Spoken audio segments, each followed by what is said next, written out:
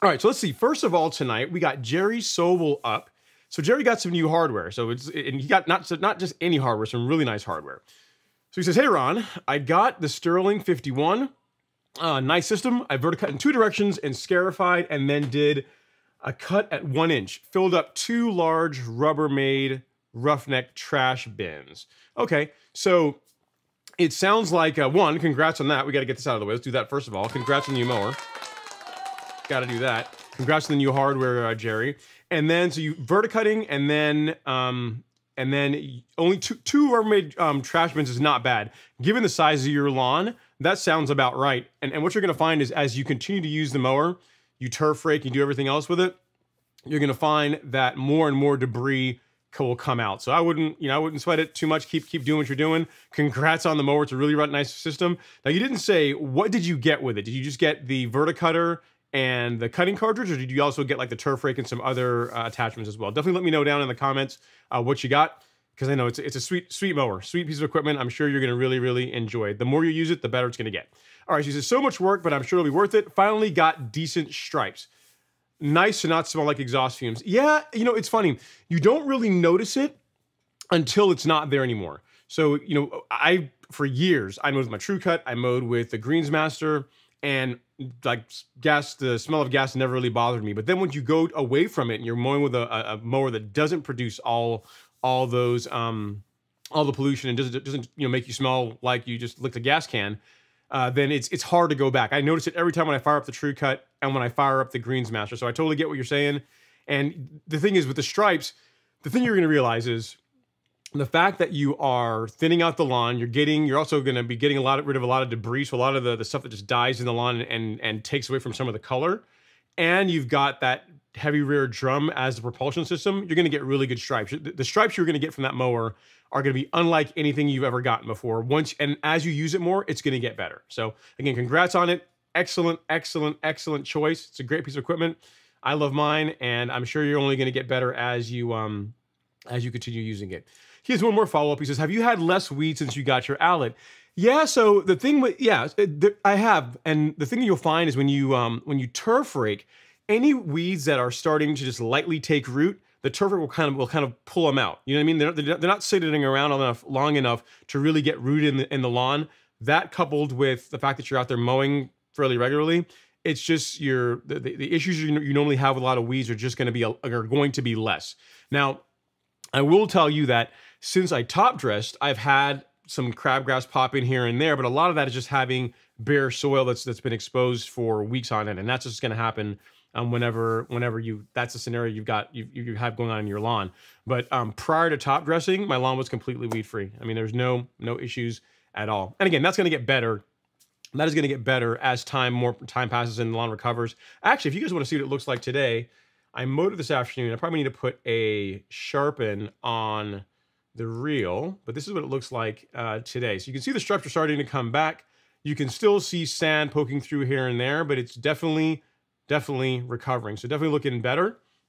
And uh, I'm liking it, man. I'm liking it. It's definitely, it's moving in the right direction, right? So I'm, I'm think I'm on track by the end of this month for the lawn to be pretty much back to where the way it was prior to top dressing or leveling, save that it's a lot smoother now, right? So that's always good stuff. Again, congrats on the mower, Jerry. It's an awesome bit of kit. Um, use it and mow in good health. Next up, we got Robert Mahora saying, evening to you, Ron. What's going on, Robert? Thanks for coming hang out in the live stream. I appreciate you as always. And then next up is Jackie Bear. Jackie Bear was actually the first person to, to say hi in the live stream, but he came in so early that his comment didn't show up. He says, Brother on, let's roll. I'm ready. Have a great stream, sir. Yeah, so the thing is, guys, I was planning I was planning on doing the stream um, outside, which is why my microphone was on the other mic that I use when I'm outdoors. I, I forgot to switch it back. Um, but it literally started raining, literally started drizzling outside. So I, I, you know, about an hour before, I was looking at the forecast and I said, you know what, if I if I chance this, it's going to rain. And sure enough, literally, I was looking at the the patio and rain was coming down. So, yep, maybe next time, maybe tomorrow, maybe tomorrow we'll get out there and we'll do something fun in the, in the lawn, either tomorrow or Sunday. Uh, I've got something in in that I want to do as a follow up to the video I did last weekend on how to select the right pre-emergent and um, you know different mixtures you can use depending on whether you have cool season or warm season grass. So I, I, thought about the idea of actually showing you guys doing it. So we'll, we'll see. I've got to um, get some stuff set up to be able to make that happen, but that's the plan for this weekend if all works out. Now, guys, we got 80 of us in the live stream so far, and I know it's just early. We're only, you know, six, seven minutes into it, but if you guys wouldn't mind hitting that like button for me, I really, really would appreciate it. Doesn't cost you anything, and it's a great way to support the show. All right, so we have our first question uh, related to weeds and maintaining your lawn nice this fall from Papa Moslow. He says, if I use prodiamine in the spring, should I change to dithiopyr in the fall? I'm a fan of doing that. I'm a fan of switching it up. So if I use, uh, you know, prodiamine in the spring, I'll use dithiopyr in the fall, or use this this fall. I'm going to be using Specticle Flo. But I am a fan of bouncing back and forth between pre-emergence between the spring and fall, largely because there's really not a whole lot of um, of downside of doing it. You know, take for example, say you're doing a granular, right? So I'll show you what I'm talking about here. So if we go to golf course lawn store and we look at the weed killer section, and then we look at the granular um, herbicide, so like for your for your pre-emergence. So the the price difference between uh, dithiopyr and prodiamine is literally like five dollars, four dollars. It's nothing, right? It's like a four dollar difference between them. So like, why not switch it? Why not change between spring and fall? There's not really a cost difference that really really matters between the two of them, and it gives you another, you know, another. It just gives it, you're just mixing it up. I've not really heard of of a, of a lot of weeds forming resistance to prodiamine, but I mean, why not just all just um, flip back and forth between spring and fall if you can? I will tell you that if I had a choice, right, if I were choosing, I would opt for prodiamine more so in the fall and dithiopyr in the spring. Here's why. In the spring, when it's starting to get warm again, that's when you know crabgrass will begin to germinate, and that becomes you know the bane of our existence in our lawn. I've got some of it going on in my lawn now after the top dressing, and unlike prodiamine, dithiopyr has the ability to kill young crabgrass. So not so if it's fully grown, you know, you're, you're out of gas. You have to get quinclorac or something else for it. But for young crabgrass um, that has not matured, uh, dithiopyr will actually take care of that. It'll actually kill it. So if you're trying to plan your pre-emergence around what is going to give you the biggest bang for the buck based on what the kind of weeds you're likely to encounter, then dithiopyr in the spring makes a lot of sense and prodiamine in the fall makes a lot of sense.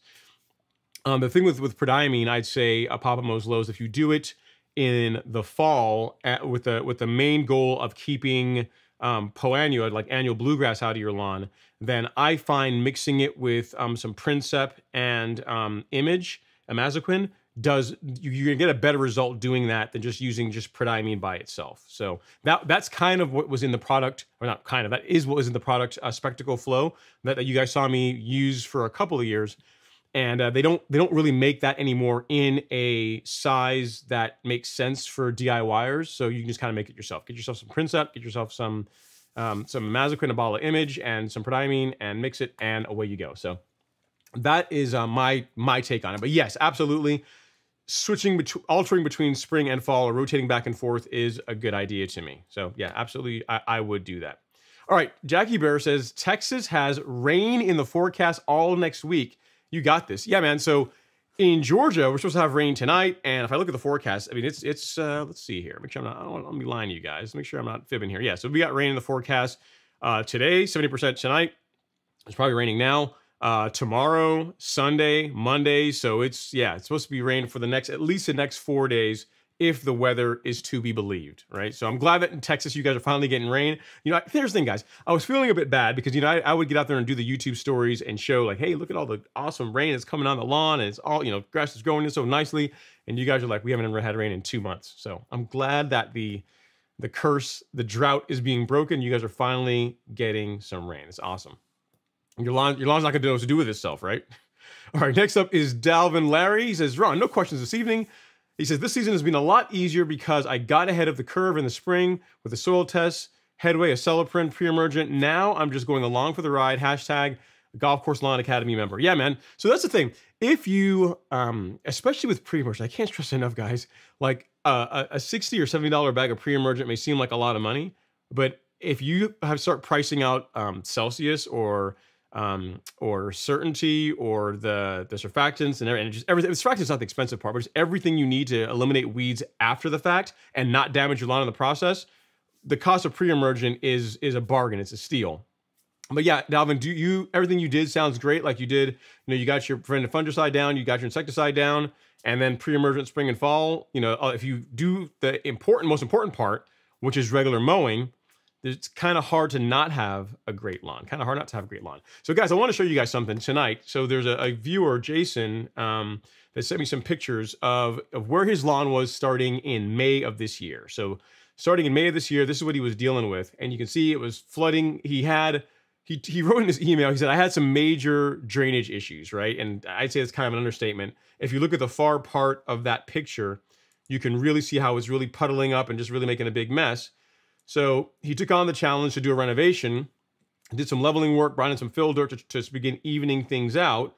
He then, uh, you know, brought some, me I can get this next picture up for, for you guys. He then uh, sodded the entire lawn with TifTuf. So the entire thing after he got it leveled out, fixed some of the drainage issues, he went down on the entire lawn with TifTuf Bermuda and then brought in the soil cubed leveling mix. You can see the dark stuff there. So he got the level mix in there. So it's got compost and USGA sand. So it's 70, 70% sand, 30% compost. And this, guys, this is what the lawn looks like today. So from May, so from May, it went from that to that. So you guys got no excuse. I mean, to tell to tell you that it's that you you can't make you can't turn a lawn around in a season is simply not true. I mean, in, in, in from May to, to now, that's what you're looking at. So it's like May, June, July. We're in August now. So four months. Sounds about right. That's what I always say. I say that if you are really, really diligent, you you follow a, a diligent approach, um, you know, you get your soil testing done, you you fix any problems, like any physical problems in the lawn, like what he had, as far as like his drainage problems, and then just go at it full tilt. You know, he didn't mention his mowing, but, I, but looking at this lawn, you know that man's out there mowing. I mean, that's clean. I don't care who you are. I mean, even if you're a cool season guy, you got to respect that. That's looking really, really sharp. Looking really sharp. So for anyone anyone that wants inspiration, what you can do to your lawn in just a few months, that's a great a great example. You know, I get I get pictures like this every week. You know, it's and it's really cool to hear from viewers that you know took took on the challenge to really turn their lawn around to to create a lawn that the neighborhood will envy and to have their personal golf course lawn, whatever that means to you. So Jason, awesome job, man. Keep going. Here's the thing, you're not going to believe this, but next year it's going to get even better. Now, here's the thing, that, that color is sweet, looking awesome, but it's going to get even better next year. It's going to get even better. Just, just keep up with what you're doing, and you're going to absolutely love how the lawn develops over time. All right, next up is Mark Harvey. He says, Hi, Ron. After I top dressed, I'm noticing baby crabgrass and other weeds popping up. Should I throw down some granular dithiopyr and maybe some um, prodiamine granular just because it's time anyway? Okay, so the fact that you're getting uh, crabgrass now or crabgrass after top dressing, I'm not really surprised by that. I, I have some of that in my lawn too. I just tend to pluck it out when, pluck it out whenever I'm around mowing. Um, what you find, right, is it could be some of it came in with the top dressing mix, but it, more than likely it's because you have all this bare dirt, right? Like whenever whenever your lawn looks like how Jason's lawn looks, when it looks like that, it's pretty hard for weeds to get a foothold, right? Because the canopy gets nice and thick. Uh, there's just not um, uh, there's not a lot of open open soil for them to really bite down into, begin to germinate, and be able to to, to grow, right? So now in a case where how our lawns are, right, how yours is and how mine is, where you have a lot of you know you have patches of two three feet open of just bare um, sand where it was level, um, where, where the, the leveling makes it a little heavier, that is the area where crabgrass and other weeds are going to try and take root. I would not do dithiopyr and prodiamine. Remember, they're both pre-emergent. So really, I'd pick one or the other. What I would say is if you want to use dithiopyr because you're dealing with some crabgrass now, that's fine. That, that's, a, that's a good strategy. But if you also want to get rid of um, any other weeds, or if the crab or if the crabgrass is getting out of hand, you're just you're irritated with it, um, spray a post-emergent. So use quinclorac um, to, to, to knock the uh, to knock the crabgrass back and then the dithiopyr should catch any uh, new crabgrass that tries to germinate between now and when you know the the the grass begins to go dormant. So it's your call. I would not do prodiamine and dithiopyr. Pick one or the other. Given that you have again crabgrass, dithiopyr is more the logical choice, but it doesn't really matter. You can do you can use either one of them. But I would say is if you want to really get rid of the crabgrass, go after it with a post emergent. So what I was telling you is quinclorac, and you can see I'll, I'll, put a link here in that for you in the chat, um, Mike. So this is what I'd recommend if you want to, to get rid of the um, of the active uh, crabgrass. So crabgrass, grassed, post emergent. All right. So there you go. So use that to kill off the current crabgrass if you can't just pick it. Like I mean, my lawn's pretty big, and when I'm out there mowing, I'll just stop the mower and I'll, I'll, I'll just take a you know a minute, literally a minute, and pick the few little pieces that came out and just continue on with my, with my mowing. So uh, unless it's really bad, you might be able to just get away with doing that. But it's you know it's, it's your call. If it's getting if it's getting out there, I get it. If you want to you know go conduct some chemical warfare against the uh, the crabgrass. All right, next up is Mary J. Mary J says, Good evening, Ron. I ordered prodiamine from your store. Thank you. I really appreciate that. This is will be my first time doing liquid, and I've been watching some of your older videos. Thinking I'm going to do a fall app and split in the spring. Okay, that, that can work, I'm Mary. So I'm trying to trying to remember what kind of grass you have. So if it's Bermuda, remember the total rate for Bermuda is um, the annual limit over a 12 month period is uh, 0.83 ounces per thousand square feet. I'm not sure if you, again, you're doing the liquids. You got the, the water dispersible granule. Yeah, so 0.83 um, ounces over a 12 month period is what you got to work with. So if you're gonna go and use some in the fall, you could do, you know, you could use, um, I don't know, 0.4, you go out and have half rate and then do an or and then do another and leave the remaining allocation for your split app in the spring. So it sounds like you want to do like half now and then maybe 0.20 in late February, early March, and then another 0.20 in April if you want to go that route. And then the total, the total you've put down will be just under that annual limit. And that would be correct for Bermuda. If you have uh, cool season grass, then it's 0.185, so 0.2 to make the math easier. Uh, so it just depends what kind of grass you have, um, but just read the label and um, and make sure that you don't you know you don't exceed the 12 month allocation for your particular grass type. That's that's the only uh, the only thing I, I, would tell you. And as far as um, as far as tips, um, you know the thing with prodiamine is if you're using a backpack sprayer, make sure you fill the sprayer halfway up with water first. Add the prodiamine, and then what I like to do is add the prodiamine. If you have a, like a uh, like a drill or, or something to to to agitate it, you can use that or, you know, in a pinch, if you're strong enough, you can just close off the, the tank and really give it a good shake with it half full. You don't want to do this when it's all the way full. Like begin getting it suspended when it's half full. So fill it halfway with water, um, put your prodiamine in it, close off the tank, give it a good shake. I mean, You know, like 20 shakes or so is what I do. I tend to, I tend to count to 20, like a number of times when I, I shake the tank.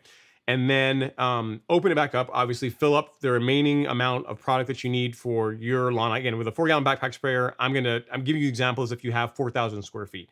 I don't know how big your lawn is, but if you have 4,000 square feet, this is what you would do.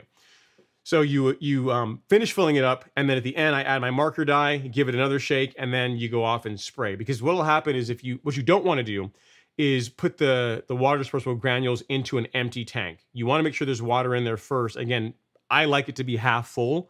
Uh, so get it suspended, and then continue filling it, and add anything else you're gonna you're gonna spray, and then um, and then go go to town. So yeah, it sounds like you got a great plan. Uh, just follow the uh, the label, check the application rates, and remember on the high end, on the high end of the rate. So I think for cool season grass is 0.55 ounces. I believe it depends on the grass type, but I believe it's 0.55 ounces. Uh, is a high rate for prodiamine. So remember that's for a 12 month period. So if you have cool season grass and you put all that down now, which I would not recommend, you want to say you want to say uh, on the lower end for cool season grass for sure. Um, just just regardless of, of, what rate you use, remember that that the, the upper limit, the upper end of that range is what your 12 month period is. So I beat that one to death. I think I've given you enough tips. And again, I, I might make a video here soon, um, actually showing what I just talked about. I mean, I, have got videos showing the showing it. Um, you know, I've got several on how to mix prodiamine, but perhaps doing one live, and then you guys can ask questions after the fact if you need it. Might be useful. So let me know if you guys want me to do that and uh, we'll I'll try to make it happen here. Um, maybe if not this weekend, sometime uh, during the week if I, if I have some time. So, good stuff, Mary. Good job getting your pre-emergent planned and down, or getting it ready to put it down. And uh, if you have any questions, definitely let me know how I can help out. All right, next up is Mike. He's back. He says, I was thinking granular prodiamine and uh, now and liquid in October. Yeah, so again, I, am not, I guess for the liquid you're referring to quinclorac, I really would just do one or the other. I would not do, do not use quinclorac as a post-emergent. Like it's really a it's a it's like a pre-emergent uh, first with some post-emergent bonuses. Kind of like how how tenacity is really a post-emergent herbicide, but it can give you it has some like pre-emergent effects for a few weeks. That's how, how you need to treat quinclorac. I, am sorry, how you need to treat um, dithiopyr. I would not treat dithi I would not use dithiopyr to try and eliminate crabgrass in a lawn. That's what quinclorac is for. You know what I mean? So do one or the other. And um, again, if you really, if the crabgrass is really getting out of hand, and you don't want to just just to pull it out, uh, then quinclorac is going to be your jam. That's what I would recommend, Mike. But do not don't do both. I would not do both um, in the fall. All right, next up is Mr. Scott Menard. He says, "Hey Ron, Scott Menard here from Gulfport, Gulfport, I guess Mississippi." He says, "Yep, I made it. Well, congrats, Scott. Uh, thanks for coming to come hang out. Looks like you got a pl- nice plane, man. It's a cool plane. Was it turbo? Is that turboprop? I'm not sure what it is. It looks cool, cool looking plane, man. Very nice avatar. Appreciate you coming to hang out in the live stream because I I think I've seen. I'm not sure if you've, you've emailed, but I've seen your name before. So it's probably you've probably commented on some of the videos or something, um, which is where I've probably seen your name. All right, next up is Blaine uh, Serio. He says, um, hybrid Bermuda uh, Bermuda turf dealing with nutsedge and goosegrass help. So for nutsedge uh, in, in Bermuda, um, certainty is what I would recommend. For goosegrass, I'm trying to think what will. I don't think, I'm not sure if certainty will do goosegrass. Um, I know revolver will, but that's kind of an expensive way to go about it. Let me check the label. I don't believe certain. I think certainty will do Johnson grass, but I don't think it will do goosegrass. I'm just checking the label here real, real quick just to make sure I'm not giving you bad info. I don't. I don't believe. Yeah. So so for goosegrass, um, uh, Blaine if it's so it's a, if it's bad enough that you actually want to use a herbicide to get rid of it, then Revolver will do that. But again, that's very expensive. That's very expensive. For the nutsedge, I would go with Certainty. So I'll show you that. I don't have we don't sell Revolver in the store uh, mainly because it's, it's expensive and it's it's something that that not not many people actually tend to need. So I'll show you here really quick. So if you go to the golf course lawn store, go back to shop and then weed killer right on the top shelf of the first page of the weed killer section is uh, certainty. So as far as, in my opinion, the best herbicide, the best post-emergent herbicide for sedges in warm season grass. And you said nut sedge, but it doesn't matter if you have kyllinga, you know, yellow nut sedge, purple, doesn't matter what it is. I mean, this this stuff will take care of it. It's an excellent herbicide. And even though temperatures right now are not really high, it is um, it, it's one of the benefits of it is that it, it tends to be gentler on the grass. It's not going to discolor your grass like some other options uh, tend to do. The thing with it, I'll, I'll tell you, is that um, you need to give it enough time to work. So if you if you decide you're going to go with uh, with certainty, you know, give it 10 days. Within 10 days, you're going to start seeing the the um, the nutsedge really begin to die off, and it's going to really accelerate how quickly it kills it. So in the first two, three days, four days, five days, you're not going to see a whole lot. You might see the color beginning to go away, but around day 10 is what I find is that it really takes off. It goes, it begins to yellow really, um, really well, and then it just dies off and and turns like to brown, to shrivels. It, it, it, it again, certainty is excellent against uh, sedges. Again, for your for your goosegrass, if it's bad enough that you actually want to use a, a herbicide, then uh, revolver is what I would say. But again, bring your wallet because it's not it's not inexpensive. I'll give you, I'll send you a link to uh, to Revolver if you want to go take a look at that.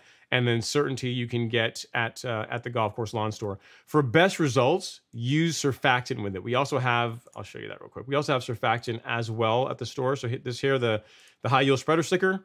That will work well. You mix that along with your Certainty, and that will uh, that will absolutely get rid of your um, the sedge the sedge problem in your lawn. And then for Revolver, I'll make sure I got you covered here, Blaine. Uh, here you go. Revolver is uh, is what you're gonna want to look at. Again, look at the label and then just decide if it's if it's for you because again, it's an expensive product to use. All right, next up is Patrick in Texas. He says, "I got my like in early. I appreciate that, Patrick. Thank you so much. I mean, you know, here's the thing: we got 111 people in here, only 54 likes. What's that about? What's that about? We can do better, guys. We can do better than that. We can certainly come on. You can hit that like button. You can tap, smash, do whatever you want to do to it. Just get those likes up, man. It really is a free way to help support the channel. Let's do it." All right, Andrew Phillips is up next. Says, hey, Ron and folks, happy Friday. What's going on, Andrew? Thanks for coming to hang out. Papa Moslo says, no sound. It should be back now, guys. Sorry about that. Again, I, I had everything set up uh, for me to go to start the show outside like I did last week. And then within an hour before, I was like, eh, it's going to rain. And I was right, it's raining. So I brought everything back inside and I forgot to change the mic back in the software I use. So there you go. Technical, technical error, technical boo-boo on my part. My apologies. Hopefully you guys will forgive me. Hopefully you guys will forgive me. It happens. All right, uh, next up is Robert Mahoros. He's back. He says, I'm thinking about putting down prodiamine this weekend. Uh, second in 45 days, Pennant Magnum in the spring for the doveweed issue. So I'm, I'm trying to see if I understand the question or the comment. You said, so prodiamine, um, I guess for your fall pre-emergent, uh, but you said second in 45 days. You're saying this is your second application in 45 days, and then Pennant Magnum in the spring for the doveweed. I'm I'm not I'm not understanding the second the the other the the second half of it. Um, the the comment the second part of the first sentence, Robert. Uh, as far as using prodiamine, sounds great. I'm I'm all all for that. It's a good option for the fall. Uh, but I'm not understanding the second in 45 days part. And then Pennant Magnum in the spring, if you want to go that route, that works as well too. It's a good um it's a good pre-emergent uh, as well. So if you can give me a little more context, I can come back to your comment because I'm sure you are still here. Sure, you're still here. All right. Um, uh, Andrew Phillips says, App Poppin was low. I used dithiopyr last fall and it worked fabulously. The person you need to talk to about dithiopyr is um, VMH. I'm not sure if VMH is in the live stream, but he is. You you talk about a man that can tell you on you know from first hand experience how to eliminate crabgrass in a lawn. Talk to VMH. I mean, he was he was Captain Crabgrass, and he's no longer Captain Crabgrass. He uh, you know him dithiopyr um, and quinclorac were on a, and he were on a first name basis. So uh, so yeah, if it's bad enough that you want to to use that, then um, then by all means go for it. By all means go for it. All right, guys. Yeah, I see all the questions of saying uh, no audio. Yeah, sorry about that, guys. I got it figured out fairly fairly quickly because my meter wasn't moving, and I was like, oh, that's why. Wrong microphone. Makes it hard. Okay, uh, Andrew says I will use that again uh, this year. If if you got good results with it, there's no reason to change it up, right? If you're liking it and you're getting the good results, keep keep it going. Shazia Sadri from the UK is in the house. He says that's better and good to hear you. thanks, uh, thanks, Shazia. Thanks, I appreciate it. And then uh, next up is Mike uh, Harvey. He says, "I bought Prodiamine, Princep, and Image to spray." Guys, yeah, I got to tell you, that's that is a great combination. You know, I I was a huge fan, still am a huge fan, but you just can't get anymore uh, of uh, of Coastal, which essentially was that was Princep, um, and and Image. And the nice thing about it is that um, the both those products you water them in um, to uh, to you know they, are soil based. They work well from from being um, getting down in the soil. Um, and as far as a an inexpensive, a poor poor person's, a poor man's um, Specticle Flo, you know that's a great combination. So if you have like a small lawn, let's say you got like a you know a, a really a small lawn where you don't need you don't need a huge um, amount of of um, of prodiamine. You know, you could get here, you go here to the store and you get, I mean, if you need the, the five pound jug, you could do that. But you could literally get, you know, 24 bucks, you get yourself a five ounce container of prodiamine. That will do up to, I think, 6,000 feet, uh, 6,000 square foot lawn or so for Bermuda. So you're, so you're you know, 24, 25 bucks there. Princep is not, is around, unfortunately, it only comes in um, two and a half gallons and that's a little over 100 bucks and then image is like 30 bucks. So all in for less than $150, pretty much half the price, half the price of Specticle Flo, you can replicate similar results. You know what I mean? So it's that that combination works really well. The only thing that I'd say you, you give up or you lose for, um, compared to Specticle is the fact that Specticle will last a lot longer. Literally, you you do a Specticle uh, an, an, application of Specticle, and you're good for eight months. You know, it, it typically um, you know, I don't have a single app in like this time frame, like late August, early September, and I don't have any any problems with POA in my lawn at all. Like until I don't have any issues. I don't have any problems with weeds in my lawn at all. Um, using Specticle in the fall, but it's a lot more expensive, and literally you can get again around the same results, good enough results for about half the price if you're willing to mix them, you know, mix it yourself. If you're willing to mix three different products, get three different products and mix it up and apply it, then you can get, you know, as as good or close similar results for again like literally half the price so something to keep in mind if you're if you don't um, if you have the time to do it and you're comfortable with um, with reading you know reading the label and figuring out the application rates and all this kind of stuff. Like last weekend i uh, i did a live stream where i covered the rates of how i would do it but you know you feel free to you know to do it as you you know as you see fit. But i mean that's a it's a good combination what you're working there with mike. I think you're really going to like the the results you get. Um, if if it's your first time doing it, you're really gonna like uh, how little POA and other weeds you're gonna have in your lawn over the winter and into the the spring using that combo. All right, we got our first super chat of the evening as a super super sticker. Thank you so much for that, uh, Daniel. Super chat received. Appreciate it. He says a pair uh, character flying in the air with a red cape and a smile on his face. So that's cool. That's cool sight. All right, so I see you have a question before, so I'm gonna take that even though you didn't put it in your super chat where he says, Happy Friday, all. Hey, Ron, what's your height of cut during dormancy? Do you raise your height of cut at all? Thanks. I don't. I don't raise the height of cut. So right now the lawn is back down to uh, three quarters of an inch, so 0.75 inches. and that's just where I'm going to leave it going into the spring. I'm not gonna I'm not gonna raise it up, mainly because of I've um I've I've gone into dormancy at that height several times for several years, and the lawn does just fine. I've actually gone into dormancy at like half an inch, and it's done. It's been okay. But the reason why I don't, I'm not a fan of raising it up is one, my lawn tolerates it just fine, and then I'm trying to cut down on how much work I'm going to have for myself when springtime rolls around. You know what I mean? It's it's all fine and good to let your grass grow up to an inch, inch and a quarter, like to stop mowing it all together. But then when you do your scalp, it's a lot more work. And you know, I have 11,000 ish square feet. That's a lot more material to take out. I mean, you, you, wouldn't think so, but you know, half an inch, half an inch more of grass is a lot of grass. You know what I mean? Especially when you're having to, um, if you're just cutting it, it wouldn't be so bad, but you're having to, you know, run the mower, bag it, and then it's just, it's, it's a lot of work, a lot of material to get rid of. So I like to maintain the height of cut around uh, on the, on the shorter side. So for me, 0.75 is where I'm at, and that's where I'm going to leave it going into, into winter dormancy. My lawn seems to tolerate it just fine. All right, next up is Lindrick Butler. He says, "Greetings. It's been a while. It has been a while, Lindrick. It has been a while since you've been uh, in the in the live stream, but you know you're back. You're here, so can't you know it's, it's good to get to have you around. You have a question? You just came just to say hi. Either way, it's so cool, right? All right, next up is TK. TK says, I sprayed two applications of Tenacity two weeks ago apart on my bent grass. It is totally fried now. We'll, over, we'll be overseeding tomorrow and we'll apply a third application. What are the chances it comes back? Um, well, you did two apps. Is Tenacity even labeled for bent grass? Let me look here. Um, I, I always look up the label for cool and herbicides. I always have to look at the label because I don't, I don't, I don't use them really, right? Because I got, I got warm season grass. Let's see what what saith the label.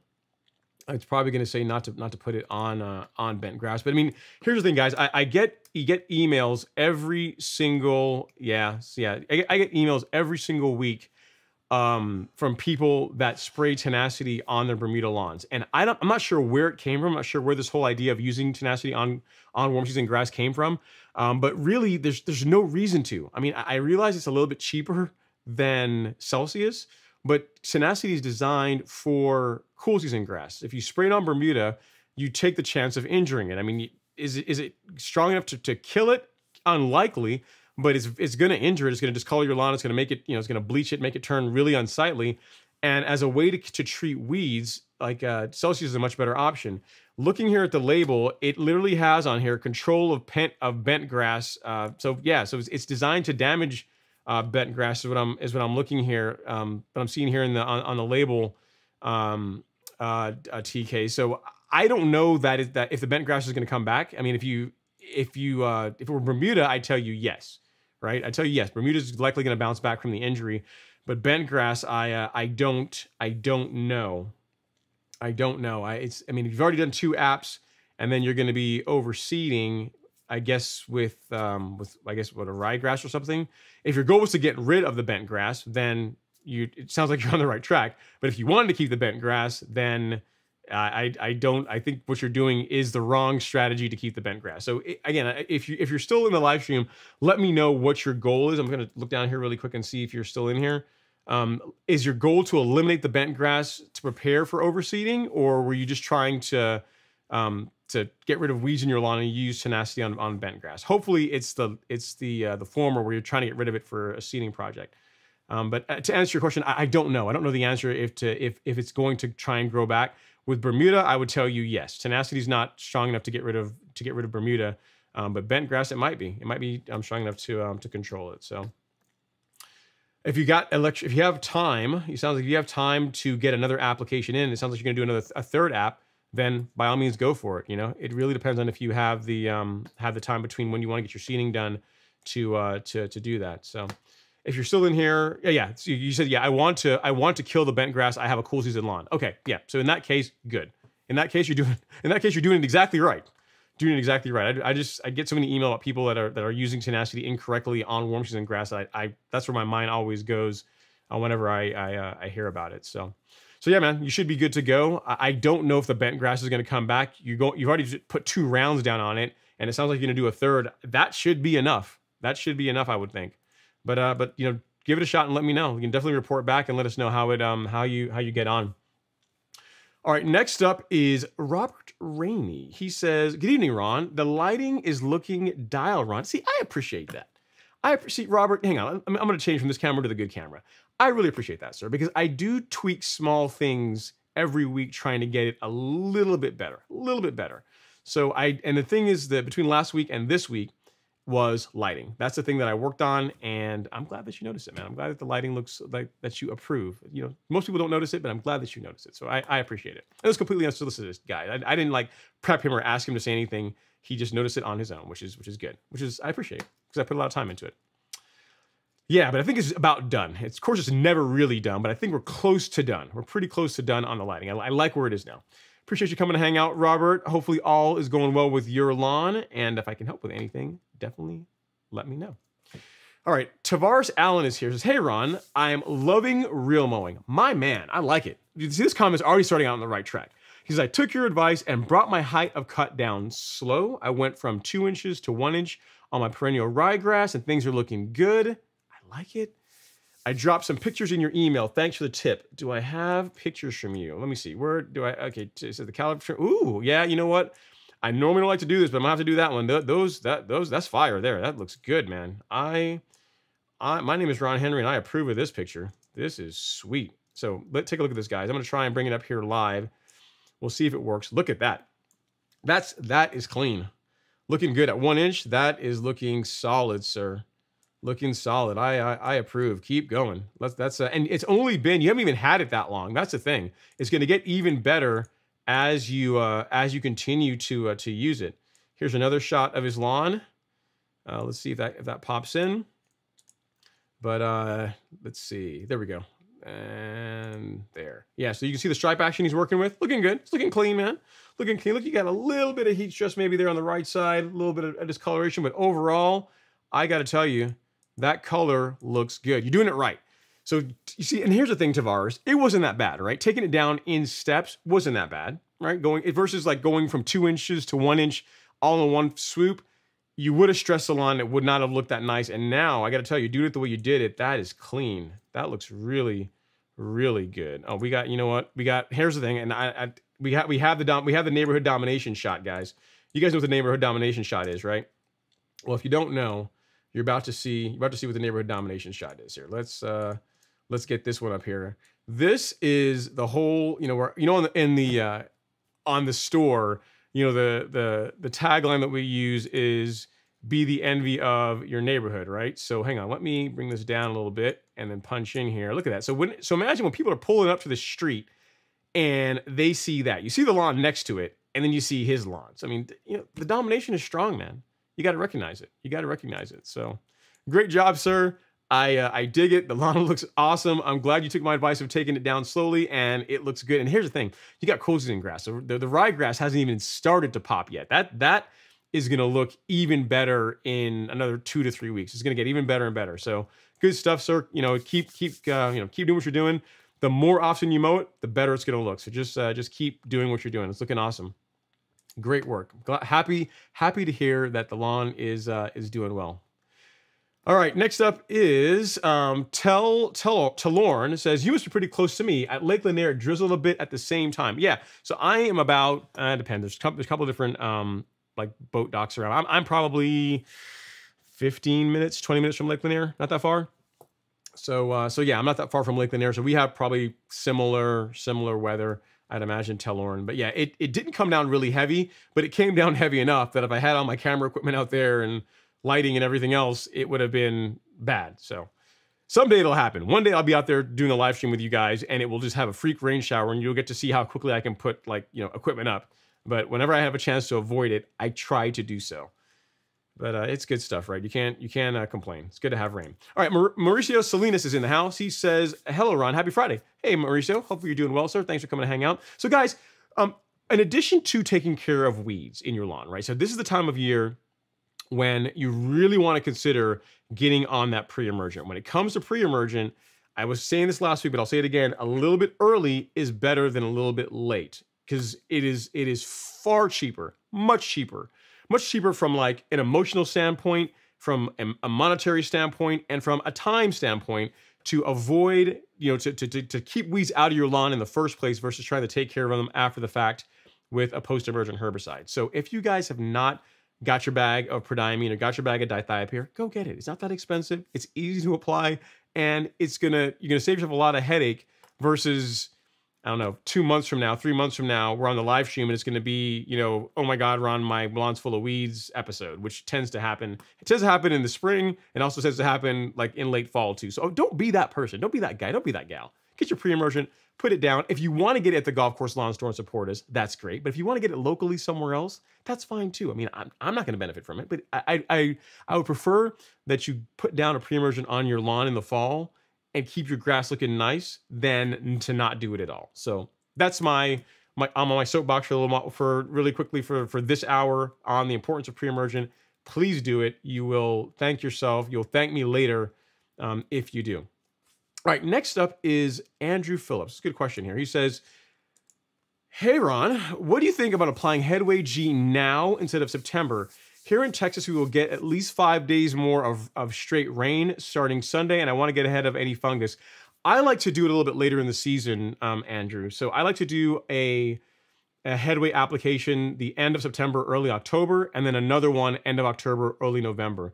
The only reason why I do it is primarily to try and keep spring dead spot away, to try and keep it out of my lawn. Last year I did that and I got really good results. Like I didn't, I didn't have, I had like one little patch compared to having several areas with, with that being an issue. So now's a bit early. Now's a bit early. Remember, when it comes to uh, fungicides, you're going to get about 30 days thereabouts of, um, of, of protection of coverage from it. So I would wait. The, the thing the thing you got to realize is I know you guys in Texas are probably traumatized because you haven't had rain in a while. And any kind of rain that's coming through the place right now, you're thinking, I got to put everything down because who knows if rain's going to come back. But it can't be like this forever. I, you know, in the fall, you're probably going to get more rain. September's probably going to rain more. And you're going to get enough. There's going to be a shower. It's going to, it's going to, you know, you're going to be able to get your headway down at a time that is more optimal for your fall application. And the rain will come. I, I would not do it this early in August you know, for your for your fall app. I just think it's too early. It's just too early. I, I, would wait till the latter part of September, early October, and then if you if you want, I like to do two apps. A second one in uh, late late um, October, early November, and then just hope and pray and wait till uh, Aprilish and see if you have any you know any saucers in your lawn of dead grass. Hopefully you won't if you do that and you taper off your um your fertilizer apps like you're supposed to as the the grass starts to go into dormancy. So I wouldn't. It's your call, but I, I personally wouldn't. I wouldn't. I, would wait. It's too it's too early in my opinion. Okay, next up is Mauricio Salinas. He says, "Does pre-emergent slow down um, even slightly Bermuda grass growth? I'm trying to get as much growth as possible to cover some weak areas in my lawn, but also rather use pre-emergent versus post-emergent uh, later on." I have not seen that, Mauricio. I've not seen um, I've not seen it where pre-emergent, you know, slows down the growth of Bermuda. It might, but I've never, you know, I've never really, I've never really seen that. I've never observed that myself. The thing that will slow down how fast your Bermuda grows, and you know, on the top, we haven't talked about um, Primo in a while, but like this will, if you if you spray your lawn, wrong camera, if you if you spray your lawn with this with Primo Max, yeah, this will slow down how quickly Bermuda grows. And you know, for cool season guys and gals, you know, this is around the time when you guys want to start loading up on Primo because your grass is about to start taking off, right? Um, but uh, but yeah, I would I would get your pre-emergent down. Remember, Bermuda is like that is like that uh that that that UFC fighter. That UFC fighter that used to like be a bar fighter, bare knuckles fighting, is like the bare knuckles fighter of grass. Like you really can't hurt Bermuda even when you really want to. Like a good example, like I sprayed those some some spots in my lawn, uh, not my lawn, in my mulch beds with Fusilade and um on glyphosate, right? A, a 41% glyphosate product and a Fusilade application. And while a lot of the Bermuda is dead, there's I, I went was looking in, in the beds today, and there's a couple areas where a little bit of green is starting to come back. And I literally did the equivalent of dropping an atomic bomb on Bermuda. And it's still not dead. It's not dead dead. It's dead, but it's not dead dead. So it's probably gonna take another application to get rid of it. So the you know, pre-emergent or prodiamine, I've personally never, to answer your question, I've never really seen where it, um, you know, it, it, it in any way that I could tell slows down how much Bermuda grows. The thing that's going to help your grass grow in um, faster, if you get some weak areas and you're trying to get the Bermuda to, to, to in faster, Um, one, minimize shade, and if you can get out there and just mow more frequently, that's going to encourage the grass to grow. You know what I mean? So that's that's the only advice I would I can really give you as far as that. The pre-emergent, I would get it down. Do not not put down pre-emergent because you're trying to get an area to fill in because you'll get weeds and then you'll be hating life. So get your pre-emergent down. All right, next up is Talorn. Talorn is here. He says, I overseeded my Bermuda July 27 and Zoysia sod in the backyard in April. Should I not apply a fall pre-emergent on either. So what did you overseed? So you did you have Bermuda and Zoysia.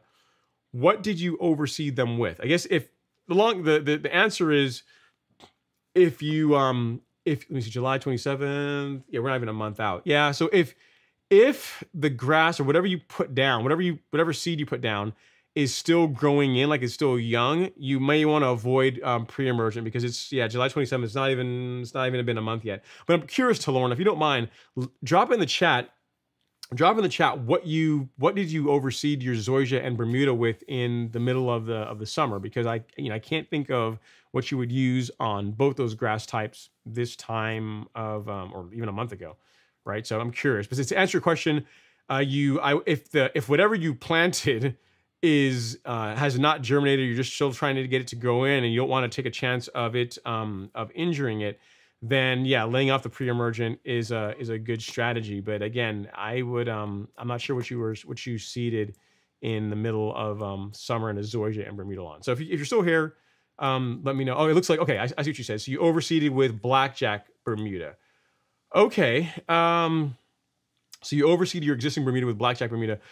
It's you might want to wait, man. I mean, so here's the thing. Here's the the negative to doing that is you are likely to have some issues with POA, you know, and other weeds in your lawn because if you did it, let me see. I'm gonna pull up a calendar here. If you did it in July, let's see, July, so August, September, October, yeah. I mean, you, you're you're gonna be if you really are serious about the about the blackjack taking and not doing anything to jeopardize that, you're just gonna be in that post-emergent life until the spring. In the spring, I absolutely would use pre-emergent. But if you don't want to take a chance of, um, you know, I mean, it should be should be frankly growing in by now. But if you want to take a chance of like root clubbing or anything like that, injuring the the very very young grass that's just still starting to grow in, then yeah, avoiding pre-emergent this fall is a plan. But just realize that you're giving up. You know, you're going to have weeds from that.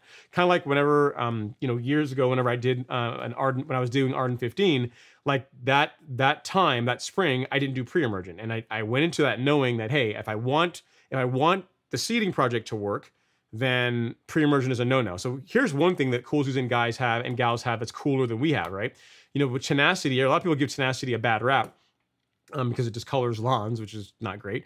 But if, if you're looking for a, a herbicide that will kill a lot of weeds and then also give you a bit of a buffer for uh, a seeding project, that's where tenacity is kind of cool, right? We, I don't, to my knowledge, I don't think we have anything like that uh, for warm season grass that has like pre-emergent qualities to it. But yeah, to answer your question, um, Laura, not to go off on tangent too much, um, no, I would not. If your if your goal is to have the blackjack to give it every opportunity to to you know, get established, then avoiding pre-emergent makes this fall makes sense just realize you're just going to be just taking care of any weeds that come up in your lawn, um, you know, with post-emergent herbicides, which is not that big a deal. Not that big a deal. I mean, you know, the for POA, you can use um, Certainty. Certainty is really good for POA.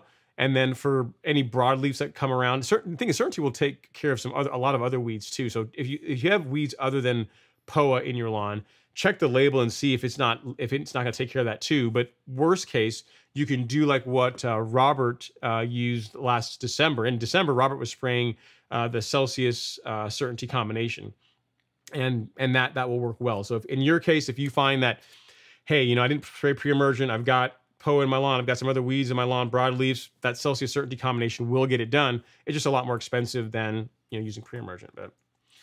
You can't have it all, sir. You can't have it all at the same time, unfortunately. You have to choose. You got you to pick your battles. You got to pick your battles.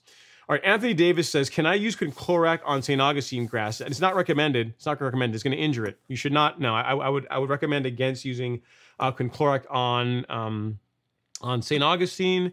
Um, yeah, no, don't don't because if you look, what, you're going to want to use, um, Anthony, is a um, a product that has atrazine. Like if you look at, uh, let's see here, if you look at like um, the Spectracides, like the less, the more inexpensive herbicides, right? Like the the uh, Home Depot stuff, right?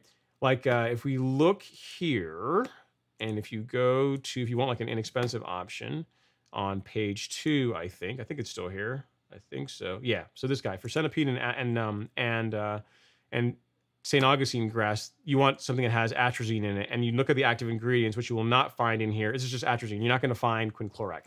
So, um, so no, I wouldn't. I would not use quinclorac on St. Augustine. You are going to give it a big ouchie if you do. If you do, it's definitely. I don't. I don't know it'll kill it, but it's just. It's not labeled for use on that. You're going to damage the grass and or kill it if you spray. Um, if you spray quinclorac on St. Augustine, it's too. Here's the thing. I know that we're not. We don't call St. Augustine crabgrass but they're they're kind of kinfolk on some level because you know this herbicides that injure crabgrass will also will also injure St. Augustine. So so there you go. All right, Two Trillas up next. He says, "Hey Ron and and everyone else, happy Friday. Thanks for coming to hang out, Two Trilla. Appreciate having you in the live stream." And he said that tipped up Bermuda for you, looking good. It is, man. For for those of you guys that are in the live stream, uh, so you know earlier I was showing you a viewer's lawn. So again, some motivation for some of you guys that are you know your your lawn may look not that great and you're really trying to turn it around. So a viewer, you know, earlier this week sent me some pictures saying, you know, thank you and pretty much, hey, I'm, I appreciate everything you did and soil testing and getting everything done and the, the suite of products that he used. But this is where he started, and this was in May with serious drainage problems. The lawn was a mess. He took on the challenge of doing a renovation where he started leveling it out, fixing the drainage problems. Which, before I go into the pictures, that's something I always tell you guys. You, you notice whenever you you guys ask me a question in the live stream, and there's like a um, a moss problem or there's some other issue that a lot of times points to a drainage problem, I always tell you guys to fix that first because if you put all this time and effort into trying to create a great lawn, but just fundamentally like there's like there's a, a dip that turns into a, a swimming pool for two days after a rain after it rains, the lawn is never going to look great in that that area. So you look at what Jason did. You know he he you know took the pain and you know went through and fixed the areas that that were not draining well and then he installed new sod, some fresh Tiff Top sod, did a, uh, a top dress, and then literally these pictures were from this week. And look at the color. I mean, from from that, nope, wrong one. From that to that in May to now. So that's four months. Four months, just four months. He, you know, it's that's he turned his lawn around. It looks incredible. So as motivation for you guys that that you know may have lawns that don't look great, you can really make grass look awesome in a relatively short period of time if you have a good plan and you are consistent in in your approach to it. So uh, so there you go. All right, next up is Jason uh, Botvich. I can't say Botkovich. Okay, I think I think I think I butchered your name, but I apologize for that. He says, "Hey Ron, I overdid PGR and now it's recovering. When can I put pre-emergent?" And which one do you recommend? I've got Zeon Zoysia. I live in South Carolina, close to the beach. Anyway, love your channel. I appreciate it. So, uh, so yeah. So as far, I'm glad to hear that the lawn is recovering from the over application of growth regulator. Um, as far as when to apply your pre-emergent, the most correct answer is when soil temps are cooling off and going to set, going like south of 70, 70 degrees. I am a fan, and the, oh, the really way the way to know that is you'll have to get Eh, you have to get something like this if you're trying to be super precise, like a soil thermometer or a meat thermometer. They can work just as well. Or you can just apply it in September timeframe. You know, I, I'm a fan of getting pre-emergent down a bit earlier than later because, you know, as I said in last week's live stream and as I've said in a lot of my videos, like the the the name of of how it works and how you get the best result out of it is in the name of the product. It's pre-emergent. It's prior to the weeds emerging.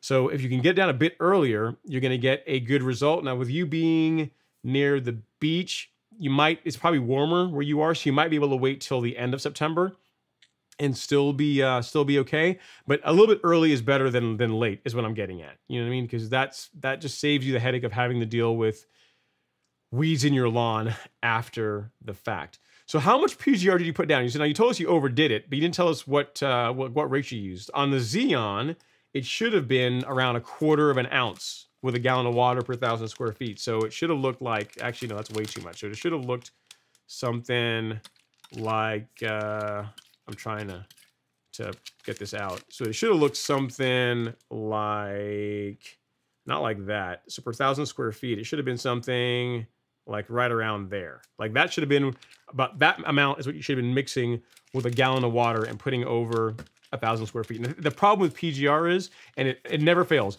You see it in the Facebook groups, you see it, I get emails about it, is you'll look at that. Let's say you have a 1,000 square foot lawn, right? Which I mean, most of you guys probably don't. But if you, let's, you know, you look at that amount of product and you say, there is no way that that itty bitty amount, that itty bitty amount could do anything. So you double or triple it and then you injure your lawn. But, um, but yeah. Going forward, stick to the actual label rates. You don't need to go heavy. As you you know now, I'm, pre I'm preaching to the choir.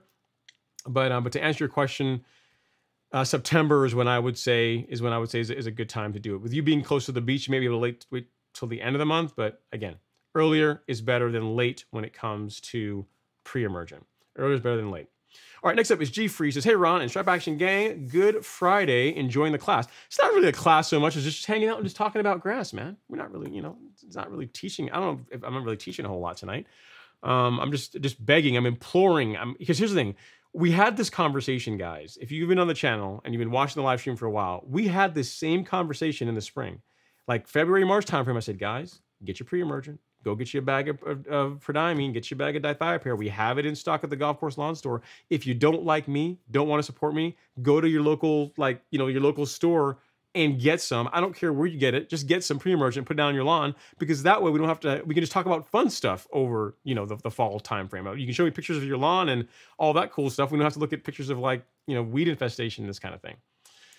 But yeah, G Free, thanks for coming to hang out, man. I appreciate you. It's always a fun time. I'm trying to plan what I'm going to do this weekend, assuming the rain holds out. It's not looking so good, so we'll we'll see. We'll see. All right. Next up is Tutrilla. He says, Hey, Ron, can you explain how to use the white TeeJet? I got I don't have a white one here, but I've got one. The white TeeJet tip that comes with the Yard Mastery sprayer. I said it like an idiot, but it only seems to spray my feet when using it on the way the wand is curved. Thank you. Yeah, okay. So I, I know what's happening, Tutrilla. So if you watch, uh, do I, I can't show you in the video, but I, will I'll tell you the video to go watch. You actually see my technique for doing it.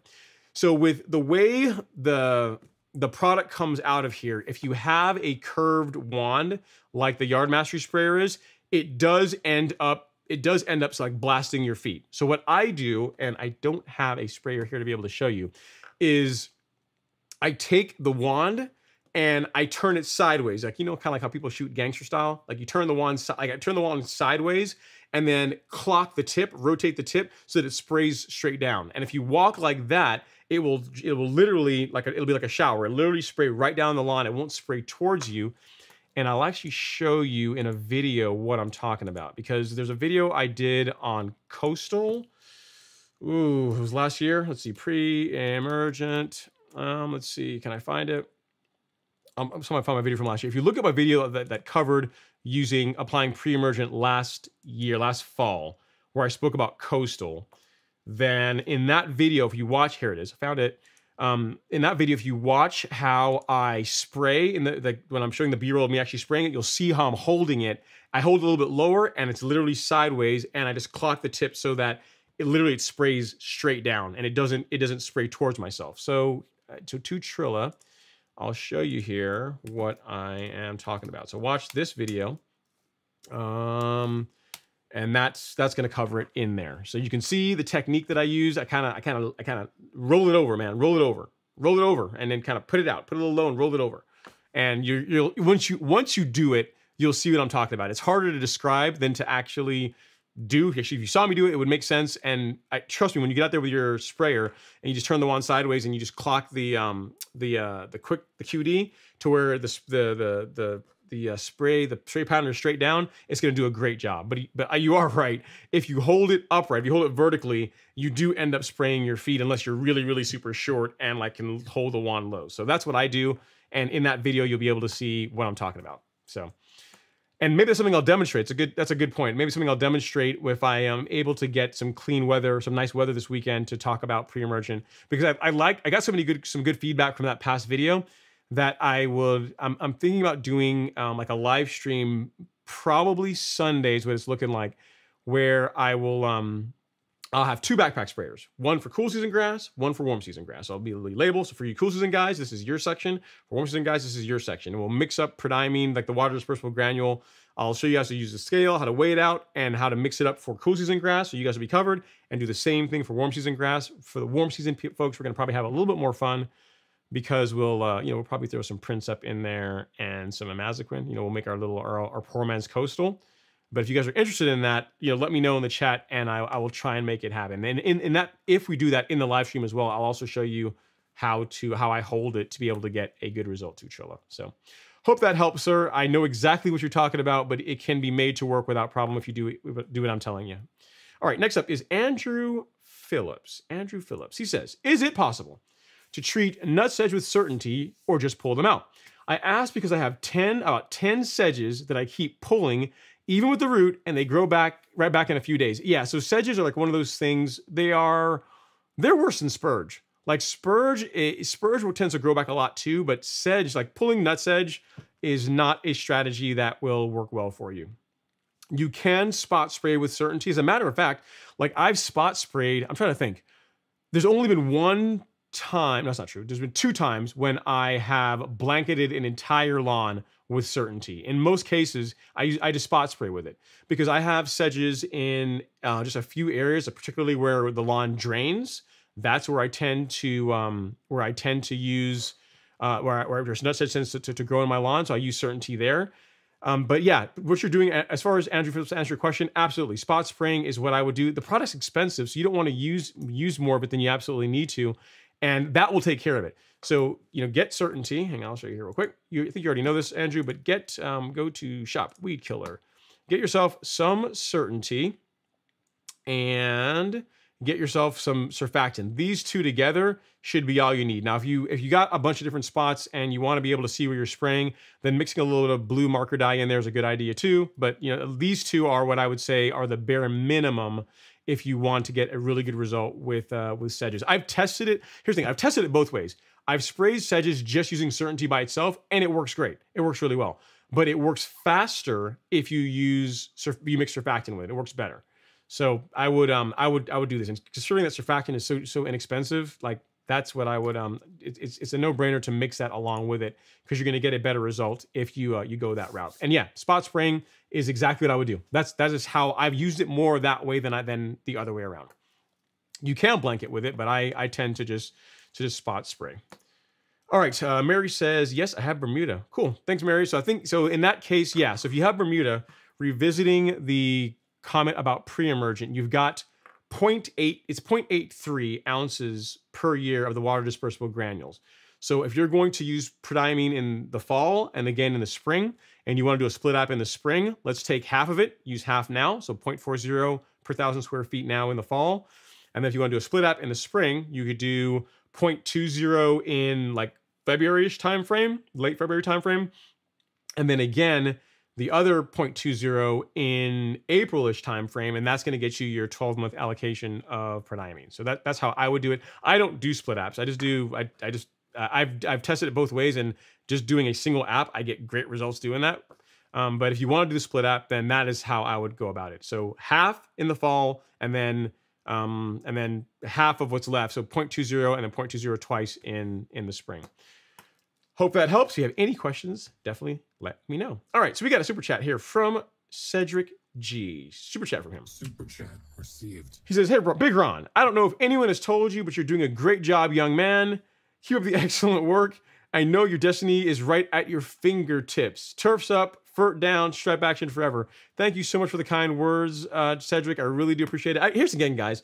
I'm having a ton of fun doing this. I, I really, really enjoy it. I mean, this we are at two years now two years of this show, the live stream going on, and it's gotten gotten a lot better. I've made a lot of friends. Uh, you know, I've made a lot of friends, and I've got you know some people that don't like me, which I still love anyway. I love that. I love, I love, I love, the, I love both parts of it. I love both parts. I love you guys, and you know, haters are a necessary evil, unfortunately. But uh, but yeah, man, I just I want to keep helping people out, help everyone help you know get better lawns as much as possible. Like this kind of stuff, Cedric like this is what I live for. Getting these kinds of emails and uh, with, with this with these kind of transformations, that's the stuff that makes that makes doing this worth it. So I really really uh, appreciate the kind of words. Thank you for the super chat. And you know what? Because you have the um, actually you're not the, you're the fir- you're the highest super chat of the evening right now. You are now the show sponsor. So there you go. Your name in lights for whatever that means to you. I really appreciate it, sir. I'm just going to keep going and keep doing the best I can. That's all I can do, right? Okay, now the hard part is figuring out where I left off. And yeah, Tony, Tony Israel is here. He says, Hey Ron, hey Tony, how's it going? How much time should lapse between image apps? Fighting Nutty Nutsedge. Uh, two to three weeks, but if you really want to, if here's the thing, image will work against Nutsedge, and people say it doesn't work, it does work, but it's just slow. It's like like a couple of weeks to get any kind of results slow. If you want to get rid of Nutsedge and you want to get rid of it in like less than two weeks, this is what you need to do. And you've, you've probably already seen because I've already answered the question another way around uh, you know, a couple times here in the live stream, but certainty, like this is the product you want to use on sedges. I'll show you. Let me, let me scroll down here and it's going to jump around a little bit because the window sizing for the live stream has to be this way for it to work. But this is nut sedge, right? This is probably what you got going on in your lawn. This is, you know, I think this is yellow sedge, but you got sedge all throughout the lawn here. A single application, a single application of certainty. This is what it looked like seven seven days later, you see it's already dying. And I didn't take another picture after this. Like I took another, if I take another picture like another five days after this, this would be like brown, like uh, like brown paper bag brown, like dead, dead, like not coming back dead. So if you are really, if you really want to get rid of, um, I really want to get rid of, of sedges, this is really what the way I want to go. I mean, you, you you can use image, but it's going to be it's gonna it's gonna take more than one app. It's gonna it's going to be slow, and literally within two weeks of using certainty with the surfactant, you're not the sedges are gonna be gone. They're gonna be dead. You know what I mean? There's there's there's there's not a better product, in my opinion, anyway, um, for sedges in warm season grass than certainty. You know, so that's that's what I would say to go with. It's not that hard to use. It comes with a um, with a measuring a measuring scoop, and uh, you know you can in your case you could do um, I think uh, so. Three small scoops with two gallons of water and surfactant is a good rate that's going to produce a good result. So three, like three of the small scoops, two gallons of water, and some surfactant, and uh, that that rate is uh, is a good rate that'll that'll help you out. And in the description, if you go to the golf course lawn store and look at certainty and check in the product description, we actually have a video showing how to mix it, how how, how I mix it anyway. It's not the only way to do it, but it's how I do it, and um, also shows how you can combine it with Celsius for like a great combination for warm season grass. So not to talk your ear off, but that if you if you're really serious about getting rid of sedges in your um, in your Bermuda or your warm season grass, then certainty is the way to go. That's what I would I would go with. All right, next up is Anthony Jackson. He says, I had centipede grass, but I overseeded and got Bermuda to take over. Okay. Um, I'm trying to get the Bermuda to grow on the side of the house where there is low sunlight and bad drainage. Any tips? Come, on, man, look, I just spent, you know, Anthony, you've been in here for a while. You've been in here for a while, Anthony, and I just I just spent the first part here talking about Jason saying, "Hey, look, see how bad his lawn was because of all the drainage stuff, and look at the first thing he did. He fixed the drainage problem. Like he fixed it. See, he leveled it out and made it to where the lawn drains properly, and then he did all this other stuff to make his lawn look great. So, to, Bermuda does not have very many enemies that are actually successful against it. Even, you know, even glyphosate just by itself is in at least one app is not enough to take out the almighty Bermuda. But the one thing, the one thing that is Bermuda's kryptonite is shade. More than anything else, probably more than any, more than any other grass type that I'm aware of, Bermuda absolutely loves direct sunlight. It needs it. It thrives on it. It's it's it's what makes it what makes it really go. So if you have a part of your lawn, a side of the house where there is low sun, sunlight and bad drainage, um, you know, if you unless if the house is what's causing the shade issue, then I'm gonna say you're gonna mulch that area, maybe put some fescue in that area. You I mean maybe try a different grass type or just turn it into like a an, a decorative area of, of, some sort. But Bermuda is not gonna do well. A, a general rule in general, right, is if the um let's say that the, let's use this as an example. Let's say that you know, my soil test kit is your lawn, right? And like right here, this section right here is, well, this, this section right here is an area where it's shaded or it's not growing. But all the way here, this is Bermuda, and it's growing really nicely. But as soon as we get to here, it starts dying off because right here is shaded. A general rule is if the Bermuda is not growing there now, right, because it's not getting enough sunlight, it's, you know, you can try sodding it, you can try throwing fertilizer at it, you can try top dressing, you do all kinds of things. If it's not currently growing there, there's a reason why. And with you saying shade, the area having enough shade that the grass isn't, isn't, you know, isn't really taking off, I wouldn't I wouldn't fight it. I don't want I don't want you to waste a bunch of time and money trying to to make something happen that's probably not going to happen. What you can do is if it's getting some sunlight, so you know instead of you know all the light, which is what Bermuda wants, like you know 10 hours, all the all the light is what Bermuda needs. If you're getting five to six hours of direct sunlight, you could try Zoysia. Zoysia might do all right in that area where Bermuda will not. Um, you know, if it's very, it's really, really heavily shaded, then like a, a fescue could be all right. But I mean, I, I would just, you know, the thing, the thing with that, and well, I'm not really a fan of mixing warm season, cool season grass in the same lawn, is that once you get into doing things like, um, say you're using like uh, like Primo, like using like growth regulator, or you get into start using herbicides, you got to be really, really careful, right? Because let's say, let's say you you could now take this is again going back to your simulated lawn where this portion is Bermuda. Right here we have shade, so this portion is now fescue, for example. If you're spraying um, Primo, you got to be careful. If you're spraying any kind of herbicides, you got to be really careful because what's safe for Bermuda will injure and or kill the fescue or whatever other grass you put in there, unless it's zoysia. So you know, you can what you can do is this: if the drainage is the problem, you know, if the drainage is the reason why it's not growing, fix the drainage and then see what happens. Like fix drainage first because no grass is going to grow there if it's not draining properly. So fix the drainage. That's where I would start, and then see how it's um you know see how how the grass does after that. If it's still not growing in there, that's when you know I think making you know putting some a mulch bed or some rocks in there or um, you know, um, just doing something different, making it like a decorative area versus grass is going to be a less of an exercise in frustration than trying to get Bermuda to grow in a shaded area. So I, I am just trying to save you a bunch of time.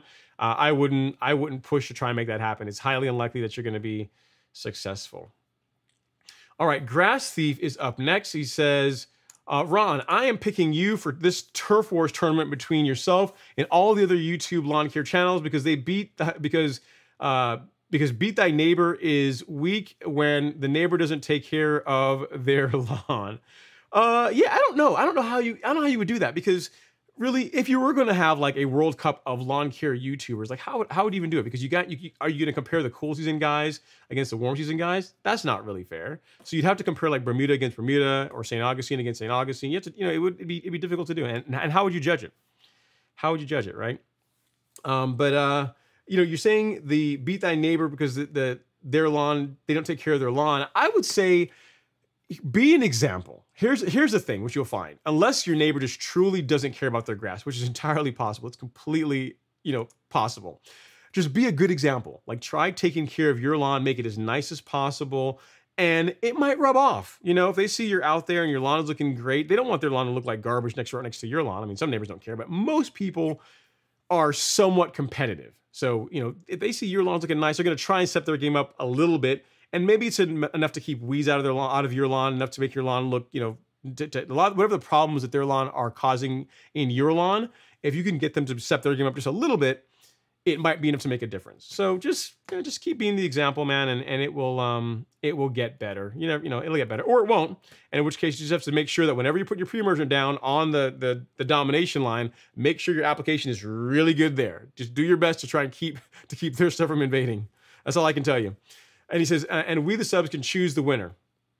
I have no idea. You guys figure out the contest and figure out, you know, if you can get anyone to participate, and we'll see. I'm not sure what what what the uh, what the criteria would be. All right, next up is Mr. Scott. He says, I emailed you some you pictures with questions. Sorry, I should have put this uh, in the first email. Yes, the pick is TMB 930. Sweet. Oh, cool. Okay, that's the name of the airplane. I don't. I don't know. I like airplanes. I like anything that has an engine and flies or goes fast, but I don't. I don't know airplanes like the models of airplanes or anything like that. Um, but um, but cool. Yeah, I didn't see your pick your email as yet, uh, Mr. Scott. I can look here really quickly and see if I got it. If I can show up here real, real quick. Oh yeah. If if I won't say your last name, I won't say your last name, but I think I think this is you. So you guys want to see Scott's lawn?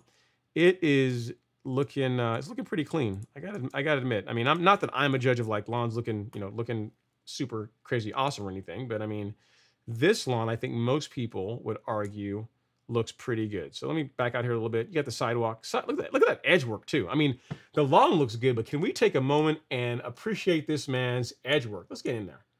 That's clean, man. The line lines are good. The color looks great, nice and even. Nice job. Nice job, Scott. If this is you, unless there's another Scott that just emailed me, if this is you, the lawn looks great, man. Color looks awesome. It looks really, really good. So keep keep doing what you're doing. Keep up the great work because the lawn looks incredible, you know? It's looking solid. All right, next up is Rich V. He says, uh, Rich, Rich V7, he says, Hey everyone, what's going on, Rich? Thanks for coming to hang out in the live stream as always. Appreciate you. You're very, very welcome, Blaine. You're very welcome. No problem at all. That is what I'm here for, sir. And then next up is Dwayne Hopkins. He says, Hey Ron, happy Friday, sir. I have hybrid Bermuda, but not sure what variety. Is there a way to find out? Grass was, was installed prior to me, and all I know is that the grass was installed in 2015. More than likely, it's TIF. I mean, I'm not sure where you are in the country, Dwayne, but it's probably TIFWay 419 or maybe TifTuf. I mean, if they paid extra, it could be TifTuf, but it, in at least around here in Georgia, at least in, in my area, um, I've in, I've been in. Let me see. I've lived in I've lived in three different places, three different houses in Georgia, and every in, in every one of them, um, they have installed uh, TIFWay 419 by default. So if you wanted anything else, assuming the builder would even let you do it, you had to pay extra for that. So more than likely, it's TIFWay 419. A way to find out, I think you can you can um, you can get you, you, you can take a look, take a picture of it, and look on the extension office's website. Like if you look at uh, UGA, they might have pictures of different types of Bermuda to where you can maybe identify it that way. Um, but it's more than likely, if I were a betting man, I would I'm gonna lean towards TIFWay 419. It's more than likely TIFWay 419 is what is what you got.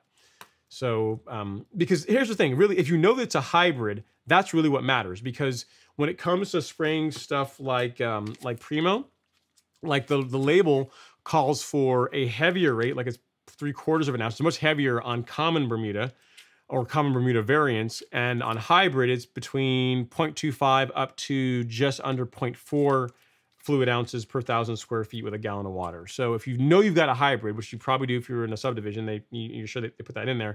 Then you know for for all intents and purposes, that's all you really need to know, unless you just really want to know what kind of grass you have just for just for your own knowledge. But again, it's probably probably it's probably TIFWay 419. Uh, if I had to guess, it's it's probably that. All right, next up is Cleve Anderson. He says, I applied two weeks ago uh, applied Pylex two weeks ago to suppress Bermuda before I aerate and overseed. Should I apply another round of Pylex after overseeding? I can't answer that one, uh, Cle- uh, Cleve. I've not. I'm not. Um, I've never used Pylex because, to your point, it's really for it's really a, more of a cool season herbicide. So if another round of it is necessary, I I don't know if that's going to be um, if that's going to be needed. What I would say is this: if you applied it, you said two weeks ago. So if you applied it two weeks ago and you're looking at the Bermuda and it, the Bermuda's really dying off. Like it looks like it's it's being it's it's it's hating life. Looks like it's dying. Um, then maybe you don't need to use another round because I know that stuff is very expensive. It's a very it's a good herbicide, but it's a very expensive herbicide. So if you don't need to use more of it, I wouldn't. Um, but at the same time, you know, if you um if you if you if you've got it and you've got you know you don't mind to just to be extra safe and you want to you want to do another app you can. What i might say is if the the label should have some guidance on on the label as far as using pylex um, along with a, an overseeding strategy. So it should it should say to for if you're using this for overseeding or to control you know these grass types when overseeding this is how we recommend you do it. Because a lot of herbicides that are designed to be used that way like tenacity for example will, ha- will have a specific section that discusses overseeding and how to use it if that's your plan. So i'd imagine pylex would be the same way. Um, and if you're getting good results out of your application two weeks ago you're probably going to be fine but if you want to do another one as long as it's not going to interfere with um, with your uh, your seeding project then then by all means, it's just it's just expensive. So I just try to you know when a herbicide costs a lot of money, I try to limit how much of it you use when it's, when it's unnecessary. You know, so just just something to keep in mind. I, I don't know the answer to your question because I, have never actually used it, but um, I would say check the label and also look at the weed or I mean, I hate, wow, I, I call it Mumino weed. The, the the the the the grass, the plant that you're trying to control, and if it's having the desired result, the desired effect, then you probably don't have to do another application. So hope that helps. All right, next up is Ben, uh, no, Reno. I said it looks like Ben, but it's not, it's not Ben, it's Reno. Cool. Reno like renovation, like you're trying to renovate your lawn. Reno says, hey Ron, thanks for all you do. I appreciate it. Thank you for coming to hang out. He says, I have some new Bermuda grass that was sod planted around May of 2022. So new grass. I like it. Uh-huh. I have a small lawn that is full of crabgrass. I'm thinking of getting a soil test. What else should I do? So yeah, getting a soil test is always a great idea. The one that I recommend is the one from My Soil, we carry these at the golf course lawn store. So if you go there, there is, um, I'll, I'll show you which one I would recommend getting. So if you go to, if you go to the golf course lawn store, we get away from the weed killer section because we don't really need that just yet. And you go to soil test kits, I would get this one if you don't already have some way of pulling cores. Reason being, reason being is that this tool, this tool makes your life way, way easier as far as getting core samples. So the first time, get the version, get the the the bundle that has the kit and the tool, and then if you decide you're going to pull, you're going to do another soil test to say in the spring, all you need is just this, just a just a test kit. So yes, I would get a soil test done, um, mainly so you know what fertilizer you should be using on your lawn, but also given that we are going into the fall, right? We're getting close to dorm. We're not getting not quite dormancy, but we're getting we're moving towards dormancy. If your pH is off and needs adjusting, so to where you might be able to get off with get um, put down a lime application, assuming it's low, like a soil test is also going to tell you that. So in addition to telling you which fertilizer is the best fit for your lawn, um, pre uh, a soil test will also tell you really more importantly where your soil pH is because it that really affects everything. That affects um, your nutrient availability. It, affect, it affects how well your fertilizer works. So to answer your question, yes, absolutely get a soil test. The one I would recommend is one from My Soil. All right, for your next part here where you said you have a lawn full of crabgrass, if you want to spray, if you want to use quinclorac on it, that will get rid of it. Um, that's a, you know, that as far as a, the, as far as a, a, an excellent herbicide for crabgrass, in my opinion, quinclorac is uh, is the best option. Now, if you are new to lawn care, let's say you don't have a backpack sprayer and or and or mixing products, mixing liquids it seems intimidating. You want to just try to try you want to try something else. Then what you can do, and it's not going to work as well, or it's not going to work as as quickly, is um, is this. I'll show you here really quick. Let me go over to where is uh, Spectracide? I thought I had it. I do have it. Here we go. So on Bermuda, this product, not that one, not this version, but you go to lawn weed killers. If you go to Wally World or Home Depot or any, any of those places and you, you get the orange bottle, this product, the Weed Stop for Lawns, contains quinclorac, which is the herbicide that we really want to uh, for, for your crabgrass. Now, you would get better, you get faster results if you got just straight, you got quinclorac yourself and then mix it up, but that's, you have to have a backpack sprayer to do that you have to mix it properly you have to apply it. It's not hard but it's just it's just not as easy as like just buying this connected to a your hose end sprayer and then spraying the entire lawn. What you'll find is if you decide to go this route you will likely have to do more than one application. And given that we are also late in the season you know you, you'll it's going to be interesting to see what kind of results that you get especially if it's like fully grown crabgrass that's really mature. You know the the quinclorac, while it works well against crabgrass, it does better against younger crabgrass. Kind of like, kind of like most herbicides. You know, uh, a, a, more mature weed that's established is harder to kill than one that is that's young, right? But if you just want something to to try that is going to help reduce the amount of crabgrass in your lawn, give this a look. It's relatively inexpensive, and I would just say just a plan for another application two to well th- more two to three weeks after you do this one. Now, if you you have a backpack sprayer and you're like, hey Ron, I'm good with with uh, spraying more professional grade herbicides, then what you can use is this, is this instead, which is um, which is quinclorac, which is allows you to have more control over your over your application rates and concentrations. And this is what I would use. I'm saying here at Rano chlorac. Can I type? I think I can. Uh, this is what I would use on uh, if if your your goal is to get rid of crabgrass and you want the best method for doing that. That's that's going to be that's going to be your jam. That's going to do a really good job. But again, you need a backpack sprayer and you need to make sure you use the product properly. So hope that helps. I mean, outside of that, we got your soil test covered. We got a couple of options for the crabgrass. What I would say is, and again, it sounds like you're new to your lawn, is so we're we're going to eliminate weeds, which you know either weed stop will do that or Clorac's going to do that get your soil test done, which sounds like you're probably going to do that. Go to the golf course lawn store, get your soil test kit, get your get your uh, your soil test done, and then fertilize your lawn based on the soil test results. So the way that I've got it laid out here, I've got it here in an infographic on the store. I think I do. If I can pull it up, I can find it. Okay, yep. So if you go just to the to the golf course lawn store, here and just click on shop, just click right there, is an infographic that outlines how I think, you know, uh, the process really works for getting a great lawn. So number one is eliminate weeds. Right now you're dealing with crabgrass, so we've got a, strategy to get rid of that. So that's thing one. Thing two is get a soil test done. Again, the one I like is the one from My Soil. We sell them at the golf course uh, lawn store. And then fertilize your lawn based on the soil test results. Now, here I say fertilize, but it's not only fertilizer that the soil test is going to tell you. Like if you need to, to, to make any applications, any amendments to adjust your soil pH, you know, if you're in this area of Georgia, more than likely your soil is more than likely um, um, acidic, so it could benefit from a lime application. So it's going to tell you that. So apply your fertilizer, apply any other um, adjustments that your soil needs, and then it's just really down to mowing. You know, mow, mow, and mow some more. Then we can start getting into you know your your um your your carbon biostimulants. You can go you get over here over on the the Mirimichi uh, shelf here, and you can start getting into the carbon kit, which has biostimulants to help improve the quality of your soil and just really give your lawn that X factor. But the, the core is to obviously want to eliminate weeds because you want one type of plant in our in our lawn. We want one type of we want grass. We don't want crabgrass in there, obviously. Um, and then get a soil test done, fertilize based on the soil test results, and then mow your lawn a lot. The, if there's any advice I can tell you, the thing that most people do not do enough of is mowing. They don't mow their grass. They don't mow their, their lawn enough. So that's that's what I would say. I think that gives you enough to start out with.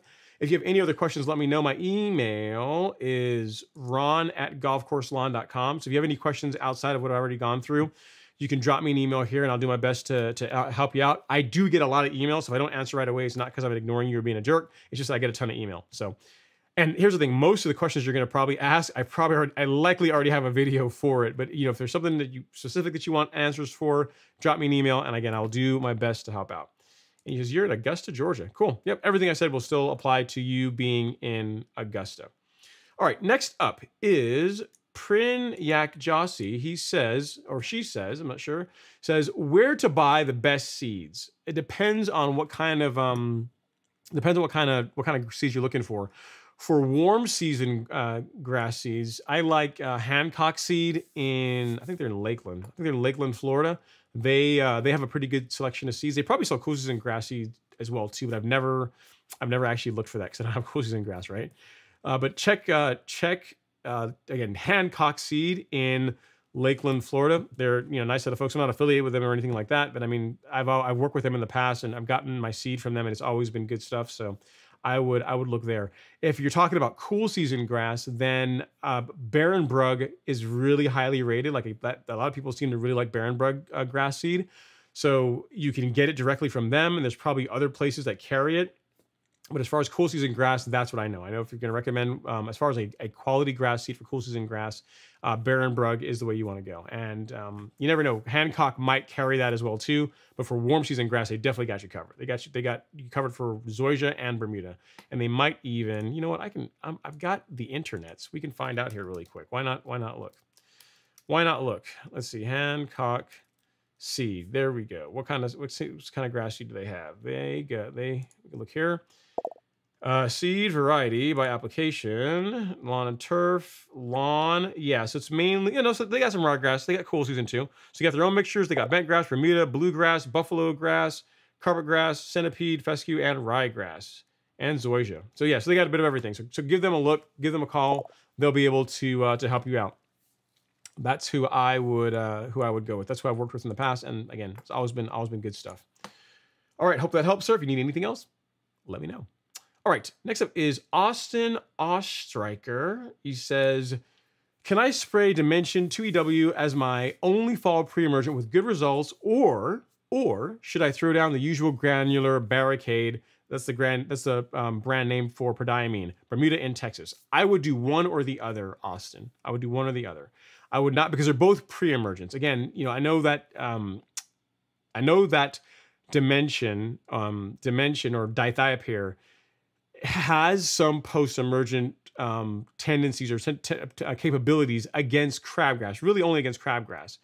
Uh, and a lot of people like to think that I can spray that and use it as like, you know, to go after crabgrass. They go, I can also go out and spray prodiamine. I mean, you could, but I just wouldn't. There's really no need to, to put two pre-emergents down at the exact same time. I would do one or the other. So if you if you've used barricade, if you've used prodiamine in the past and gotten good results with that, just do that do that and save the dimension application for the spring. That is that's what I would recommend. And again, if you, you've seen my uh, live stream last week on uh, on pre-emergence, I would recommend, you know, if unless you're getting good results already with just using straight barricade, mixing in a little bit of Princep, a little bit of image along with that is going to do a lot for really keeping weeds out of your lawn. Like especially against POA, like the barricade, Princep, and um, an image is a really good combination. That's really not that expensive and produces and produces good results. So dimension, let's put that on the shelf until the spring, and just use your barricade in the fall, especially if you've gotten good results. You know, there's no reason to uh, to change it up if you're liking what you're getting. All right, next up is VMH, Mr. Captain Crabgrass, no more. VMH, I needed you earlier, man. We had some people in here talking about crabgrass in their lawns, and I, I needed you to come to come and need to, you know, hand, hand off the football to you, let you chime in on it, man, because I know you you know how to you know how to clean up crabgrass in the lawn. Thanks for coming to hang out, sir. Appreciate you as always. Uh, C Mike CS says, when is a good time to use prodiamine in cool season lawns? I put Anderson's barricade down at the five month rate in March and battled all sorts of weeds going into the summer. Uh, okay, so I'm not sure what the five month rate in March, um, what it what it would be. Um, C C Mike CS. I don't know why with your name I always have trouble saying it. I'm just gonna start saying Mike CS. Um, I'm not sure why why you battle with so many weeds and um, going into summer, um, Mike. But I will tell you that if if you well, it depends when in March you did it if you applied it after the the, seed, the weeds had already began germinating, then that would explain it because barricade's not going to do a whole lot against weeds that are already growing, that are already actively growing in your lawn, which is why I like to do it earlier. I tend to do it like late February. Um, I, I, like late February or like mid late February is, is, exactly when I, I personally like to do that uh, in this part of the country. Because again, earlier is better than later. Because that's the only thing I can think of why you would have a bunch of weeds in your lawn in the summer. You shouldn't. You know what I mean? Like really what would happen is if you did your pre-emergent application at the right time in the spring, around this time of year is when you might start seeing some more weeds. Because really they say five months, but it's really more three to four months, you know, is, is typically what you get. More, more around that four month time frame. So if you have been fighting weeds the entire time, then I'm going to say your application was probably a bit late as far as um, as far as that goes. And and then as far as when you use it on cool season lawns, the rule still applies for the same rules that apply for warm season. So if you're using prodiamine in the spring, you want to apply it before the five day at the five day uh, soil temp average is 55 degrees. Now again, doesn't mean you apply it when it's 55 degrees. If you wait till then, it's too late.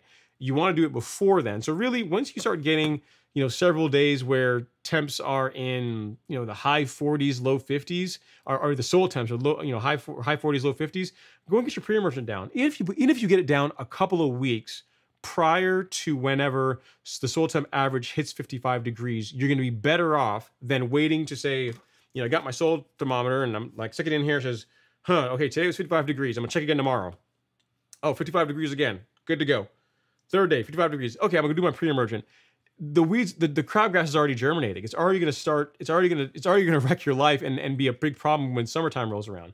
So I'm guessing that you you probably waited a little bit too long to apply it, because assuming that you applied it properly, you applied it at the correct rate, you watered it in. Barricade's a great product. You know, prodiamine's a great herbicide. It should have kept the weeds out of your lawn um, you know, going into summer. You know, around now is when I would expect you to start maybe having a little bit of weed pressure as it wears off, but not not at the beginning of uh, of the summer. So so hope that helps. Um, not sure if you had anything else, but um, but yeah, really the before in the spring before soil before the average soil temps are above 55 degrees, and in the summer or in the in the fall uh, before they go south of 70 degrees. So like as as, so, as temps are cooling off, and as you get to that 70, 70 degree um, point, that's when you want to get your fall pre-emergent down. So if you're in Georgia, if you're my neighbor, which you're not, because you've got a cool season lawn, I would say February or so, springtime, September, uh, fall. That's that would be what I would say. So hope that helps, sir. If you can help with anything else, let me know. But it just sounds like that spring app was maybe just a little bit too late, which is why you had some problems with weeds in your lawn. All right, next up is Alan C. He says, Ron, hey Ron, do you think Syngenta will come out with a smaller Specticle Flo container uh, for 5,000 for 5,000 uh, 5k yards and 18 ounces is like 10 years of product? I don't think I don't think um, Specticle Um, I don't think it's made by. Isn't that Bayer? It's a Bayer product, isn't it? I used to have. I think on my bottle. I think it's in the garage. Actually, hang on a second. No, it's not. I've got it right here. I didn't think so. Yeah, it's Bayer. It's not. It's not. I didn't think it was Syngenta. I was like, eh, I'm pretty sure it's not Syngenta. Yeah. So this is this is Specticle Flo. We're on camera. Is um is by Bayer. It's not. It's not Syngenta. And I don't. I don't think so. I don't think that. I mean, I don't know that um one Bayer does smaller.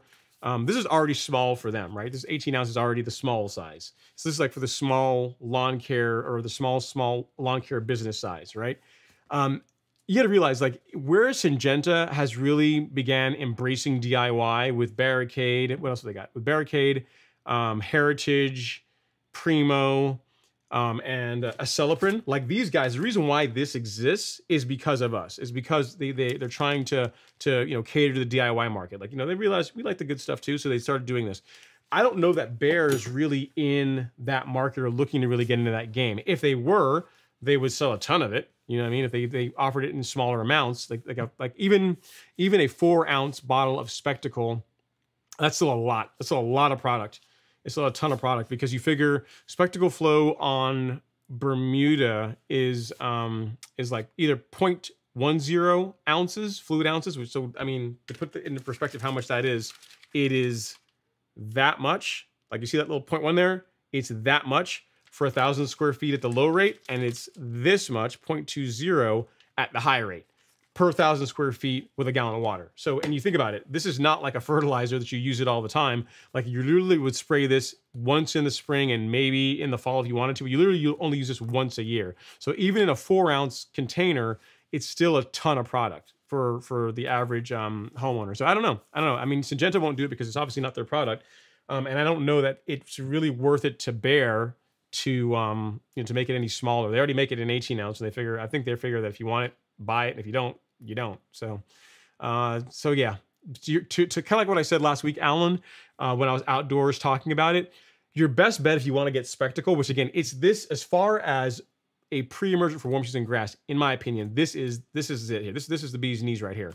But what you could do is if you have some of your buddies that are into their lawns too, they and they, they take care of the lawns, they got like the, the equipment, they know how to apply the product properly and safely, then if you take the 300 and something odd dollars that this bottle costs and you split it across, you know, four or five people, it's not as bad. You know, like the pricing, the the it becomes a lot lot easier pill to swallow, and you still even divided like five ways, this is still a ton of product for um, you know, for the average the average size lawn. So that's something I would consider if you um you know, if you really wanted to use that, which again is a great product, um, but it's the the the three hundred dollar price tag for a smaller lawn seems a bit steep, which I, I get, I totally get. So, but I, I doubt it. I don't think that you're going to see. I know Syngenta's never going to do it because this is not theirs.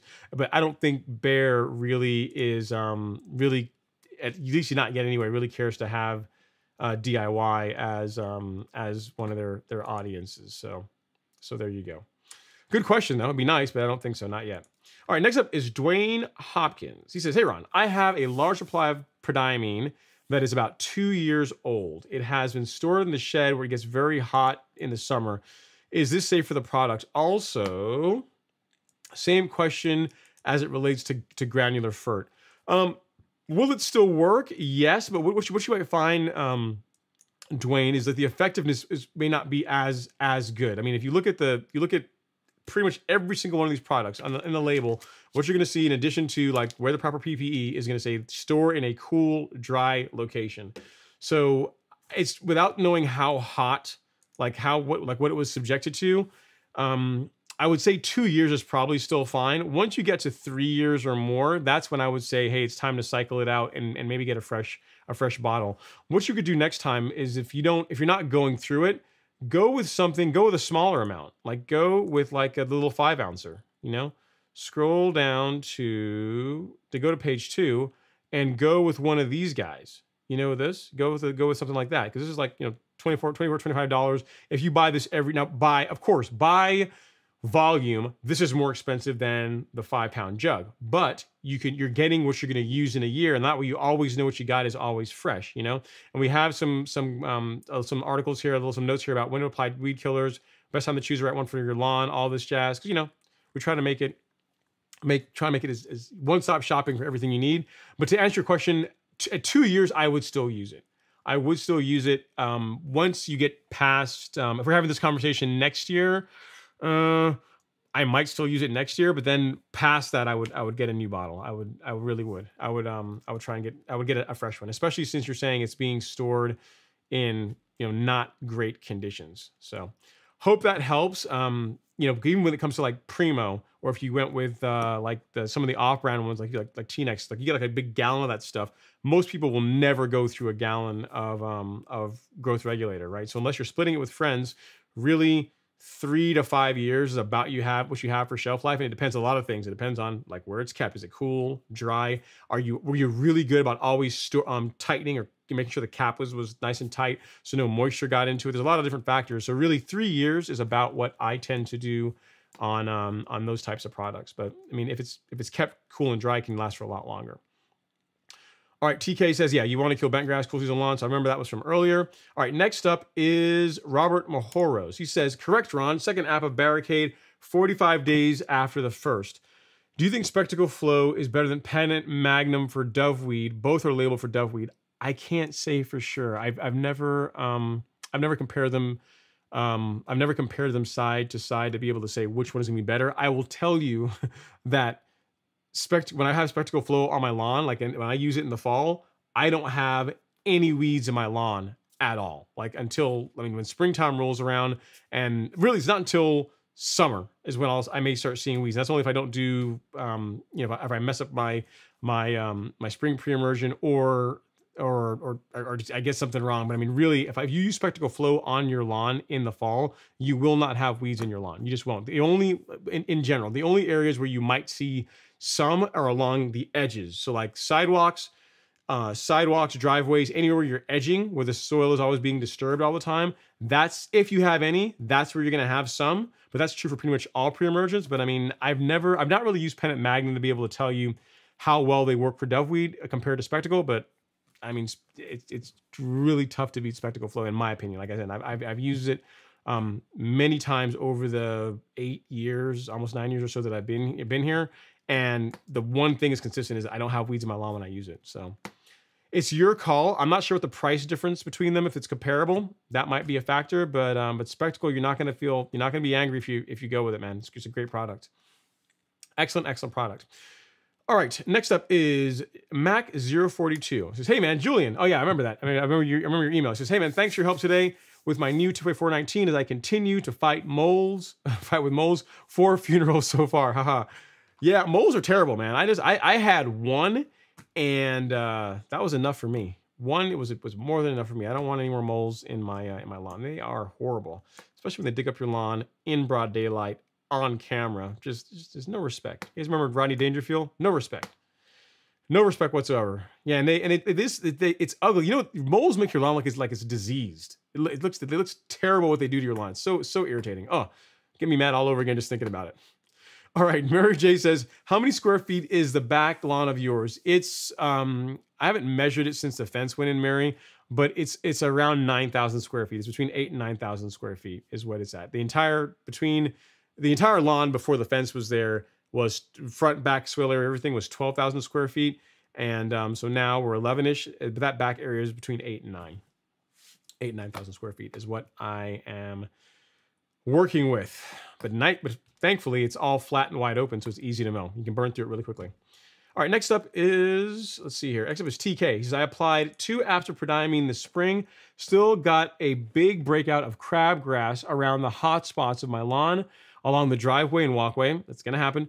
Um, any tips next year? Perhaps a third app? No, not really, man, because again, the, the, the areas of the lawn um, where where it's getting disturbed whenever you're you're edging your lawn a lot or people you know just it's just that that that area it's really hard to keep weed free. Like um the only areas of my lawn that have gotten a, a, that have gotten issues with spurge or um or crabgrass are along edges. Like the patio the back patio that you guys see me film on all the time like the spurge will grow around there um, around the it'll, grow along the sidewalk in the front. It'll grow along the driveway because that's where it, that's that's where it's going to it's going to happen. So there's not a ton i can tell you outside of that if you are also keeping up with your mowing tk like you're really out you're doing everything else properly like your, your mowing practices are great you really shouldn't have you really shouldn't have um, the, the the weeds shouldn't be able to, to be able to get out of hand is what I'm trying to say. You know what I mean? Like if you're if you're cutting crabgrass off all the time and it's only in this one little area, it shouldn't be bad enough to where it becomes a big problem. So I I don't really um you know whenever I whenever I um I'm, I'm, I'm mowing or edging and I see some I see like a little bit of crabgrass coming through, a little bit of spurge coming through, I'll just pluck it because what you find is because it can really only grow in that one spot because everywhere else the lawn is really thick and, and doing well that it, it, it's never rooted in very well. It's never rooted in it's never really well established. So yeah, getting rid of it is easy mode. It's not like you're having to get like a tool to dig it out. Literally you can just grab it with two fingers and it will come right out. So that's the approach I would take. I mean, the only other thing you could do is if you want to get out there and spray like a post-emergent herbicide, you can, but it's I personally think that's overkill for what should be kind of an edge case. You know what I mean? It shouldn't be something you're fighting with on a major scale um, if you get your pre-emergence, your pre-emergent um, apps down. But yeah, what, what, you're experiencing is pretty much what everyone experiences um, in the areas that you're experiencing it. So I don't think a third app of, of, of, of prodiamine is going to make a difference. If you want to try it, like you want to not do a split app, but like break it up into thirds, you can. I think you're going to see the same thing though. So if you only have weeds along sidewalks and driveways, then you're you're doing it right. That's that's about that's the only area that I I really have any kind of weed pressure. And I hate to say even say weed pressure, like just little stragglers that pop through here and there. All right, next up, uh, Dwayne Hopkins says, Ron, does Tavares Allen make you want to overseed? No, not really. nope. It, it, it doesn't. No, I mean, I don't, dude, I don't want to have to mow when it's cold. I, it's one of the, cause I know myself, it's one of these things where I will do it. And then like come December, then when that, when it starts to get really cold, one of these things that seemed like a really good idea at the time when really wasn't. Plus then I have to also maintain the mower. It's more wear and tear on the equipment. I just don't want to have to do it, man. I just want to be able to hang out with you guys and look at cool season grass in the live stream. I don't have to mow every other day when it's, when it's uh, cold outside. I don't want to. So no, I'll I'll enjoy cool season grass and overseeded Bermuda lawns vicariously through watching your guys' projects. All right, uh, Frank Beer says, "Can I seed if pre-emergent is used?" In general, no, Frank.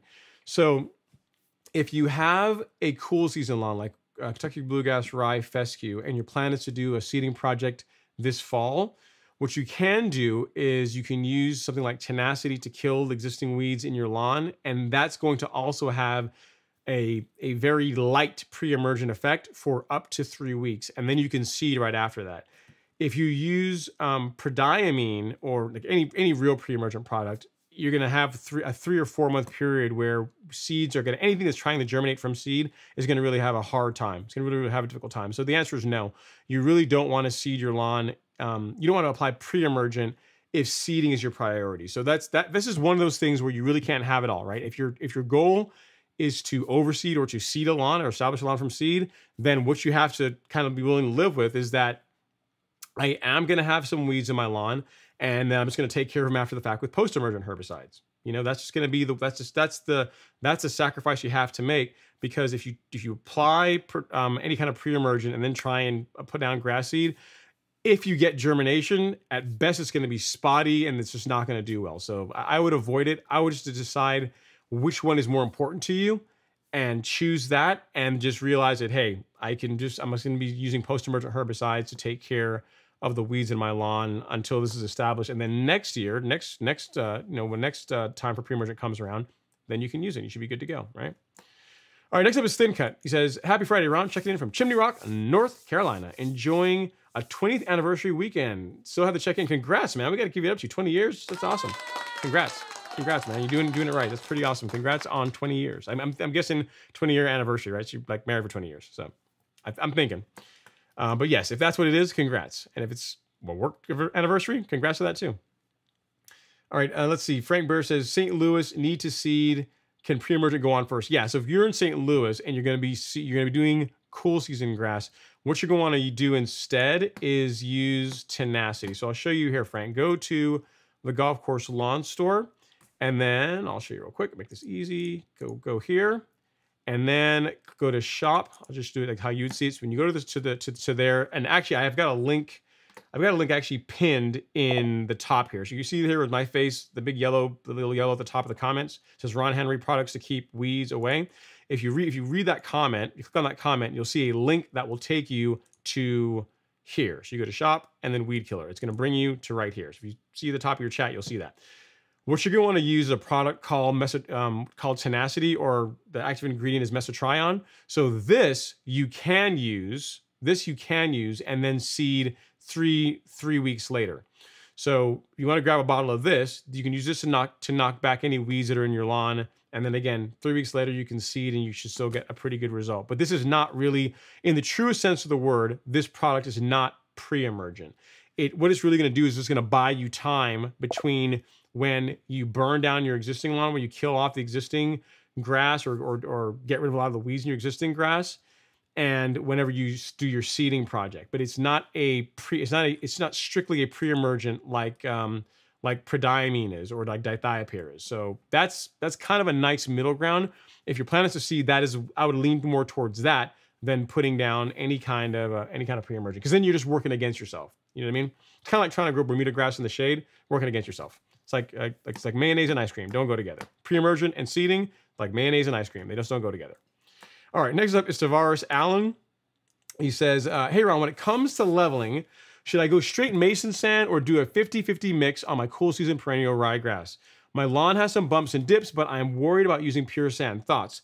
So if you can mix, if you don't, if you don't mind mixing the 50-50 blend, that's that would be my my recommendation. That's what I, I like. I like having a bit of organic material in along with my top dressing mix, you know, and, and what I use to, to level the lawn. So the sand will, will fix the bumpy areas of your lawn.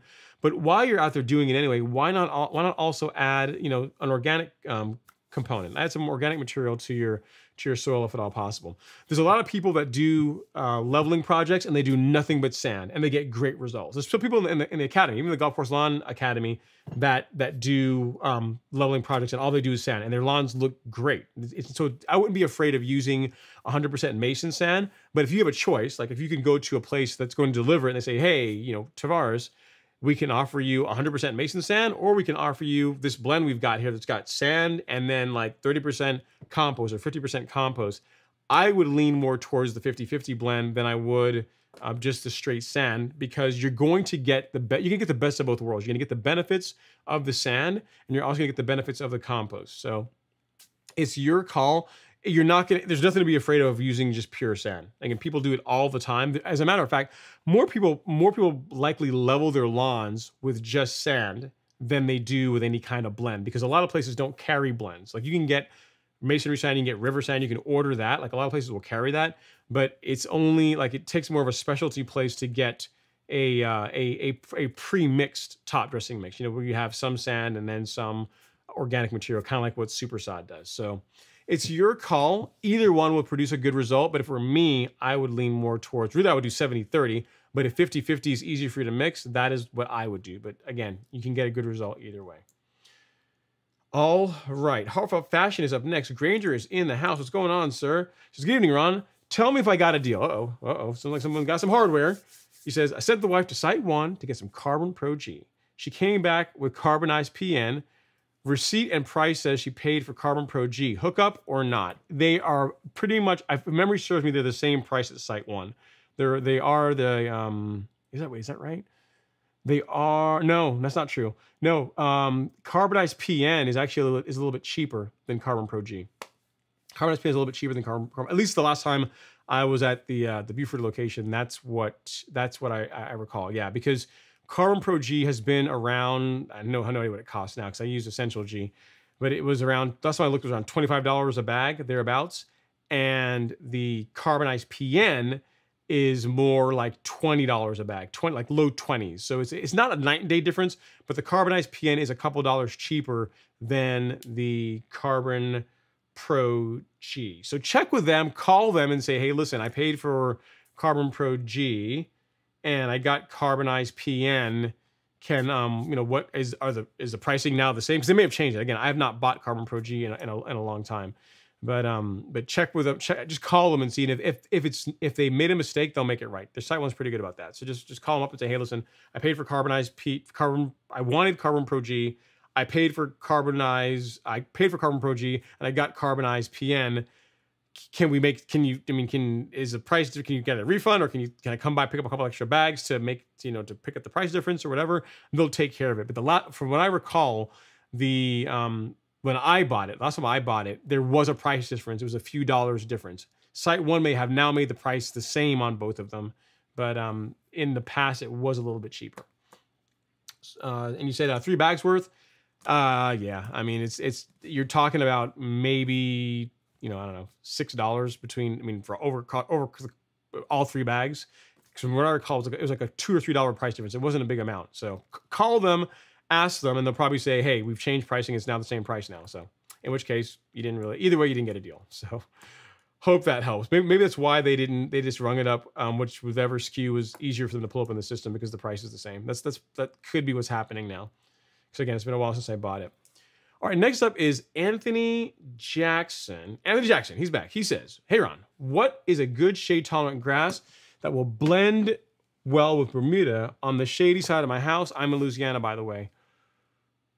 blend well. I mean, when you say blend well, I mean there's not Bermuda doesn't look like um doesn't look like most other grasses. So like if you if you did like zoysia, zoysia looks like the leaf of zoysia is is um, a bit thicker. It's a thicker leaf than um, than Bermuda. So they don't they don't visually they don't look the same, and color wise they don't look the same.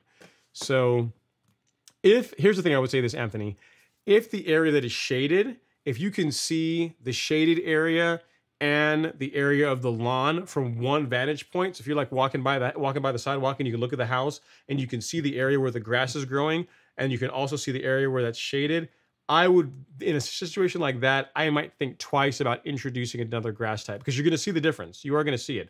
I mean, unless we're talking about a small area where it might look like a border or something, maybe that's going to be okay, but there's not really a grass type that I'm aware of anyway that's going to blend that you're going to you're going to plant and it's going to look like Bermuda. It's going to look it's going to look different. You know, zoysia is um, a bit more shade tolerant than Bermuda is, but they look different. They look the the grass texture, the leaf is different, and the color is different. Whereas Bermuda can be like a, a darker green, zoysia is more of a like a lime, like a lime green, like an emerald, like an emerald zoysia, like an emerald or lime greenish color, in my opinion. So the color is different, the the texture of the leaf is different, and um, I mean, for most people that don't really pay attention to grass, they may not notice it, but you will notice it. If you, and I guess what I'm trying to say is, if you're if you're asking the question, so uh, with the expectation that you won't be able to tell the difference, that's not going to be the case. But if you just the average person is walking by, if they're going to notice it, probably not. They're, you know, most people don't pay attention to grass. They don't pay attention to anything, so they've got their, their their head in their phone half the time. So if it's more onlookers you're worried about, then you're okay. If it's you, then it's it's going to look different. So hope that helps. All right, next up is uh, Grass Lawn Care says, how do you get rid of Bahia? Uh, Celsius will injure and or kill Bahia. I'm trying to think of what else you can use for Bahia. I don't know if Quinclorac will. Let me look here really quick. I'm not sure if Quinclorac is labeled to kill Bahia grass. Let us see. Let us see. What says, what saith the label? What saith the label of Quinclorac and Bahia grass? Let's see because there's a nice there's a nice graph in here that tells you what's tolerant, what's not tolerant. And uh, let's see, does Bahia does Bahia pass? It does not. So yeah, so you got a couple of choices. You can use Celsius or you can use Quinclorac. I would probably lean towards Quinclorac because it's cheaper and will do the do the job. So I'll show you here. Let me pull up the label. I'll actually show you what I'm talking about here. Grass yard lawn care. So if we look at the Quinclorac label, you will see it says tolerant turf grasses established. So we have in the highly tolerant section, we have alpha grass, Bermuda. You know how Bermuda does. It takes, takes, a, takes a look and keeps on ticking. You got your bluegrass, KBG, buffalo grass, fescues, different types of ryegrass, and zoysia grass. Even zoysia grass will tolerate it.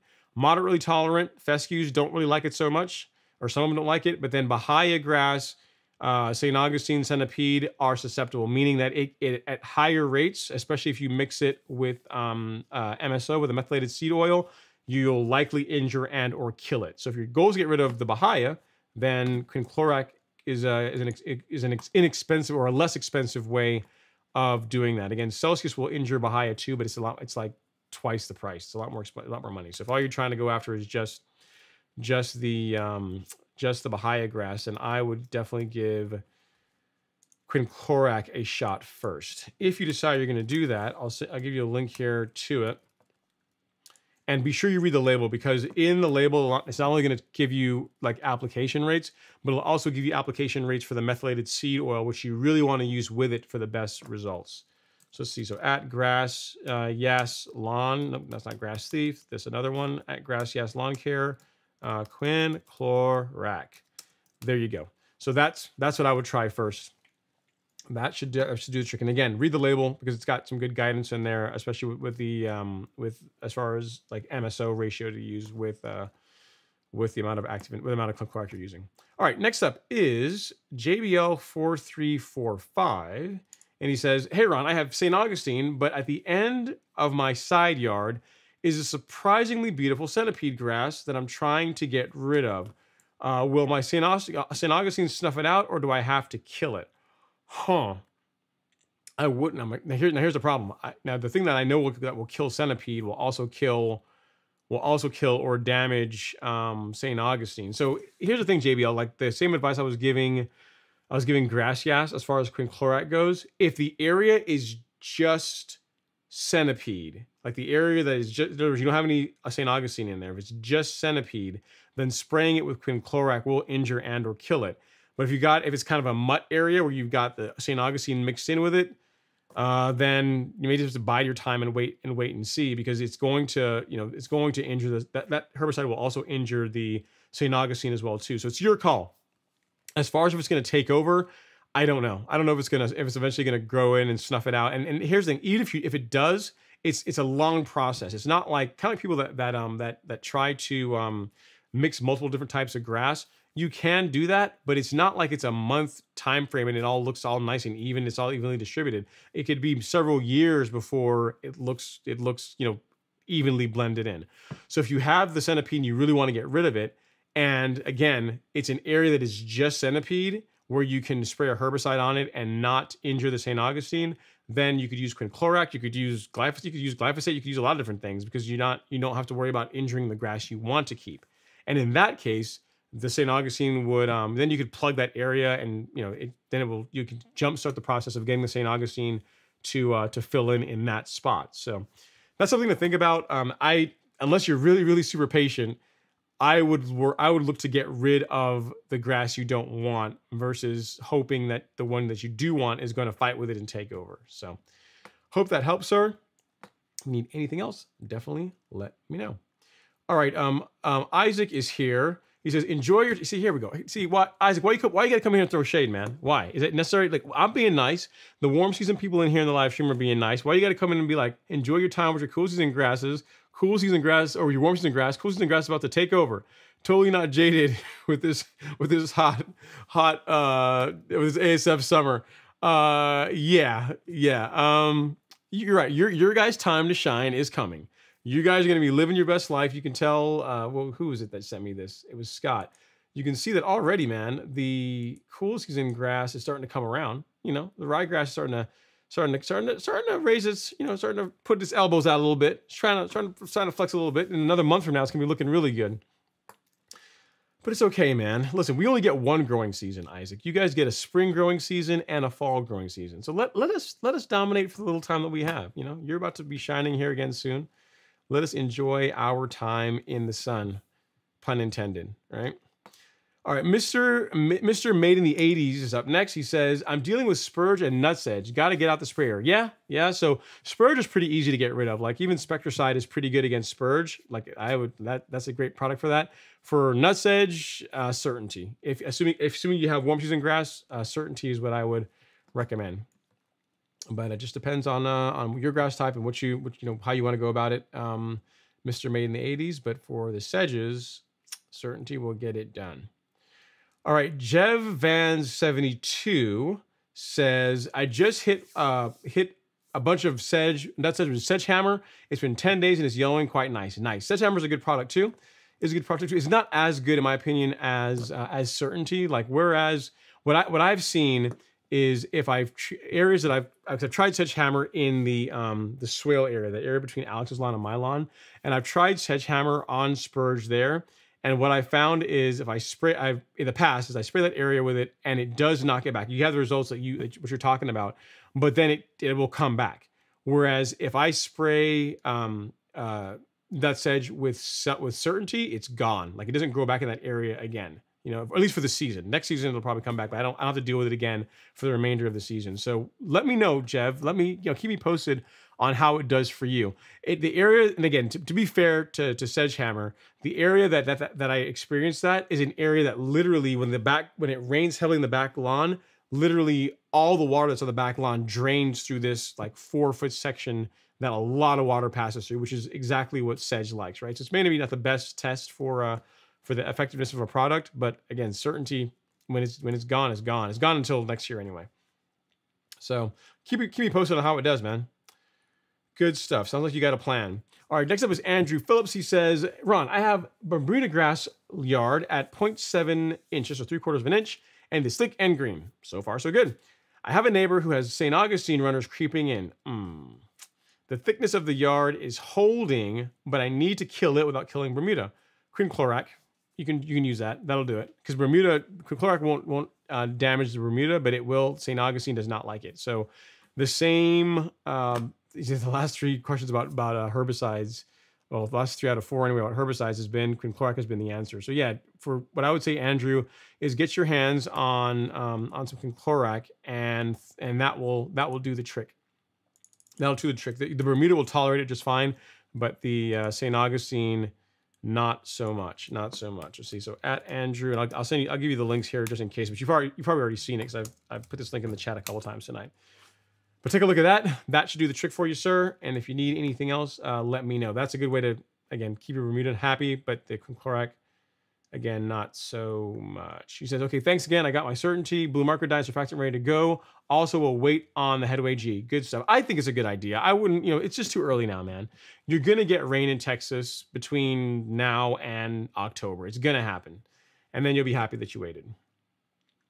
Keith O'Connor is up next. He says, if rehabbing a neglected lawn with some bare spots will pre-emergent like barricade prevent Bermuda and or fescue from filling in? Generally, no.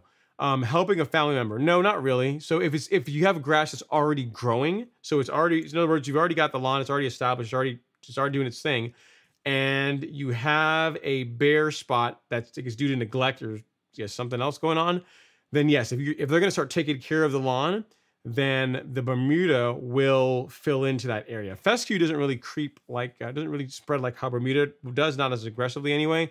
So with um, if your goal is to have Bermuda in that area, Bermuda will take care of it.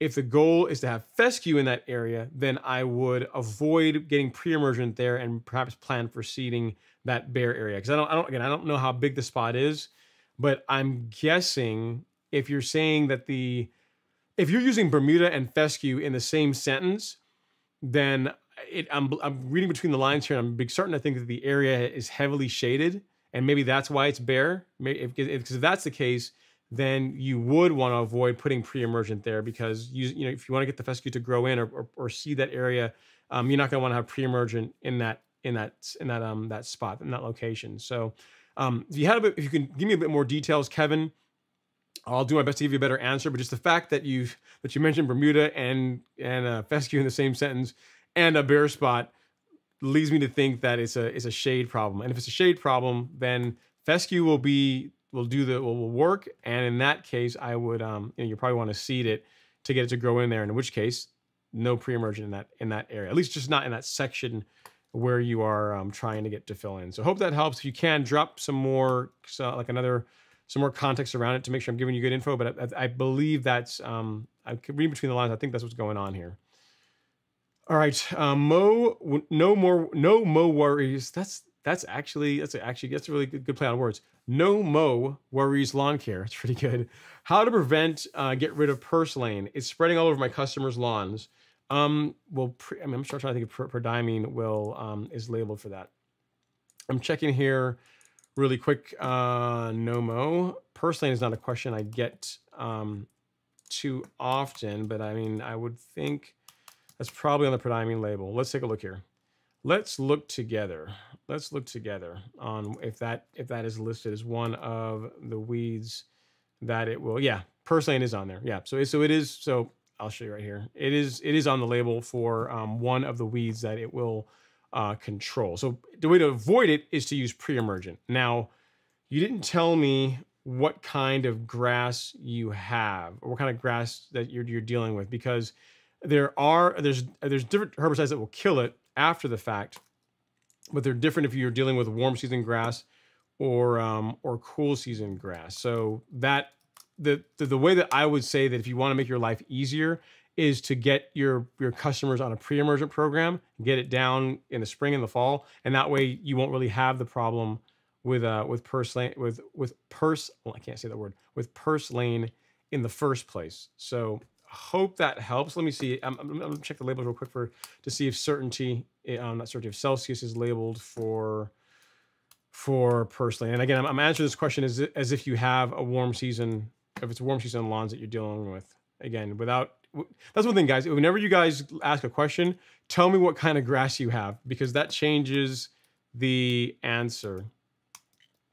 Yeah. So yeah. So Celsius is labeled for uh, for for purslane, uh, for purslane um, um, no um, worries. So show you here really quick. So if you have warm season grass, let's say you're in Georgia and all your customers are are, are, are warm season people, then you can get your hands on some Celsius and that will will do the trick. It sounds like you have a business, so you can probably you probably already have it. But if you don't, you can go to here on the golf course lawn store and go to shop and weed killer, and it's right here at the top shelf. So you got Celsius and you got surfactant. That will that these two together will work to get rid of it. And if you want like a great combination that will knock out most weeds in your customers' lawns, if they, if they have warm season grass, again, this is only for warm season grass. This kit that we carry that has Celsius, Certainty, uh, surfactant, and a marker dye is really good. It's really, really well received, and it covers it covers you as far as you know most of the common weeds you're going to have in a warm season grass lawn. So hope that helps. Again, I would um you absolutely you can use uh, Celsius to treat active like weeds that, the person that's, that's actively in the lawn. But the way to make your life easier and to keep the customers happier is to avoid them having it in the first place with pre-emergent. So think about that. Um, you know, check and check the label. But prodiamine is the least expensive out of the ones that I'm gonna I would recommend, and it it'll do the trick. So Hope that helps, sir. If you need anything else, definitely let me know. All right, let's see what else we have. Jeff Van says, what about killing nutsedge in ornamentals? I've got it in my lawn, but in my landscaping beds too. I would still use certainty. Just be careful. Just, just um, what I've done, and I'll have a piece of cardboard here. When you are trying to not spray, because um, remember, cer cer certainty um, works by getting on the leaf, on, on the foliar, right? So if you can get a piece of cardboard, take like an old box and cut it, and if you can shield your ornamentals away from like when you're spraying it, that's a that's a strategy for not getting it for not you know getting hitting your ornamentals with uh, with certainty. That's a that can absolutely work. I, I mean I don't have pictures of it to know what what your beds look like, but if you can if the if the sedge is away from if it can be isolated, I guess what I'm trying to get to away from the stuff that you're trying to preserve, then that can work just fine. So you, you can't get out there and just, just blast the entire, like your beds and your ornamentals and everything else. You only want to spray the stuff you're trying to kill. But and if you and if there's a way to isolate the the sedges from your ornamentals, which I would think they there would be, then you should be you should be just fine. Get a piece of cardboard and just you know kind of mask off and make sure you're not you're not spraying you know whatever it is roses or whatever else you have. Check and also check the label for certainty too because there are a list there's there's a list of um of other plants other than the grass types that tolerate it as well. So check the label and see if the stuff that's in your bed is on that list. But if it's not, worst case, cardboard and just again just keep it shielded to where you're not you're not blasting uh, the stuff you want to keep with the uh, with the product. All right, um, Anthony Jackson says it's a it's the house and fence. Okay, yes, you got you got a house and fence. So yeah, so those those areas, if it's a shade problem, so Bermuda's just not gonna, it's not gonna grow there. If it's not currently growing there, it's probably not gonna grow there. Is gonna be the answer. So your options again are if you can tolerate two visual, two two different looking types of grass, is a fescue or perhaps a um, perhaps zoysia um, or just turn the area into like a bed, like a mulch bed or something that's decorative that, you know, it shouldn't be, it really shouldn't be that big of an area. Typically for with near a fence, it's four feet, four to five feet. It's not, not a, a huge area away from the fence, which again, it's four to five feet is not a small area, but um, it's not like it's like half the lawn, I guess is what I'm trying to get to.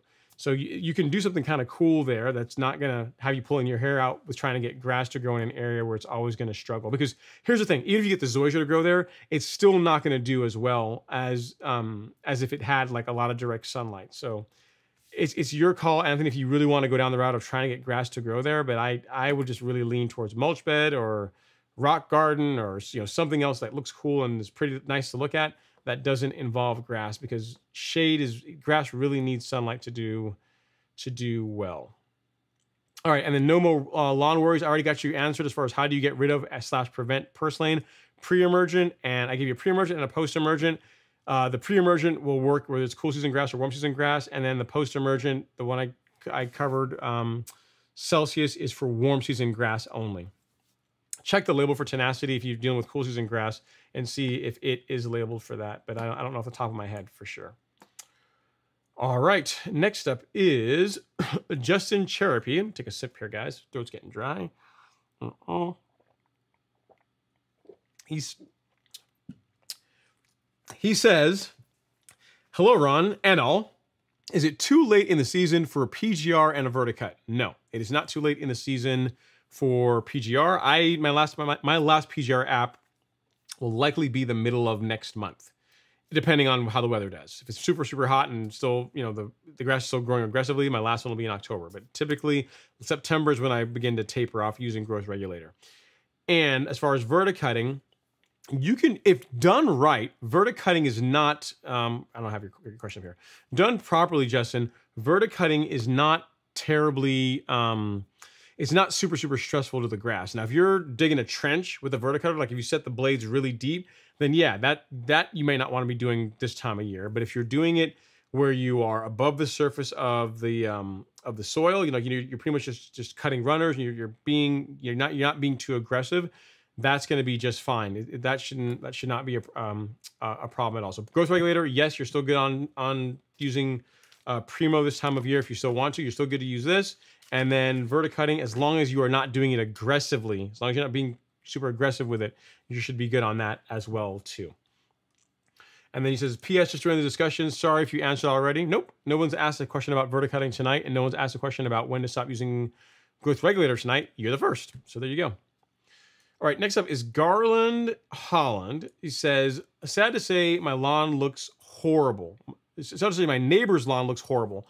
I thought about just letting uh, treat uh, just just treat just treat letting what are you trying to say? I just I thought about just just asking him to let me treat the side close to me. Is that what you're saying? Um, yeah, I mean you can ask him and see. You can ask him if it's um, if they don't mind. You can uh, you can say or you might just say, hey, listen, I I know and don't. You have to be diplomatic when you do these kind, of, have these kind of conversations, Garland. You don't want to say, "Hey, man, your lawn looks like trash. Can I can I just spray this area so so it doesn't mess up my lawn?" What she might say is something like, "Hey, I noticed that you know you're probably really busy with work. You probably got a lot going on, and you don't have as much time as I do to be able to work on my lawn.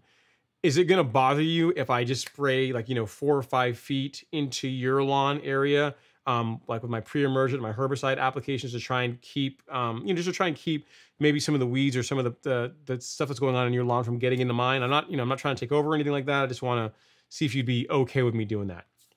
So kind of phrase it like that. Don't um, don't go in there saying, "Hey, man, your lawn looks like trash. You're messing up my lawn. Uh, can I just can I take care of this for you?" They're probably not gonna be too well received.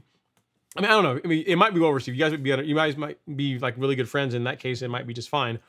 But um, but it's you know I, I don't I'm assuming I'm, answering I'm I'm answering the question assuming that you guys are not like buddy buddy. Like for example, the my next door neighbor, not Alex, uh, like he's asked me to do, um, to, when I helped him clean up the weeds in his lawn, and he's also asked me to help him like spray the carbon kit because he doesn't have a backpack sprayer. So if they ask, then sure, I'm I'm happy to help out. But you don't want to go out and like volunteer, you know, to go do something on someone's lawn unless they they actually ask for it. You know, they might they might consider it to be rude. So just just a thought. Just a thought. And if you do, again, preface it like, hey, you're probably too busy. Can I just, do you mind me just doing a small little area and see what they say? If they tell you to kick rocks, you know off you know worse off than you are right now, right? All right, next up is Eric B. Eric B is up next. He says, I liquid burned my front fescue plus the side yards. You went kind of heavy on your application rate on fertilizer, I guess.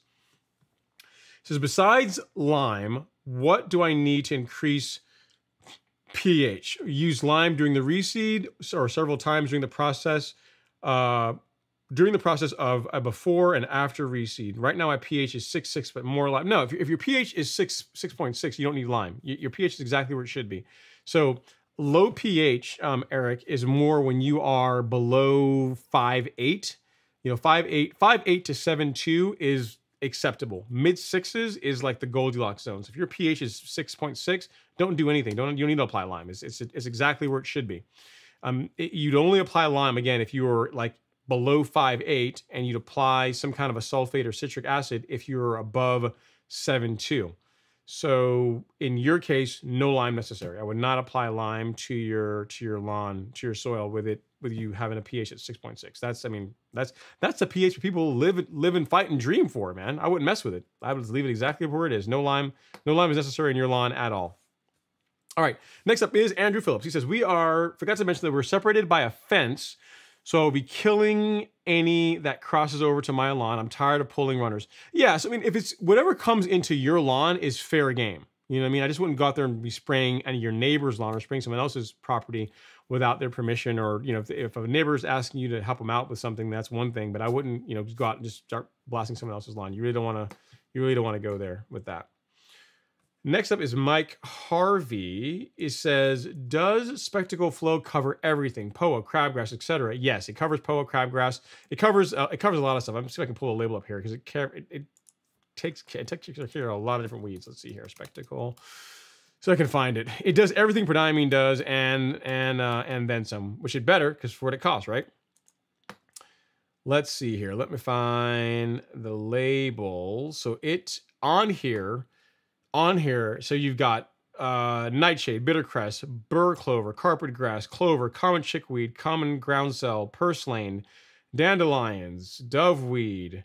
Um, you know, uh, let's see what else you got. Eclipta, primrose. It's got it's got a bit of it's got a bit of, of every. I mean, the the the the stuff that it covers it literally is like this big. It's like a, in, in fine print. It's huge. It's, it covers a ton of stuff. In gra- crabgrass, you got poa, cheatgrass, barnyard grass, obviously crabgrass, foxtail uh, guinea uh, guinea grass. I don't even know what that is. Mouse barley, nutsedge, annual nutsedge, um, ryegrass. So again, so don't spray it on cool season uh, lawns. Um, but yeah, yeah, it's a it's it is it is a superior pre-emergent on many levels that you don't need a lot of it like a very little goes a long way it works for a very long time and it's very good at keeping weeds out of your lawn so so yeah you don't need to to ask your question you don't need to use prodiamine along with Specticle Flo or dithiopyr along with Specticle Flo. It can stand by itself. So what you could do is you could use Specticle um, in the fall. You could do it now if you wanted to.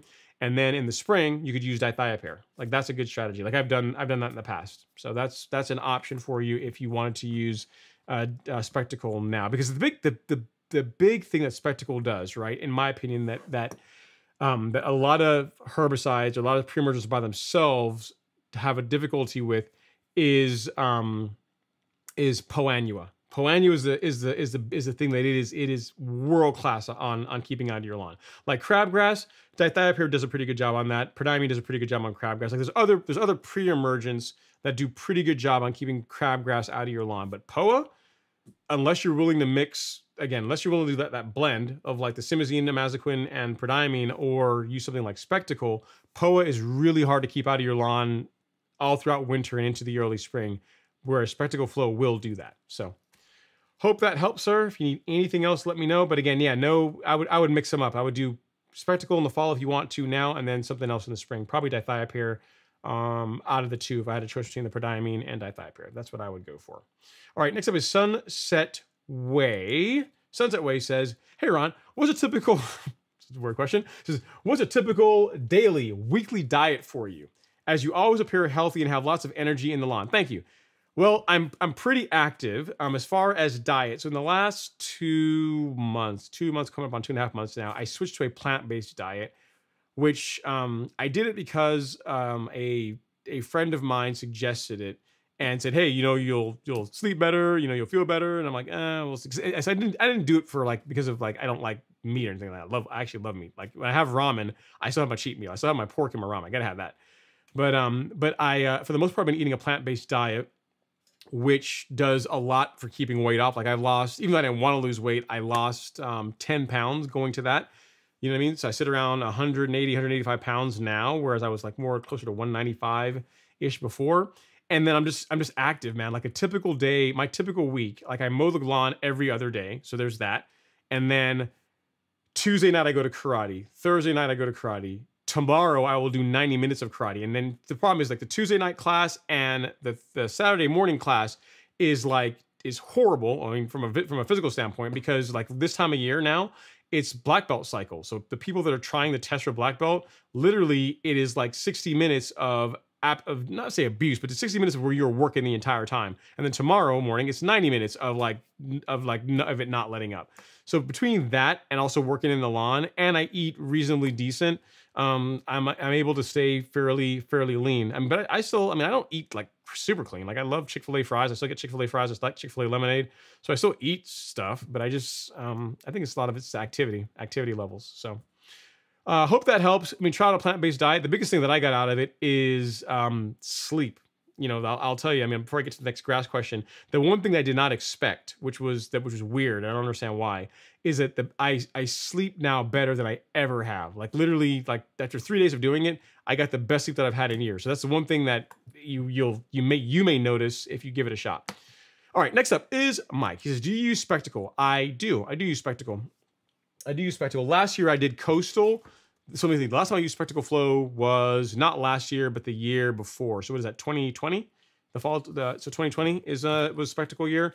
Um, but and this year I'll probably use Specticle. I'll go back to Specticle Flo again because last year I was playing with um with Coastal.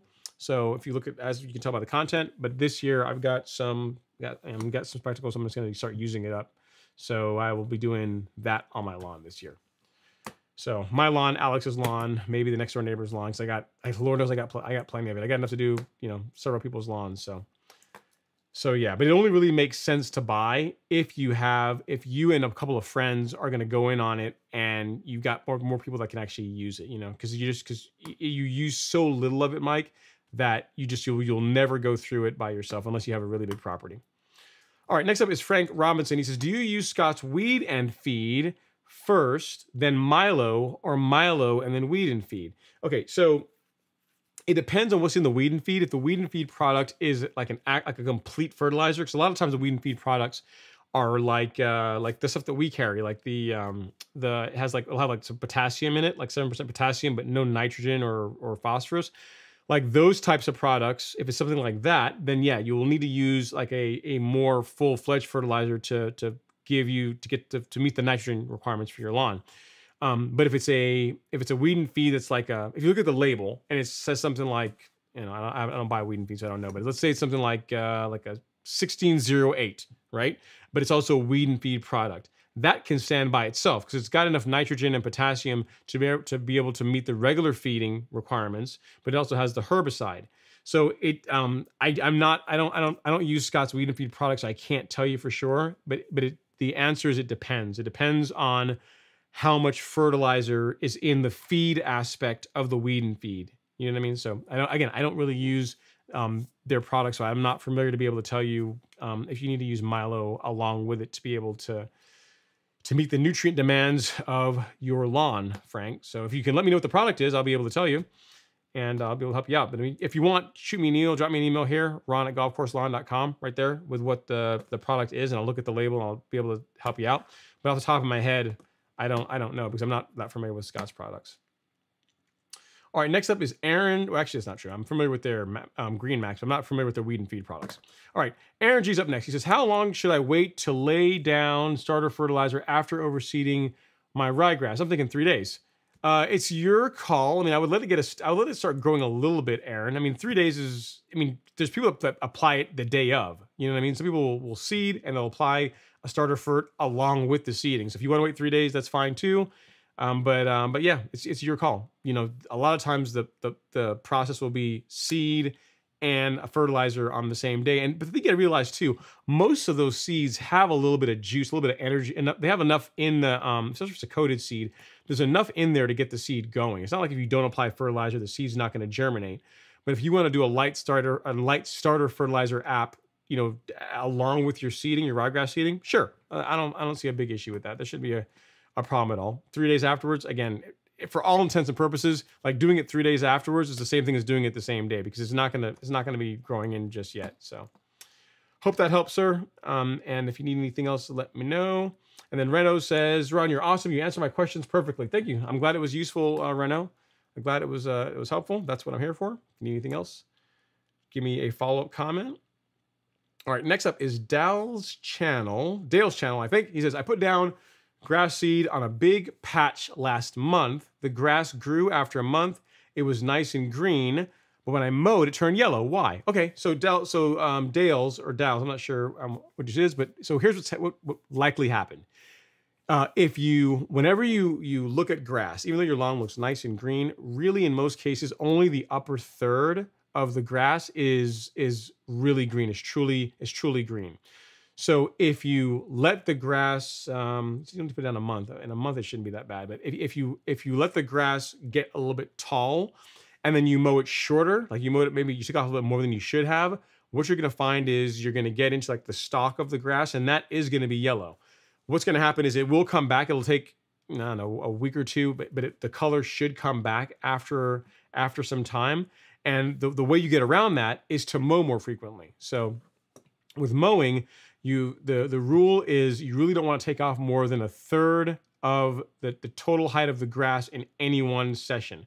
So what that does then is it drives how tall you have the grass. So, so if you want to have if you want to have a lawn that is say an inch, right, which is relatively short, if you want to have like an inch lawn, a, a third of an inch is 0.33 inches, right? And most for most grasses, that's gonna your grass is gonna grow, you know, a third of an inch in three days or so, which means in every three days, no more than every three days, you need to be out there mowing it because if you wait like for a week and mow it, you're gonna take off and you maintain the same height of cut, you're going to take off enough material that you're going to get some yellowing in, in, some parts of the lawn. So the way to get around that again is just to mow more frequently. It sounds kind of counterintuitive that mowing more would help the grass to stay green, but that's the way it works. Like if you want the grass, if you want the grass to stay green between mowings, you have two choices: mow taller or mow more frequently and that's uh, given the given your current height of cut. And then it'll you'll find that you'll be able to mow it and it'll remain green in between mowings. So hope that helps her. I'm surprised that you experienced that just with with the grass that's only a month old um, but it, maybe you got kind of aggressive on the height of cut that you went to and that's what caused the uh, the yellowing. So all right. Next up is is robert rainey. He says all right i have a question. If you had Specticle Flo dimension and prodiamine in granular and liquid, which would you go with in the fall versus spring? I would use Specticle Flo in the fall, and I would use uh, Dimension in the spring. So, so if I had if I had like a bottle of, of Specticle Flo and then Dimension Prodiamine on hand, I would do in the spring. I could you could rotate back and forth between Dimension and Prodiamine. So like, but every fall I would likely use Specticle. You know, I'd use Specticle or use Prodiamine and Simazine and Imazaquin with it. But Specticle Flo is, is just so good, Robert, for keeping POA out of out of your grass. And it's just easy. Like literally you, you apply it once and you have to deal with deal with um, POA. Um, that, that is where I would really reserve the use of that herbicide. And I would leave the dimension or um, or uh, prodiamine for spring apps. So you could you could roll back and forth like between like this like next spring dimension, the spring after that prodiamine, the spring after that one dimension. You go back and forth. But in the fall, you could just roll with just Specticle Flo because it just it's just easier. But uh, but that's that's how that's how I would do it. Um, or again, like as I said, or if you don't have Specticle Flo, you can mix up poor man Specticle Flo by mixing some uh, some post-emergent herbicides along with prodiamine. That can work too. And you said I haven't had good, good results with prodiamine controlling burrweed. Uh, try again, try Specticle. I mean, it's a good, it's a great, great product. I, I have to look at the label here. I'm not sure if burrweed's on there. I mean, it might. Let's see here. Let me let me let me check here really quick. I'd be surprised if it wasn't. Let's see. Um, I don't see burr clover. Mm, I don't know. I don't. I don't see burrweed on here. But just ch check the. I'm just. I'm. Yeah. Here. Yeah. Lawn burrweed. It's on there. Yeah. So Specticle treats that too. So again, pretty much all the common ones is what it is what it'll take care of. So if you want to try it, um, I think you'll be pleasantly surprised, Robert. It's not inexpensive. Like this stuff is not cheap, but like most things in life, you do get what you pay for. You know, it's it's literally one of the best for warm season grass, or in my opinion, among among the best. It's like for, for warm season grass. Okay, next up is Eugene Gato. It says, I need your help with how to eradicate goose grass um, for good. I have used a product called Pylex, and it key and it seems to kill most of it, but next year it comes back again. You know what? I don't know as far as um, so use Pylex. So I'm guessing you got cool season grass, Eugene. Um, and let me see if um, if goosegrass is on the label for um, it- for your for pre-emergent. I, would want to think that pre-emergent should be able to to help with that. But let me check here really quick for you and see. I don't, you know, I don't, I'm not sure for, I don't know for sure, but um, yeah, it is. So yeah, so so so the way to keep it out of your lawn is to use pre-emergent. So prodiamine will do that. I mean, if you go look up the uh, the label for it, it's uh, it's listed it's listed on there. So Pylex being a post-emergent, yeah, it'll kill it, but again, it'll it'll come back. You can use something like prodiamine, and that should do a good job of keeping it out of your lawn. So again, Pylex is super super expensive. It's like 300 plus a bottle, 300 plus dollars a bottle, if memory serves me. So uh, if you haven't been using pre-emergent in your lawn, I would lean towards um, I would lean towards uh, towards doing that. Hang on, we got someone here. We got to to ban and yep, there we go. Oh, they're, they're already gone. Thanks, thanks for that. Um, thanks for that. The the person that texted me. Um, appreciate that, man. Got you. We we got we got him. We got him. Uh, we got him taken care of. Um, but yes. Um, so where was I? So Pylex. Yeah, it's it's expensive, and while it does work to knock it back, why not just use pre-emergent? Like pre-emergent, what, what, what you might find is this, Eugene. Like the pre-emergent will do most of the heavy lifting. Like it should do a pretty good job of keeping it out of your lawn altogether. And the very little that may come in, you'll be able to get rid of get rid of pretty easily. But if you're just relying only on post-emergence, it's gonna it's a very expensive way to go, and it's it's a much um it's just it's a lot of headache, man, because you're gonna be out there all the time spraying herbicides on your lawn. You know what I mean? So it's it's that's that's why pre-emergent is less money and as far as a strategy for keeping your lawn weed free, a, a solid pre emergent application in the spring and in the fall, along with regular mowing so that you have a thick stand of grass, like a healthy stand of grass, that is going to do a lot for keeping weeds out of your lawn. And then when you have the occasional, you know, goosegrass that pops up here and there, assuming you just don't want to try and pull it or dig it out, that's where like, you know, spot spraying with whatever your with your herbicide of choice tends to will work well. But I mean, like I would not I would not try to control crabgrass in my lawn without pre-emergent. Like that's what does most of the work. And then you know if I if, if there's any, which I don't really have any, but if that, but if there's any, um, that's that's a that's a that's an edge case versus like you know every month I got to get out of here and I'm spraying for crabgrass. You know what I mean? So it sounds like you're not using pre-emergent. If you haven't been, add that to your lawn care program because there's products out there that will that uh, like again prodiamine, which is like one of the cheapest ones that is labeled to prevent goosegrass, and that'll save you a lot of time and money. So, hope that helps, sir. If you need anything else, definitely let me know. But I think that will uh, get you on the right track. All right, Danny uh, Richard says, Ron, what is the best grass for Southeast Alabama in your opinion? Depends on what you like. Depends what you like. I like Bermuda. I like Bermuda, but I mean, if you like Zoysia, that can work. Um, it, I would definitely choose some kind of a warm season grass. So Bermuda or Zoysia would be my um, would be my my choice. So depends on which one you like more. If it's a lawn you're going to use a lot, like you want to, you're going to be out there playing football on it. You're going to be out there just, you know, it's going to get a lot of wear. Bermuda stands up better to that than Zoysia does. But Zoysia, depending on who you ask, looks is a prettier grass than Bermuda is. I personally think Bermuda looks great, but I mean, if you like, you know, if you like uh, the look of Zoysia, then you can do that. But I, one of those two is what I would say. Bermuda or Zoysia is what I would use in southeast Alabama. It's for our for that climate, those grasses are going to do well. All right, Morris Ohm, Odom is here. He says, "Hey Ron, I've gotten so much comments since I've been using a Greensmaster 1600 that I'm tired of winning my, I guess, but winning best in neighborhood. Yeah, because I, here's the thing: you're using a great mower, and it sounds like you're using it a lot. So I'm not really surprised that you get a lot of comments that about your lawn you know, being uh, being one of the best guys. Because here's the thing, again, going back to this, you know, I'm not not to not to be a you know, sales pitch or anything, but to show you, like literally, like you see what he says, like he's getting lots of comments about his lawn being the best one. Because once you get past the weed control section, right? Like once you get past the fact that you're not dealing with weeds in your lawn, it really comes down to step four.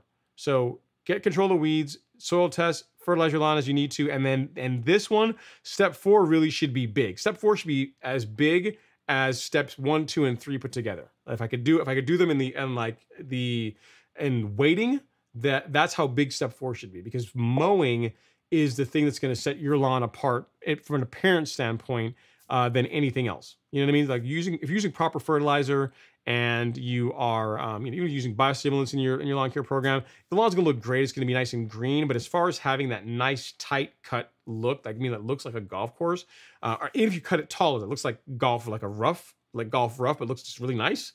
Um, mowing is what gives you that. Like mowing is the thing that just most people don't do enough, and that's what makes the makes the difference. That's why Morris. That's why your lawn. That's why you're getting the compliments. You know what I mean? That's the that's the thing. And you're using a great mower, so I'm not surprised you're getting uh, compliments. And then Cut says, yes, 20 years of marriage has been a great 20 years. Awesome, man. Congrats. So keep keep going. You have another have another 20, man. That's what you, you got to do next. Okay, Morris says, hey Ron, you inspire me with, the, with that Greensmaster 1600 that I went and I got one now. I get so many compliments on my grass. You know what? I don't know when you got it, but we're gonna clap it up. We're gonna give you we're gonna give you some applause for that because I like to hear when people are into mowing their lawns, they get the right equipment, and they actually use it, and they get the results right? So that's uh, that's pretty awesome, sir. Keep going. It only gets better the more you do it. You know, if you, this is your first year real mowing, next year it's going to be even better. So just just keep up with it, stay consistent, and the lawn will uh, will continue to, to get better and better. And and you know you know the thing is that's cool about that, Morris, and this for, for everybody else. Mowing is the great equalizer. It really is because you can get out there and let's say your neighbors are um, putting down fertilizer which is which is fine because most people will go out around springtime. They'll buy they'll, they'll all flood Home Depot. They'll buy a bag of fertilizer. They'll throw it down on their lawn, and it will green up some. But you can't fake mowing. You can't fake the results you get from mowing. Like I always say, if I could if I could bottle mowing, I'd be like a billionaire, right? But that's the one thing that doesn't come in a bottle.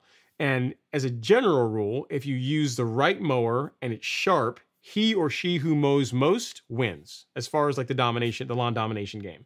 And in your case, you got you know, you got a, the Cadillac of mowers. You got a really, really good mower, and it sounds like you're using it a lot. So you're gonna be hard to touch, man. Just keep going. Keep going. All right. Next up is Brandon. He says, "Hey, Ron. Hey, Brandon." And then next up is uh, Gary, the cable guy. He says, "What do you think about tri- think of tri- triclopyr? Triclopyr I don't know I can say the word. What do you think of Triclopyr ester for killing creeping Charlie and not the grass? Never, I've never really used Triclopyr to be able to tell you, um, Gary, the cable guy, to tell you. I mean, there's other products that'll kill creeping Charlie, but I've never, I've never used Triclopyr to know what kind of results as far as um, how the grass would tolerate it. Also, what kind of grass? Which grass type? Um, you know, what grass are you are you um, trying to spray it or try? Which grass are you trying to eliminate? The creeping Charlie in. I don't, because uh, all, all, that matters. But I've never, I have not. That's one of the herbicides I've not used. I've never. There's a lot I haven't used, but triclopyr is one I've not sprayed, so I couldn't tell you how uh, grass tolerates it, unfortunately. So, not much help on that one. Sorry. All right, next up is Tavares Allen. He says, "Hey Ron, is cool. It's cool season, guys. Oh, we don't hate. We congratulate. That is not true. Cool man. Listen, cool season grass people are some of the biggest haters. Y'all, you guys are like, um, y'all, y'all are something else, man. You know, us warm season folk." You know, we because here's the thing, we're all you know in the cool in the South is where in and Texas area, you know, that's where you know we're more more southernly, more nice and everything. Then y'all coasting folks, man. You guys think y'all are the greatest things since sliced bread. Soon, and and heaven help us if you guys top dress and start laying some stripe action. It's like you can't you just you hear it all, you know, six days from Sunday. So uh, so yeah, because it's time for us warm season guys to pass the baton. They'll pass it. We will pass it back come summer. LOL. It's all love in the lawn community. Yeah, yeah, I, I, I hear you. But it is true. Cool season guys do think they're better than warm season grass people. I'm telling you, it's just I think so. I think that warm season grass folks, we're just we're, we are a more humble bunch than the cool season people. Not all of them, but in general. In general. I mean, I'm glad to be proven wrong on that, but in general. All right, next I'm gonna get someone to agree for that comment. I, you know, I don't even know why I said that. I'm, I'm there's gonna be there's gonna be hate in the comments. I can't believe you said that. I'm nice and I got cool season grass, jerk. All right, next up is Lane Boone. It says, I'm late to the show, but thanks for the tips. I'm in southern South Carolina, okay? Southern South Carolina, and my Bermuda grass has a mole cricket issue all season. Any chance to recover for the fall leading into into dormancy? So what are you what are you going to use for it? I think um, I'm trying to think for for mole crickets um, what insecticide are you using to try and get rid of them lane i mean yeah the, you, you should be able to um, if not completely eradicate definitely knock them back to where the lawn will look better and you didn't south yeah southern south carolina so yeah so it's still it's going to be pretty hot where you are uh, yeah i mean there should there should there should there should still be time but you need to do something about it. You know what I mean? Like th- th- they're not going to go away on their own. So if you are using a product to eliminate them, there should be enough time for the lawn to um, to recover and, and look look fairly decent going into um, going into dormancy. But it's it's a kind of a question mark. Like one, are you already treating them? Are they are they are they you know are you eliminating them? Are they gone at this point? Um, if so, yeah, you being in southern South Carolina, which is that could be like like near near Florida, right? So it's um so that could be near the coast or whatever. Um, then yeah, there's, still there's still plenty of time. The further south you are, the more time you have for the lawn to keep to recover from damage and to keep growing. So yeah, I'm inclined to say that yes, you still have time. All right, Fabian Martinez Molinares is up next. He says, "Hey Ron, I killed lots of crabgrass. Should I take them and seed, or should I seed into on the killed crab?" Okay, I get your question. So so you kill a lot of crabgrass. It depends on the kind of grass, the kind of line you have, um, Fabian. Um, if it's a warm season grass like Bermuda, no, you shouldn't. You don't need to. You don't need to seed it. The Bermuda, the area the the crabgrass was occupying, the Bermuda will spread into there and fill in. If it's cool season grass and you had you know a big chunk of it that was all crabgrass, then you may need to seed. Yes, so it depends on what kind of grass you have. It's a cool season lawn and like you hit a big area that was taken over by crabgrass, then yeah, this time of year, you know, putting doing after you kill it, using some you know doing some seed to get the, the that area to begin to fill in, what is a, is a strategy that can work. But if it's a warm season, if you have warm season grass like Bermuda, typically not necessary. You, now it might not fill in completely this season, but once you roll around to next year where there's plenty of heat, Bermuda should take off and uh, and fill in really nicely, especially if it's an area that's getting plenty of sunlight. So the answer to your question is it depends. If it's cool season grass and it's a really large area, then sure. If it's uh, warm season grass like Bermuda, then typically unnecessary. So hope that helps. Um, and if you, and again, if, if, there's any more any more context you can add uh, later in the comments, feel free to do that, and I can revisit it. But in, in general, no, you shouldn't have to seed it. The, the grass, the, the grass that was being displaced by the crabgrass, should begin to fill into that area. It also depends on how big the area is too, right? But yeah, it, sh it should fill in. All right, Kevin O'Connor's up next. He says the bro-in-law has a front lawn, uh, front part of the lawn by the driveway that may be a mix of Bermuda and fescue. Back part is with big ball areas that look like all Bermuda. I see. Okay. That, that's good to know, Kevin. I'm not sure what the question was or if you asked me a question earlier and that's just for more context. Um, but yeah, that sounds like a nightmare to be able to treat. Having Bermuda and fescue all mixed in together. Good luck with, um, you use prodiamine, but good luck if you have to spray herbicides, keeping the fescue alive, right?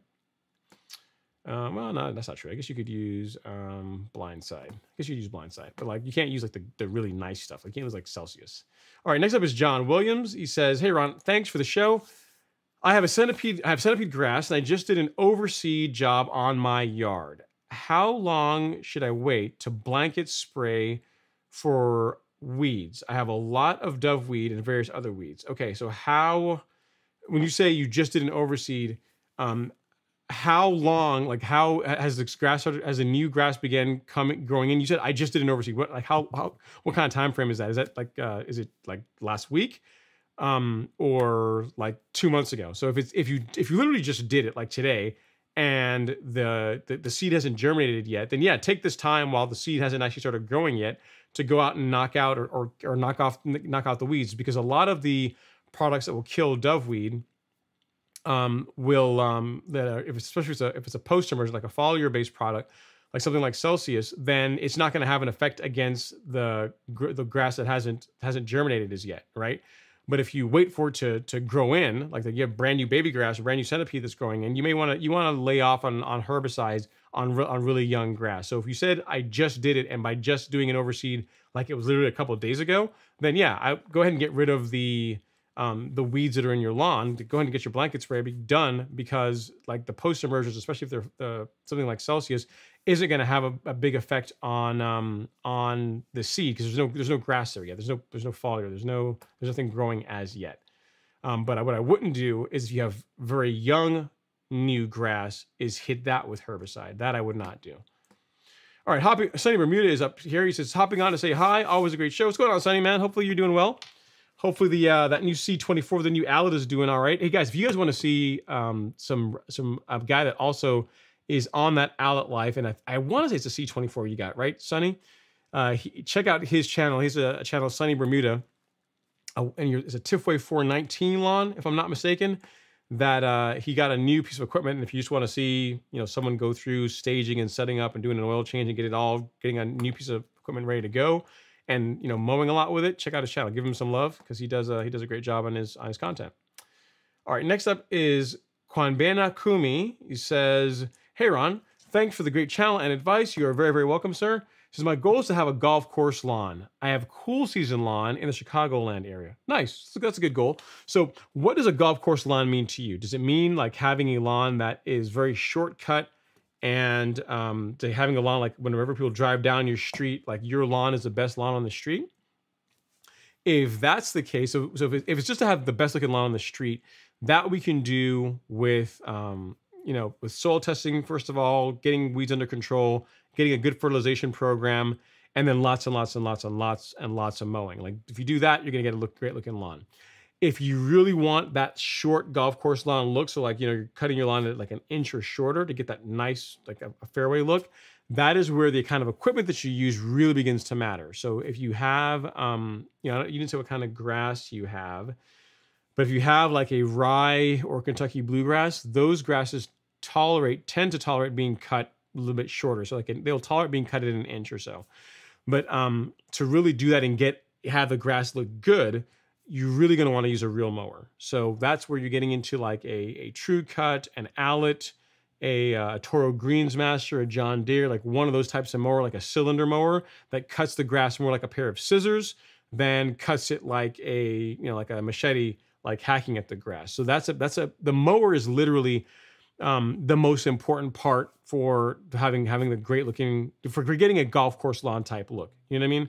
So I mean, if you take a look at my lawn right now as it sits, which is that's not my lawn, uh, this one. If you look at how my lawn looks right now, right now it's not looking that great. But if you look at that, if that were mowed with a with a rotary mower, it would not look anything like that. Regardless of everything I'm doing, like the the mower is making a huge is a huge part of how the of the look, the appearance you get out of the lawn.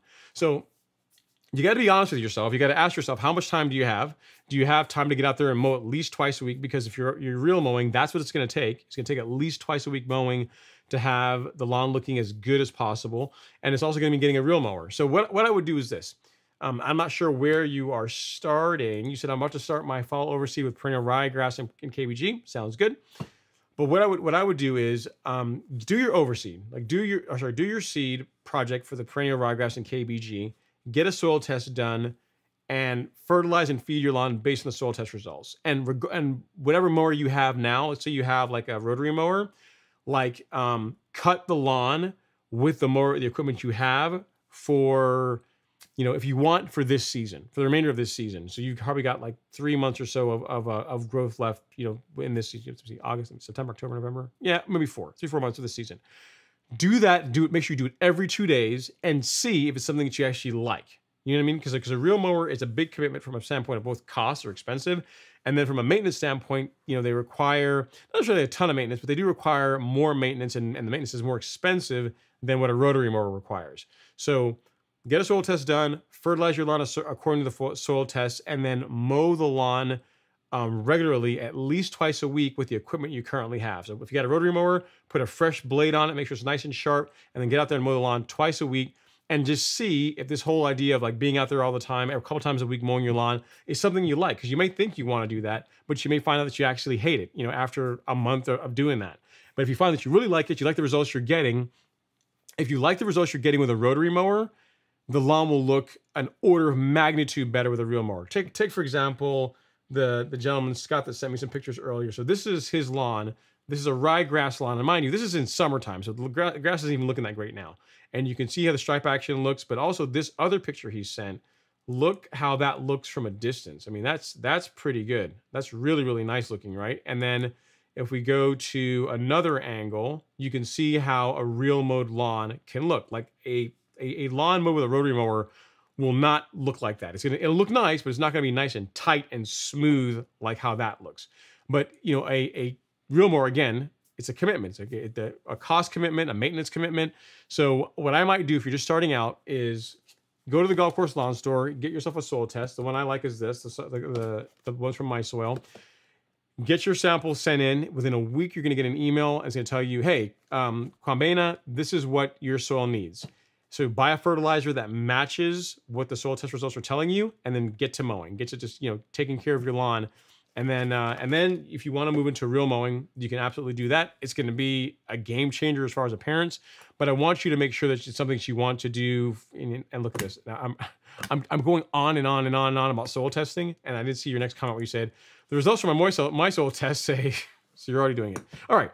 So you already got a soil test result. Let's read it. He says I got my, my pH is high, low N, low K, low sulfur, high calcium, high mang, high mag, um, magnesium, high zinc, and everything else is optimal. Okay, so here's the thing.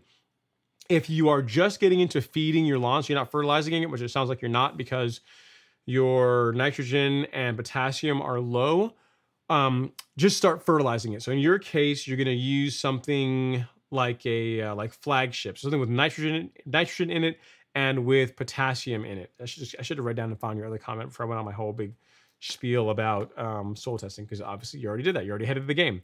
So what I would do, um, Kwabena, is something like this. So go to shop and lawn fertilizer, unless you already have one that you like. If you already have one that you, that you like, use use that. But what you're looking for is something that is a number, zero number. So meaning nitrogen, no um, phosphorus. I guess your lawn party, your soil has enough phosphorus, and then potassium. So you want something with not with nitrogen and potassium in it.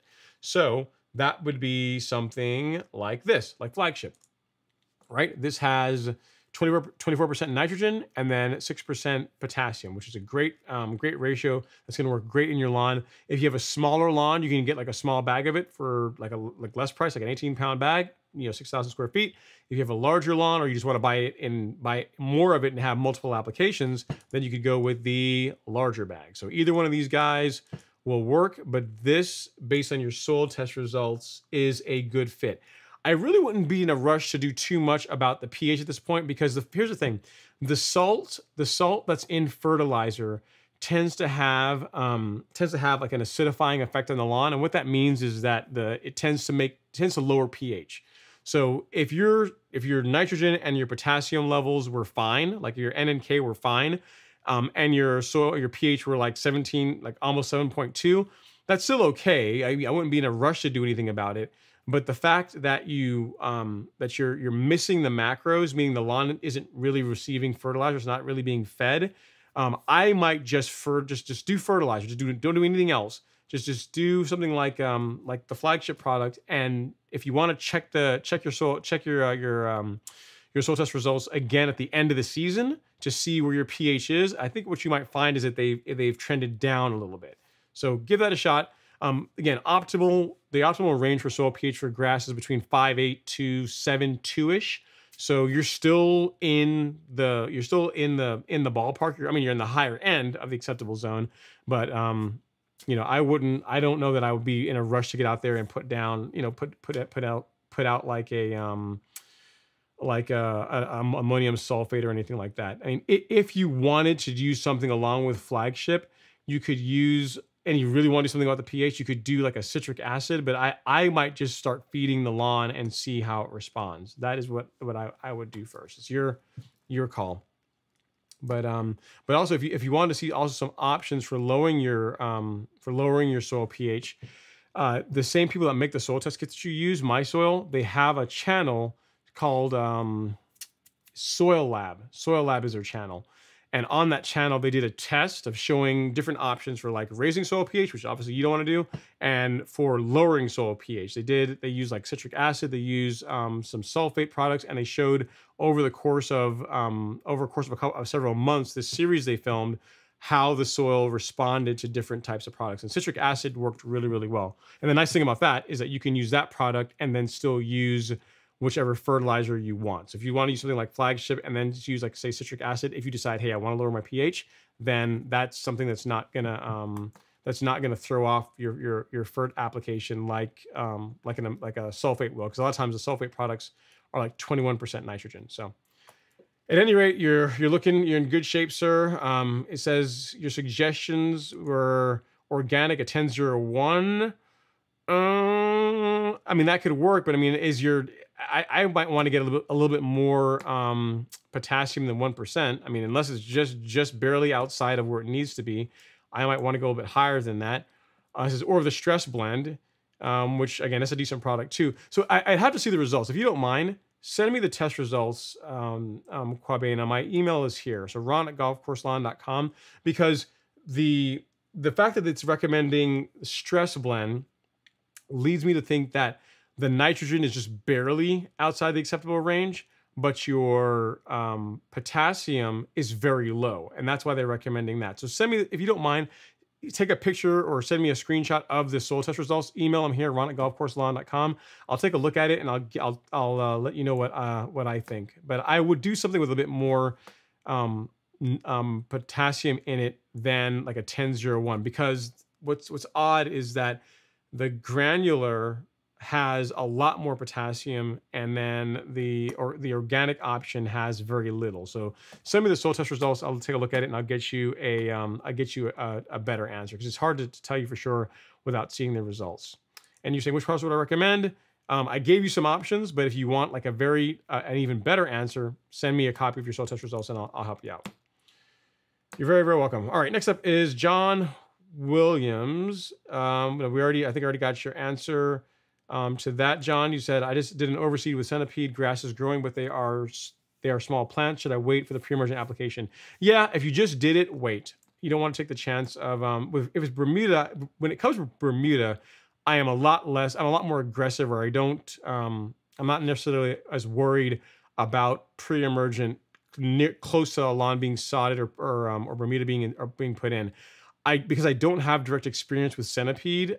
I'd, I'd rather err on the side of caution and not have you put down pre-emergent right after you uh, you just seeded the lawn because I don't you don't take the chance of like undoing all your hard work by damaging the grass. All right, Mike Harvey says I bought some Primo, but I have not used it this year as yet. Should I start now or just power through the, to the fall? Uh, going on vacation, consider spraying it to help out to not be too long when I return. Yeah, so if you, um, I forget what kind of grass do you have, Mike? Uh, if you're if you want to if you're going on vacation you want to put some down that's a that's a great time to do it um i'm not sure how long a vacation you're going because if it's, if it's like a week or so it's gonna help but what I will tell you not to do is I, I had a viewer that uh, that um, that sent me an email saying they went on vacation, they applied Primo, and they went on vacation for three weeks, and then they said when they came back when they cut the lawn, the lawn scalped. I'm like, well, yeah, you went on vacation for three weeks and it wasn't mowed for three weeks. So if you're if you're just going out, out of town for you know a long weekend or four or five days, that's going to be just fine. And if you are considering using Primo, yeah, there's there's still time to do it. I guess is what I'm trying to say for warm or cool season grass because I um I will still be using it up until uh, mid September, so you should be just fine. Follow the application rates. I will tell you. You said you got you bought it, but you haven't used it follow the rates. I will tell you that when you measure it out, if you're using like the bottle, it's not going to look like a whole lot what's in the measuring cup, but it does. But follow the label rates. You don't need a lot to get a great result. So that's the only other advice I'm going to leave you with as far as Primo goes. All right, next up is Joshua Chastain. He says, Hey, Ron, my North Florida zoysia was hit hard by armyworms last year, so I put down a, a preventive app of Acelepryn early in the spring. I started to notice what I thought was insect damage in, let's see, in mid July. So I put down another app of um, Acelepryn before I left town for three weeks. Once I got back, my entire lawn was heavily damaged. I could not figure out figure out why. I didn't. It didn't look like like uh, lawn disease, but I put down a fungus app anyway. I also top dressed uh, the front with carbonized PN. I put on an app of flagship to help it recover. After two weeks, I didn't notice much. It's a long, long comment much improvement and it looks horrible. I started noticing mole crickets and it looked like looked like the label for Acelepryn. I didn't see them listed. Is there an insecticide that you would recommend for um, for let's go here uh, that would prevent this in the future? Thanks. So first of all, we got to figure out before you throw anything else at the lawn. Let's figure out what what was happening.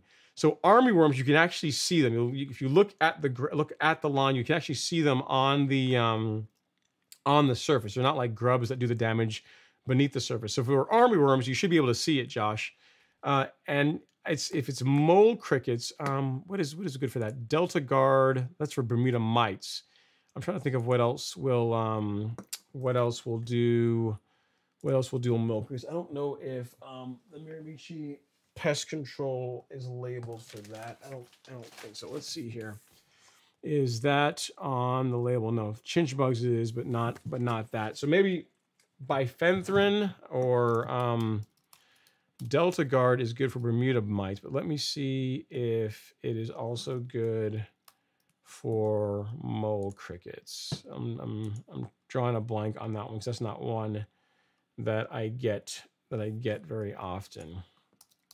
Not sure. I'm not sure on this one. Um, on that one, um, Joshua, I'm I'm trying. I'm beginning to think bifenthrin which you'll end up having to use. But I'm trying to think if there's anything else other than bifenthrin that you can use to to get rid of it. Uh, yeah, bifen. Yeah, it looks looks like um, yeah, it looks like bifenthrin. So it, before we throw anything else though, before we do anything else, let's figure out what's causing the damage. It sounds like it's already been done, but it but army worms like you can you you can actually see what they look like. They look like worms, like they you can visibly see them. Um, and if you did Acelepryn in the spring and Acelepryn again, the you probably don't have army worms. It's probably it could be something else. So um, I don't know, man. If you can, can you send me some pictures of what you're dealing with? Again, my email is still up, still up on the screen here. Send me some pictures of, of your lawn of the damage and I will see if I can do something to help you out. If it isn't, if it is in fact mole crickets, bifenthrin is what you can use, but it's not going to be, it's not going to be a one and done. I had a viewer in Texas that uh, that was fighting crickets, and it was something that they were always they were chasing. It was it wasn't like a one a single application took care of them. So um, so hope that helps. Again, send me an email because I'd like to see the pictures of what your lawn looks like um, and uh, and see if there's anything else I can I can do to help you out. But um, but yeah, I don't think it's army worms because if you did again not one but two apps of Acelepryn this season, kind of unlikely that it's army worms. It's probably something else. All right, John Williams says like, share, subscribe. Ron, this show uh, has changed the game. Keep up the great work. FYI, every product I've used works great. The Yard Mastery sprayer is the real deal. Yeah, I will tell you that. I mean, the the Yard, the Yard Mastery sprayer is not inexpensive, and a lot of people say, "Oh, you know, you can go out and buy like I'm sure it's like you know like forty bucks," and I'm like, "Yeah, you can, but it's not as good." So uh, it's uh, kind of like most things. Like most things in life, you get what you pay for. It's a it's a really good sprayer, and the big thing that that that I like about it is the hassle factor is low, meaning you buy one piece of equipment and it comes, it's a great sprayer, great flow rates, like plenty of pressure. The battery life is great. Um, and most importantly, it comes with all the spray tips you need. So you never you buy that and you're done. You have to go out and try and um, source like you know TeeJet tips and adapters and all this kind of stuff. Literally, you buy it and you don't have to worry about it anymore. So, so yeah, I agree, sir. It's a great uh, it's a great piece of kit. Not cheap, but it's still a um, a great product. All right, John Williams says, "Where can I get my hands on some Specticle Flo? Will you be getting that in the store? Um, weeds and bugs must die, especially big roaches and palmetto bugs. So for roaches, you could use this. This is very good against roaches. The um, the Mirimichi Green Pest Control. Like this is a great product for roaches. They can't, they won't form resistance to it, and it's non-toxic. Uh, and what else? Palmetto bugs. I am not sure on. I have to get back to you on that one. Specticle Flo, you can get it on Amazon, um, or you can go to like there's some like local places you're gonna have a hard time finding it locally. Like SiteOne might ha- will, probably have it, but like Home Depot's not gonna have it. Um, like uh, you need to go to like uh, if you want to get it locally anyway, like a SiteOne or a Ewing or something like that. They might um, they might carry it. If you feel like supporting the channel, um, you can get it also on Amazon unless it's sold out. Uh, like that's that's the place you can get it. But it's it's because it's um it's a herbicide that is really it's primarily professional applicators use it because it's so expensive and that a little bit of it goes such a long way that um oh they lowered the price on it. Looks like the price went dropped because this was this was like 330 uh the last time I checked. So it's actually a little bit cheaper now. That's so if you want to get it, now this is a good price. it's a good price, John. So I'll put a link here in the chat for you for it. And it is actually cheaper than it was um, last weekend when I, when I, when I looked at this. So at John Williams, uh, Specticle Flo. Uh, this link will take you to it. So there you go. And it's it, that, and that price is about thirty dollars cheaper than it was last weekend. So if you if you're on the fence about it, now's that's a great time to to grab it. Or you can find, try and find it locally somewhere else. But that that price is really not bad. Okay, um, Q Dog says, "Can you overseed in Atlanta yet?" Uh, depend. What depends what you're talking about. Are you overseeding? You talking about ryegrass or um, or what? Are we? You talking about like overseeding your warm season grass with Um, yeah, with rye. With rye, um, I might wait a little bit longer. I might wait till the end of the month. So we're, we're getting close. You're, you're getting close, um, Q Dog. You're getting close because it's going to start cooling off soon here. What, what you don't want to do is um, overseed with ryegrass, and then we get like a, a, a a snap of a lot of really hot weather, and then it damage or kill off all the grass you just put down. So I might give it another couple of weeks before I, I did that. Like the end of this month, um, early September is a good is a time when it's going to be good and safe. Uh, but yeah, yeah, we're, you're definitely entering the window if that's what you decide you want to do. We're, we're close. And I think that was that's not for me. Next up, we got uh, Brad Stevens says on a very cool note, very cool bracelet on your on your right hand. Can you tell me uh, what it? Oh, this which what this is? Um, this is a um, it is a just un, it's a it's a clue. It's a nail. Essentially, it's a nail that is that's bent into the into the shape of a of a bracelet. So nail is bent into the shape of a bracelet um, is where you can, as far as you can get it, um, is you get it at the old. If you're getting a real one, which is what this is, you get them at Cartier. You have the so Cartier is who, who sells them. Um, but yeah, that's, what it is. It's basically it's basically a nail that's bent into the um, into the into the shape of a bracelet. So it's kind of it's kind of cool. I liked it, so that's why I got it. All right, next up is um, Fairwood Bermuda Lawn. It says, "Hey Ron, I am enjoying the live stream. I appreciate that. I'm glad it's at least entertaining. It, better than you tell me you're not enjoying it." Is I'm going to check out a couple of Toro Greensmasters tomorrow and hopefully come back with a flex reel mower. See, see, Daryl, look at you, man. You started out with a Tru-Cut and you're like, oh no, this is the best thing ever. I'll never need anything else. I love my Tru-Cut. And now, and now look, see, see. But but what's what's the reason? We're um because you need a backup mower, right? That's that's what it is. You want to get a backup mower in case the Greensmaster down for the count, maintenance. You want to make sure you're never out. I, I get you. Now, once you find one, what you're going to find is they're going to swap roles. Is the, the GM is going to is going to be you know going to be the starter, and then unfortunately the Tru-Cut's going to be a bench warmer. Is what I imagine is going to happen. But uh, but yeah, I still got love my Tru-Cut. I mowed today with it. Like I mowed the swale area with it. I mowed some areas around by the rocks with it. So I still love my Tru-Cut, but it's uh, nothing beats a uh, a real like a, a drum a greens mower, a drum a drum propelled mower. Just it's a, it's a different, it's a game changer. You're gonna you're gonna notice a big difference in the quality of cut if you're able to find one. John says, thanks for the professional built show. Keeps me coming back. Hit that like button um, hard and fast, you guys.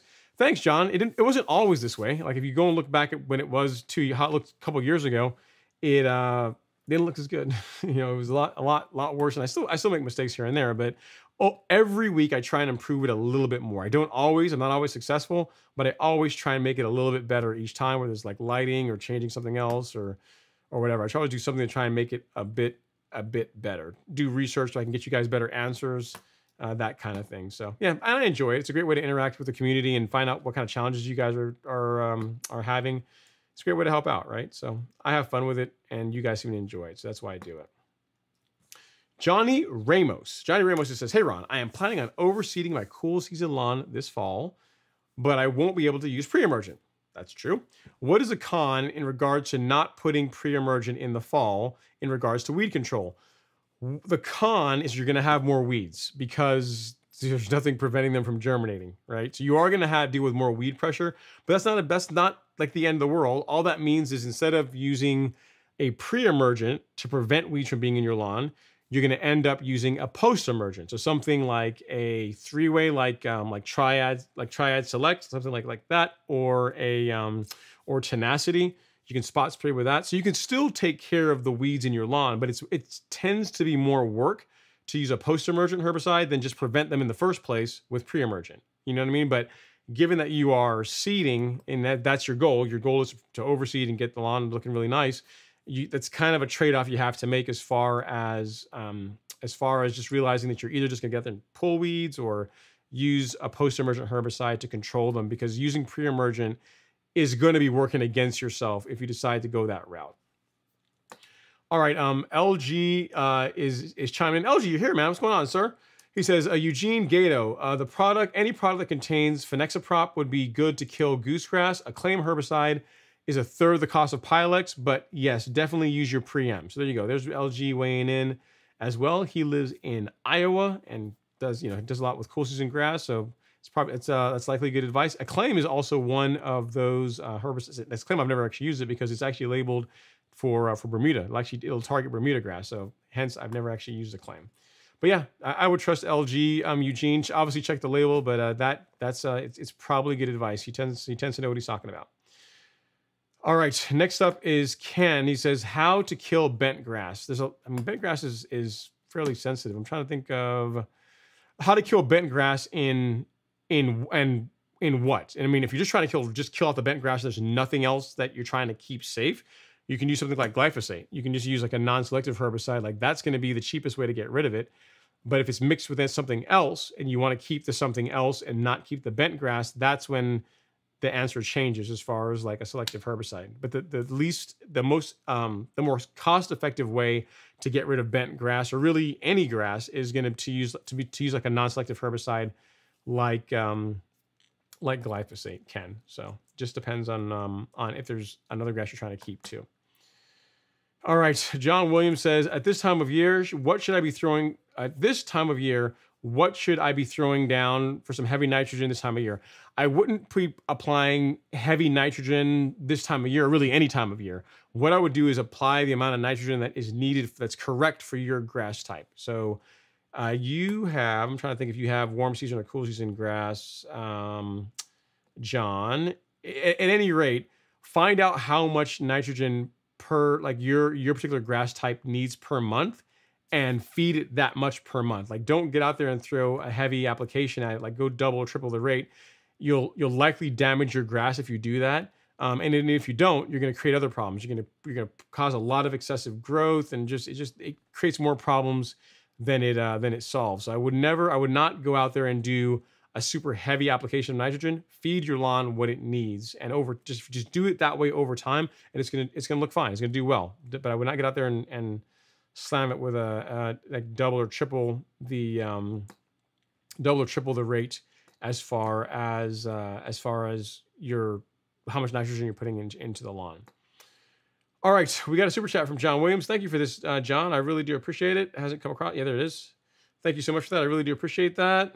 Super chat received. He says, "Great show. You're very welcome. I'm glad you think so. I'm glad you're having some fun and, and getting something out of it. And uh, and yeah, as far as your um, as far as your yes, you you have you have warm season grass. So your next your point about um, heavy nitrogen. So you have probably have Bermuda. I'm assuming it's Bermuda because you're asking about Specticle. So yeah, so Bermuda needs the conventional wisdom says around a pound of nitrogen per month when it's actively growing. So what you need to be applying is about a pound of nitrogen per month. I tend to go a little bit less than that. I, I am more around the the 0.8 pounds per month of nitrogen all in between the liquid and granular products that I use on my lawn. But you don't need to get out there and do like, you know, a pound and a half, two pounds, like double, triple the rate. You just don't need to do that to get a good result. So I would I would stick to what the grass needs, which is a, a you know around a pound of nitrogen per month, um, assuming it's Bermuda, which I'm assuming it's that or some other warm season grass because you mentioned you're talking about Specticle Flo. All right, Gary, the cable guy says, "What do you recommend for killing creeping Charlie?" I have a ryegrass yard in northern Kentucky, so I, will I'll check the label for tenacity. Um, uh, Gary, the cable guy, but there's other products that, that will that will get it too. Triad, Triad Select, like a three way, might be able to do that. Let me let me let's get something less less expensive first and see if um if creeping Charlie is on the label. Um, that I would look at that or um or tenacity. Yeah, and it's not. It's not. The three ways isn't is not on on the on the on triad for that. Take a look at the tenacity label, Gary, and see if it's if it's labeled for creeping Charlie. Um, for for cool season grass or cool season herbicides, I just don't know those off the top of my head like um like I do warm season grass. But you know, while I'm here, I can check the label for you really quick. I can I can do that. Let's uh let's see while we are in here. Um, uh, let's see. Creeping. No, it does. I don't see. Um, yeah, it says no. Yeah, it says creeping bent grass, but I don't see creeping Charlie uh, listed there.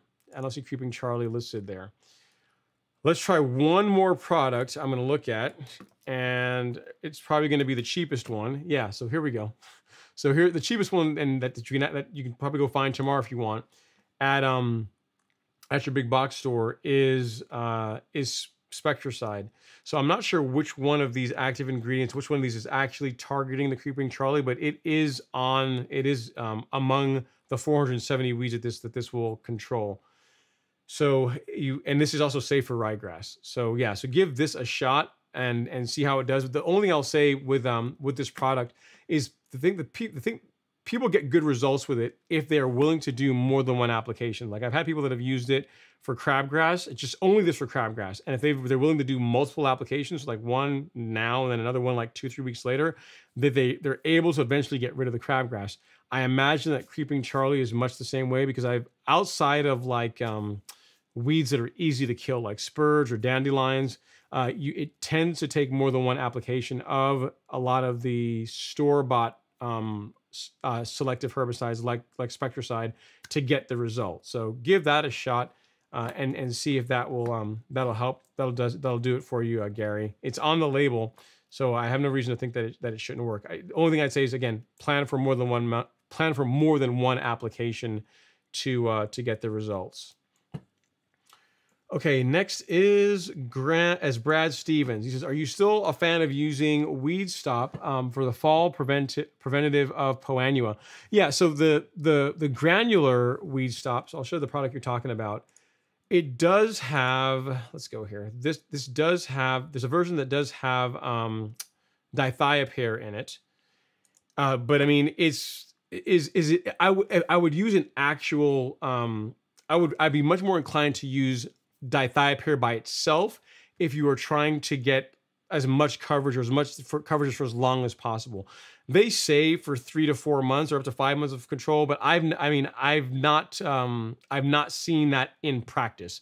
I've had viewers that have tried to use Weed Stop as their pre-emergent like that by itself, um, and they've not gotten anywhere near the five months of control that the label the label says. So if your goal is to um, to prevent POA, in warm season grass, what I would say is use prodiamine or use actual dithiopyr by itself, and really di- um, prodiamine with um, with uh, um, uh, Princep and uh, Image is going to give you the best result, in my opinion.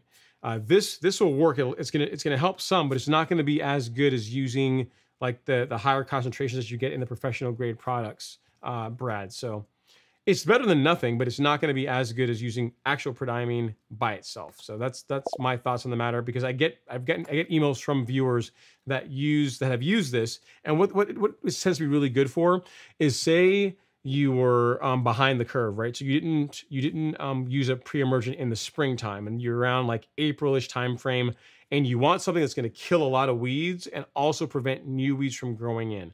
That is what this product is really good at. So you apply it when the lawn is wet, um, and it to, to to help it start killing the existing weeds. And the next day you water it to get, to help push the the uh, down into the soil, and that tends to be pretty good for about a summer for, for keeping weeds out of your lawn during the summer. But as far as relying on it for a fall pre-emergent, I wouldn't. I would I would get like again like prodiamine or dithiopyr, like a higher concentration, a higher amount of active ingredient, and use that instead of um, of instead of weed stop. All right. Uh, next is Resistance Viva. It says, um, "Do you have any thoughts on using zeolite on turf?" I don't. I don't even know what that, I don't even know what that is. Uh, first time I've ever heard of zeolite. So something for me to look up. I don't know what that is, so I I don't have an opinion on it. So let me add a note on that. Zeolite. Yeah, I've, I've no, I don't know what that is, so I I can't um I can't give you uh, uh, an opinion on it. Uh, Resistance Viva. All right. Next is Greg Lyon or Greg Leon. It says, Hey Ron, I sent you some pictures before and after pictures after Sandman leveled my lawn this week. Do I need to take a leveling rake over the entire lawn to level out the spots now? No. So here's the thing. I wouldn't take the rake and actually try and move the sand around. What I would do is take the rake and just like just just lay it down behind you and just walk like like drag it over the lawn. So don't so what I'm saying is um move it over the lawn to help the sand settle, like to help expose the grass, the grass tips, to help them kind of pop through the sand. But don't get out there and start working the sand in, like moving it around, because wherever they put it is where it really needs to be. So don't get out there and try and start moving the sand around, but it, it is helpful to to drag or use use a leveling rake or use a broom on the lawn once a day to help um, again to help the grass tips kind of pop through the sand, help it settle a little bit faster, help the lawn recover a bit faster. So I would not level it, but I would use it on the lawn as far as just uh, just raking through the lawn. All right, next up he says, also, what do you think about Regal chemical fertilizer and harness carbon that he told me about? He mentioned Specticle Flo, uh, Specticle, uh, Specticle Flo, which you just mentioned on your last live video too. So I don't know about Regal Chemicals Fert or the harness carbon. I've never used any of those, so I can't really offer an opinion on them, unfortunately, Greg. Um, so, um, but look into them. I mean, I could look into them and give you an opinion maybe next week, but I've never used them or even looked into them before or heard about them until right now. So I can't really give you a um, an opinion, unfortunately. All right, Dwayne says, "Hey Ron, can you call Alex the enforcer and take care of these trolls, aka moles, in the live stream?" LOL. No, man, you got listen. You have to understand, Dwayne. Trolls are a necessary evil, but think about it. How much of a life must you not have to be able to come to take time out of your Friday evening? Because I mean, I'm I'm doing what I'm gonna do on Friday night. You guys are here having a great time. So how much time? I Like, how much have you like not to be not to have anything better to do with your time to come in on a lawn care live stream on, fr- on a Friday night just to troll or give thumbs down or leave nasty comments. I mean, come on, man. It's all it's all part of it. I mean, I, I think I think there are people that, that do that are a joke because they are, and it, it doesn't bother me. I don't like I got I got really thick skin. If you've uh, if you lived if you lived the life that I have lived, someone saying a nasty gram to me in a on a YouTube video, not that doesn't doesn't uh doesn't really weigh in. Doesn't doesn't even register doesn't even register on the spectrum of things that would irritate me. All right, Robert Mahorse is, is there with a, a, super chat. Thank you so much for that, Robert. Super chat. He says, "Good night, uh, good night. I'll hopefully see you tomorrow." So you're checking out uh, Robert. I get it, man. It's getting kind of late. We are winding down, though, sir. Don't you know? We are winding down, but I appreciate you coming to hang out and uh, and check out and uh, hang out in the live stream for a little while. And then uh, let's see what else we got here. What other comments we have? Um, Next is Greg uh, Savoya. Oh man, I'm gonna push your name. Is it is it Voma? I'm thinking the S is silent. Is it is it Voma? Uh, Greg Voma says, "Hi Ron, always appreciate the content. Question: I have a cool season lawn that is riddled with zoysia, undesirable. I put down tenacity about two weeks ago, but it is still growing. Thoughts? Um, maybe give it a little bit more time. I, here's the thing: I don't. As far as eliminating, um, as far as eliminating zoysia in cool season grass." Not something I have a lot of experience with, unfortunately, Greg. Uh, tenacity should it should discolor or it should damage the zoysia. It should, so I'm surprised that after two weeks you're not seeing any kind of responses yet. Um, but I don't know that even that is going to be enough to really kill it, to really get you know truly get rid of it. Uh, so I'd say give it a little bit more time, give it a little more time, and and uh, and and see if you, if it begins to respond to it. Are there any other areas? I know you can't actually answer me, but you can you can write back. Are there any other areas of the lawn that you sprayed with tenacity where you are seeing a visual um, responses yet? So uh, I know you, you sprayed for for zoysia, but if there are any other weeds that you happen to get some of it on, are they starting to turn white or starting to bleach? Because if if they're not, it might be you just need to give it more time. You know what I mean? But if you have some parts of the lawn that are beginning to change color or beginning to, you know, where you, you can see the results of tenacity, it's, it's pretty apparent because it, you know, the lawn turns like like looks like you dump Clorox on it. Um, but if you if you're seeing that, then um, maybe we need to look into something else to try and get rid of the zoysia in your uh, in your cool season grass. But if you're not, then give it give it a bit more time is what I would say. But again, unfortunately, not my specialty as far as getting rid of warm season grass in a cool season lawn. You know what I mean? I mean, there's there's um you might look into Acclaim, you might look into Pylex, you might look into some of the stronger warm season or cool season herbicides and see if um if that they might work. Let me you know while I'm here I can check. We're it's it's late night. We we're getting we're into like the getting into the fourth hour here. I can I can take a peek for you and see if um yeah no see so it's so you know so Acclaim is not is labeled for use on zoysia so no it's not gonna that's not gonna do it yeah i don't i'm not sure man um i'm not sure on that one unfortunately i would say let's give, give the tenacity a bit more time to see if it begins to produce a result before you move on to something else and and again i apologize for not being more help on this one because cool season grass just isn't isn't my strong suit especially when it comes to eliminating warm season grass in cool season grass but I will look into that. I will. Um, I'm gonna take a screenshot of that so I can get an answer for you for next week because I'm just a question that some some other people are gonna have at some point, and it's something that I, I I'm curious on as well too. So I've got it in my list of things to look into. All right, Trevor Johnson is up next. He says, "Hey Ron, thanks for all the great advice so far and the great content. Question: I have a I have a uh, question tonight about regarding nematodes. Coworkers keep bringing it up. Have you ever added those to your lawn? I haven't. No, I haven't. I haven't. Um, I haven't added. I have not added those. Um, I've not added nematodes to my um, to my lawn. So can't give you uh, can't give you a, an answer on on that. Okay, Resistance Viva says, "Hey Ron, I've uh, I made the question about zeolite. I've heard some golf courses use it. Not sure exactly what they use it for. Would it be okay to use zeolite instead of sand for leveling? I don't know. I, I again, I have to look into. Um, you know, I'll ask. I'll ask Devin about on that one. I'll do some research myself, but I'll I'll put this on my list of things to answer for next week. Uh, Resistance Viva. So that'll be one of my talking points for next week. I'll look into it and then uh, and then let you know. If it's a leveling medium, if you're saying it's like a sand of some sort, something for leveling, um, for they use on golf courses for leveling, um, I don't I don't know. I imagine it's probably gonna be more expensive than sand, so that's probably that's that's a consideration. Without even knowing anything about it, I imagine it costs more than sand does, so that's something to, to keep in mind. But I'll have to do some more research and then get back to you on that one. Okay, LRCX says, I've been fighting Dallas grass in California for a few years. Tenacity every couple of weeks helps keep the seed pods to a minimum, but not all. I'd like to know how I can get rid of it forever. Fescue lawn. So the thing to get rid of Dallas grass, the best way in a residential lawn, LRCX, is to just dig it out, to physically remove it, unfortunately. There, there, there is a herbicide that will kill it, but it is not labeled for use on residential lawns. So your next best bet is to just dig it out.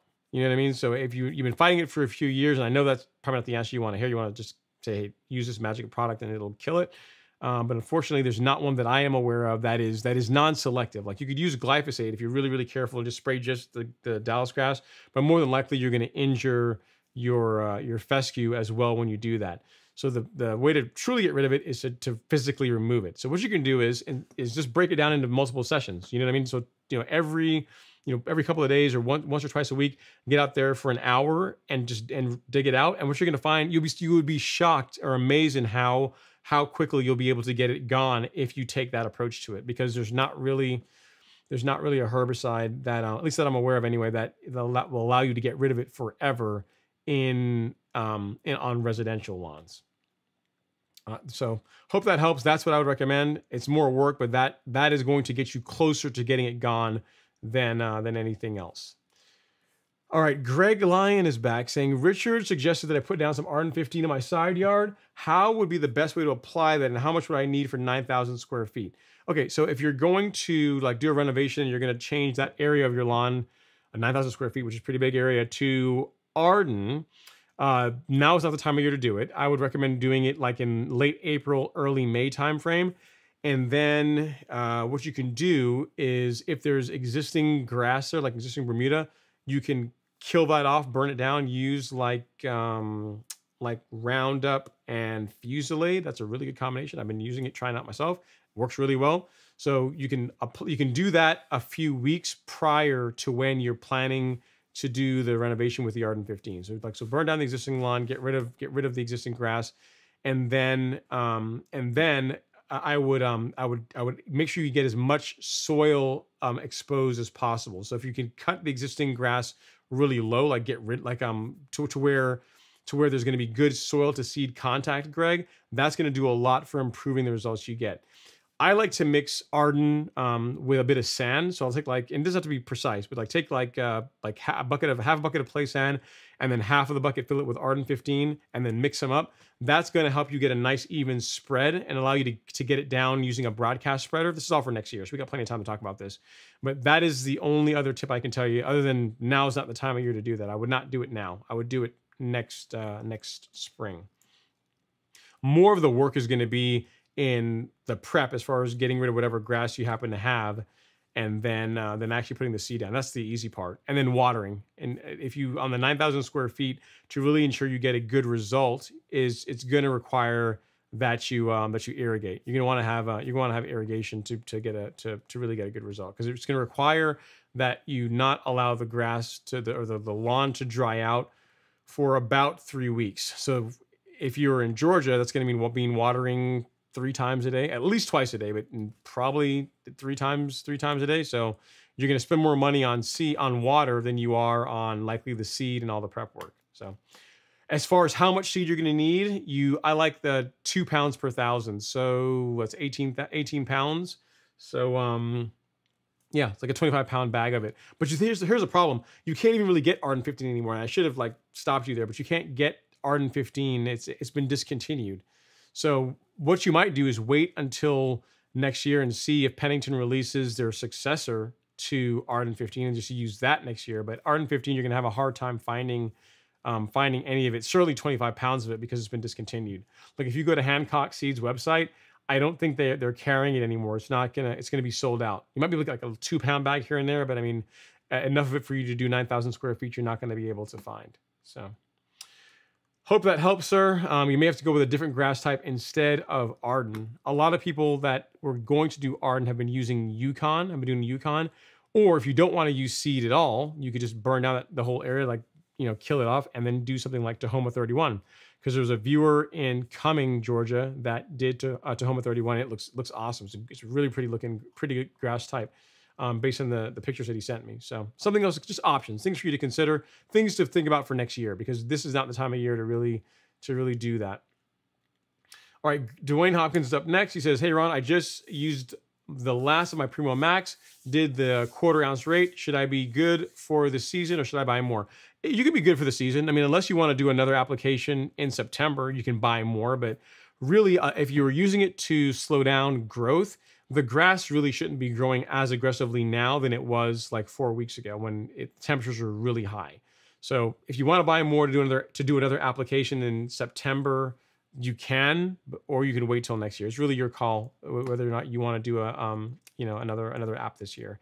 I'm going to. I'm going to be using Primo until the end of September, but it's it's your call whether or not you want to buy another another container just uh, you know to cover you for this remaining month. All right, next up is Chris uh, Faris. He says, a great channel. Love the content. Do you have a recommendation for above ground sprinkler system that could cover 2,500 square feet without without moving one head around the yard? I just don't have time before work. I, I don't. I really don't, Chris. I think I saw that. Um, nothing that I have direct experience with anyway. I saw that Hunter had a system where they um they you could put these um like the sprinkler has on these like on on pot on uh, sticks almost on stands. Uh you don't have to move it around but you do have to set it up. You know what i mean? So it's one of those things where you could set that up say the night before and then set it up to work so there is a um a like a blue like an app like a bluetooth app that you can use to um to open the valve at a certain time. So that's an option but it, there's some setup required is i guess i'm trying to say now you wouldn't have to move the sprinklers around all, all over the place, but that's that's the best I can think of as far as an above ground um, sprinkler system. I don't have a ton of experience with those, unfortunately, but I know that Hunter did something. They had a kit that did that. But again, there is setup involved um, to to um, to make that work. Appreciate you appreciate you watching the comments. Thanks for the kind words. And if I can help with anything else, let me know. But uh, yeah, look into the system from um, from from Hunter. All right, Christian Brewer says, um, "Sup? What's going on, print? Um, uh, Christian? It looks like you're a Gator fan. A Gator fan. What's going on? Hope you're doing all right." And then next we have RLT 1975 says, "Hey Ron, I just overseeded my Tall Fescue blend today, and I put down a Lebanon turf starter fertilizer with Meso with Mesa. I think you meant Mesa. Have you ever used the starter fertilizer with Mesa? I haven't, but it's gonna. I'm sure it's gonna be fine. Like I mean, Lebanon Fertilizer makes a really good product. I have no reason to think that their starter fert is not gonna be awesome too. So yeah, I, I have not used it, but I given that I've used um, Proscape, um, I've used I've used Proscape, I've used Humic Max, I've used their um, their Country Club, their greens grade mower. Like I've used mower, the greens grade fertilizer, uh, and all of them produce excellent results. So I have no reason to think that the starter fertilizer with Mesa is not going to do well. Going to be just fine. I wouldn't worry about it. Uh, let's see what else we have here. Nicholas Jasmine says, "What about a pre-emergent for Virginia buttonweed and nutsedge? I have zoysia and Bermuda. You know, I don't know if there's actually a pre-emergent. I don't think prodiamine actually does nutsedge. That's one thing I do. I don't know if there's actually a pre-emergent for nutsedge. Now, when it comes to Virginia buttonweed, I don't. I, have to check the label for um for prodiamine to um to get an answer for you, um Nicholas. I don't know the answer uh to that one on the on the um on the buttonweed on the nutsedge. I'm not a. I don't believe prodiamine. Um, I don't. I don't. I don't know. If there's actually a pre-emergent for nutsedge. I, I I'm I'm I'm open to being corrected on that, but I don't believe so. Uh, let's see here, prodiamine because that's um like all the lawns around here um, get it every single year, and they and a lot of them get um, get pre-emergent. But I'm looking here for the Virginia buttonweed for you, and I'm going to see if that is on the label for um, for that um, for for prodiamine here. Let's see here. Let's see, uh, buttonweed. Let's see. Um, no, I don't. I don't see it listed. I don't. I don't. I don't see it on here. So I, let me let me take that one as a as a as a one to research and get back to you, um, Nicholas. For the um for the nutsedge, I don't believe there's um not not I know prodiamine doesn't do it because I get I get nutsedge. I get it every year, and most people get it every year. And in areas where and the, the consistent thing is wherever um water passes regularly or settles is where it tends to show up uh, and it's always in the same areas. So, uh, so yeah, that's a good point. I will look into that for you. As far as a post-emergent, I know Celsius will get rid of it, but um, to prevent it, I don't see it on the label for um, for um, for Celsius, Virginia Pike, but I don't. I'm sorry for um uh, for prodiamine, unfortunately. So yeah, so something we look into and get an answer for you. I don't know the answer on that one, so I've got your your uh, question screenshots, so something for you to work in, work on and get an answer for you for next week. And you you also have my email too as well. So if you want an answer before the live stream next week, you can drop me an email here, Ron at Golf Course Lawn, and I will um, I'll do my best to get you an answer. You guys are roughing me up tonight, man. I'm getting a whole lot of don't know, not sure on that one. There's a whole whole lot of that happening, but it's okay. It makes me better, right? All right, next is Gary Kellett Jr. He says, Hey, Ron, listening to you on the TV in the bedroom while I'm laying flooring in the bathroom. Wife walked in, looked at the TV, and uh, shook her head and walked out. Hey, man, you're you're laying flooring. That's good, right? Like you're getting your honeydew list done. You can watch you can watch a lawn care live stream while you do that as well. You can you can you can do both of them. You know, I mean, there's worse. There are way worse things you could be watching on TV than a lawn care live stream. I'll just say that. So I'm sure she, you know, um, she may like, you know, not she may not get it, but I'm sure she's not, you know, she's not irritated about it. All right, uh, let's see here. Uh, Robert Mahora says, totally off topic. Go for the Tahoma 31. Yeah, that's it, that's the thing. If I were doing a renovation this time of year, like if I were starting over, like I was going to burn down my lawn and, and put in a gra- put in a grass type, a warm season grass like Bermuda, I would go Tahoma 31. I wouldn't be going to try and do it from seed. That, especially with 9,000 square feet, like 9,000, like doing 9,000 square feet from seed is going to be expensive, really expensive from a watering standpoint. And, uh, you know, Tahoma 31 looks really nice. Like it's a really good looking grass. So uh, I'm with Robert on that one. I'm with Robert on that one. I would, I would lean towards Tahoma 31. Sod all the way. Less work. Less work. All right. Scott Wilbank says, Ron, my two and a half gallons of Princep arrived today. I'll be mixing it with Image and prodiamine in the next couple of weeks on my Bermuda grass. Thanks. Enjoy watching. Cool deal, uh, Scott just uh, follow the label, and uh, yeah, you should get a uh, should get a great result. I'm glad that you're uh, that you're you're going to try out. You're going to be making your your poor man's um, Specticle Flo. You know, you're, you're pretty much recreating coastal on your own. All right, uh, Dwayne says, Ron, this is great. Warm season folks and cool season folks all coming together to join the to, to join the stream. We're on the same team. We are, man. We all love grass, right? We all love grass, so it's uh, that we are united by that. And then Greg says it is bleaching, but underneath. Yeah, so it may take another app, Greg. So it sounds like it is working, but maybe another application will uh, will get you get you closer to what you're uh, you're looking for as far as uh, you knocking back or getting rid of the zoysia. So it sounds like sounds like tenacity is having an effect, but it's just uh, just a little bit slower. So perhaps another another app another application is will be in order to, to get you where you want to be as far as eliminating it in your uh, your cool season lawn. Uh, Ed and Rika says, um, "Hey Ron, what's a good, what's a good pre and post emergent for spurge? For pre emergent, um, you know, uh, prodiamine or dithiopyr, like those will prevent it, except for along driveways or whatever. That's going to still grow there. Um, and a good post emergent, there's tons, man. You can go with uh, you can go with Celsius, which is more kind of an expensive way to get rid of spurge.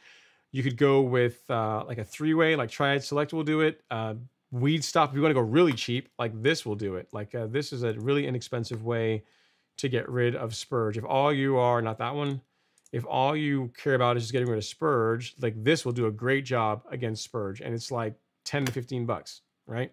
So if all you care about is Spurge, then Spectracide, everything from Spectracide all the way up to Celsius. I will tell you, like if you if you decide to use Celsius on Spurge, it like it does to Celsius does to Spurge what certainty does to sedges. It like it like just turns it into like like a if you, if you could imagine a, a, grass or a plant turning into the equivalent of a brown paper bag, like wilting, just being like like dust.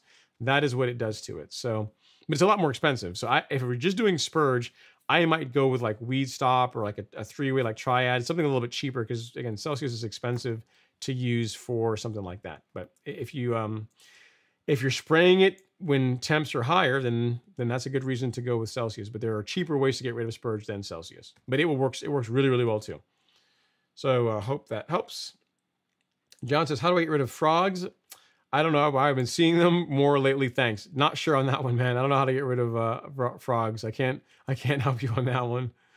Uh, Joseph says, "What's the shelf life on PGR Primo Max?" Uh, it's about three years. Three. They say three to five years, but really three years is what you don't want to keep it any much any much longer than that. It'll begin to lose um, effectiveness. Would the app? Let's see. Uh, let's see. Would an app of PGR be okay at the same time as prodiamine? Um, I wouldn't. Here, here's why. So like, so they're they're two, they, they, they're two different products. So prodiamine um, needs to be watered in to work, right? You need to water it in to work. Whereas primo needs to get to the, on the grasses on the foliar on the grass leaf itself to work. Um, also, the spray tip that you use for prodiamine is different, or the correct one is different than the one you would use for primo. So for primo, you're going to want to use like a foliar tip, so like um like the like the 110 degree spray tip, the really fine droplet tip. Um, and for prodiamine, you're going to want to use like a flood jet tip, so something like this. You're going to use something like this for prodiamine, right? For for pre-emergent. So the the spray tips that you should be using are different and um, just the fact that you're going to want to water in prodiamine after application and you're not going to want to water in pre um, um, primo after application i would do them separately. I would. I would um, i would not i would not spray them both at the same time. Plus i've never actually um, tested that. I've actually even mixed them together to know if they would play nicely together. I've never actually even tried that. But i the long short of it is no i would not do it now can you do um could you do prodiamine first? Or sorry, could you do um, uh, prodiamine say in the morning, and then like a couple hours later go out and spray the lawn with primo? Uh, yeah, you could do that, and then just wait till the fall. Wait, I mean they, they say four hours, but you could give it four hours um, after spraying the primo to water the prodiamine in, or just wait till the next day and water the prodiamine in. That you can do, but I would not. As far as mixing them together, I don't know that I wouldn't do that, and I I don't even know like if there'd be some kind of weird there's some kind of weird interaction. I've never actually heard of someone mixing prodiamine along with growth regulator, so I would say no. I would not. I would not do that for the reasons that I mentioned. Uh, you're very very welcome, Alex RD, uh, and he says, Brad, are you a fan of Weed Stop? Yeah, I, I still am. I mean, it's a for as a, as a product to recommend for someone that is new to lawn care or someone that doesn't have either the budget, the time, or the desire to get a backpack sprayer, learn how to calibrate it, mix products. They just want something that's easy to use and that is going to produce a decent result uh, after a couple of applications. Weed Stop can be all right. I mean, we, it's, it's a good product. It's, it is good. It's just that it's not like a one and done. And for some things, it's not that great. Like if you want, if you use Weed Stop on like say like um nutsedge it's it's a joke. It won't it's not gonna it's not gonna knock back it's not gonna kill nutsedge you know what i mean? So for even though they, they say kills 470 weeds really it's really good against broad it's good against crabgrass with multiple ap- applications and it's good against broadleaf weeds. But again some of the more stubborn weeds like um again like uh um, particularly sedges, not not so much. And again, it's for it's it it has a demographic. If it's for, for, someone that's getting getting new into lawn care, like say someone joins the, the live stream tonight, right? Says, hey, I want to get rid of weeds in my lawn, and I'm I'm brand new to lawn care. I don't have any equipment. I got a mower and a string trimmer, and I want to get my lawn looking better. You know. If they may eventually graduate to getting a backpack sprayer and starting using like some of the more professional grade herbicides or products on their lawn, but you don't want to scare them away and say, "Hey, go buy you know a three hundred dollar backpack sprayer and go get you know these expensive herbicides and all this kind of stuff." You can you can give them something that is going to help them be get them in a better place than where they are now. And then if they're not liking the results, then they can move into you know into you know the the into the better stuff. So I'm still a fan of it. I think they they serve a purpose. They serve they do serve a, a role, but they don't. They're not in the same. They're definitely not in the same class as the the more expensive products. So so yeah. Um, let's see here. I already answered the question about the bracelet, and you said you're airing the lawn this weekend. Can't wait. Cool. Sounds sounds like sounds like a lot of fun, Brad. Sounds like a lot of fun. And then Jose says, Justin, no, PJ absorption in the foliar and prodiamine needs to get down in the soil. So there you go. You have someone else saying, telling you the same thing. I don't. I mean, I'd be afraid to mix them, man, because um, prodiamine. That's one thing. It's a little bit temperamental when you mix it. Like, it, like it will, it will settle unless you like do a really good job mixing and getting it suspended, and then you you kind of give it a shake now and then while you're spraying it. It tends to settle out. So I would not, you know, even just mixing it with um with uh, Primo. I have no idea how that would that would play out. So long answer, long short is no. I mean, you can spray them on the same day but I would not spray them at the same time in the same tank. Is what is is um I would not do that. Okay, uh, Steve Jackson says, "Hey Ron, have you had your reels ground ground, um, your reels grinder? Uh, if so, uh, did you have to raise your height of cut because it scalps in certain areas? You saying, have I had my reels? Are you saying like have I had them sharpened? I may have not. I'm trying to think of what what, what the question you're asking. If so, did you have to raise your height of cut because it scalps in certain areas? I just had mine done and it scalps in a few spots, thinking of raising mine. Okay, so if your mower, okay, so here's what could be happening. If your mower is scalping after you took it in to get it ground, so you, so you took the mower in and it say it wasn't doing it before, it wasn't scalping before, but you took it in, and they got it, you got it sharpened, and now it's scalping in certain spots. A couple things to check. One, obviously check the height of cut, that it's the same that it was before, so that they didn't like lower it. That's one, that's thing one. And then also, I mean, they should have done this, but check both sides of the bed knife. Make sure that you don't have one side that is that is higher or lower than another, because that will cause cutting issues, will cause scalping issues, and you you'll you'll be chased like pulling your hair out trying to figure out what's going on. So if it's there's a couple things you can check, Steve. Like again, one, obviously make sure that the height of cut is the same as it was before. If that passes, check while you're checking the height of cut, check to make sure that both sides of the reel um, are like the, the, that it's even, is that it's not like it's not slightly canted because it doesn't take much. I mean, a tenth of an inch. I mean, less than that. Like I mean, a tenth of an inch will be will be enough to cause cutting problems, like very visible cutting problems.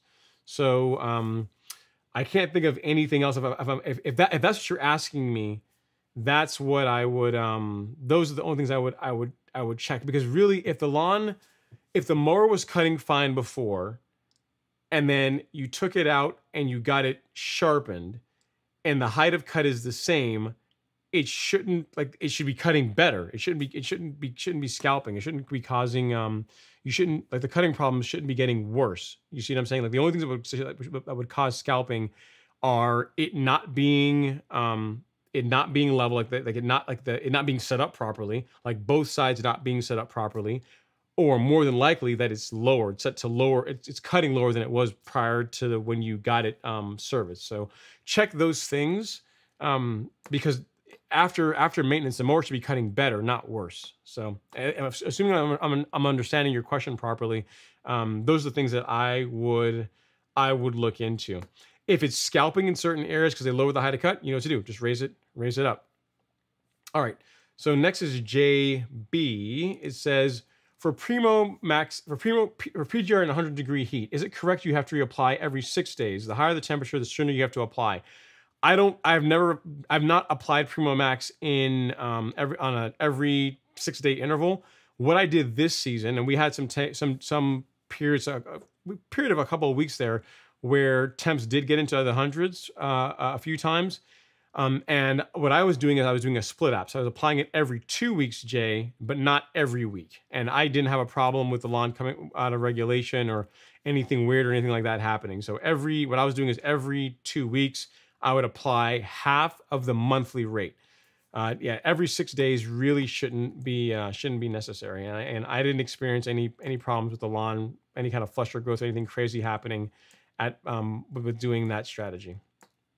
All right, uh, Christian Nichols says. Your videos have improved exponentially. I, have improved my grass exponentially. Neighbors are asking for strategies. You should tell them, man. Tell them how about tell them, tell, send them the channel.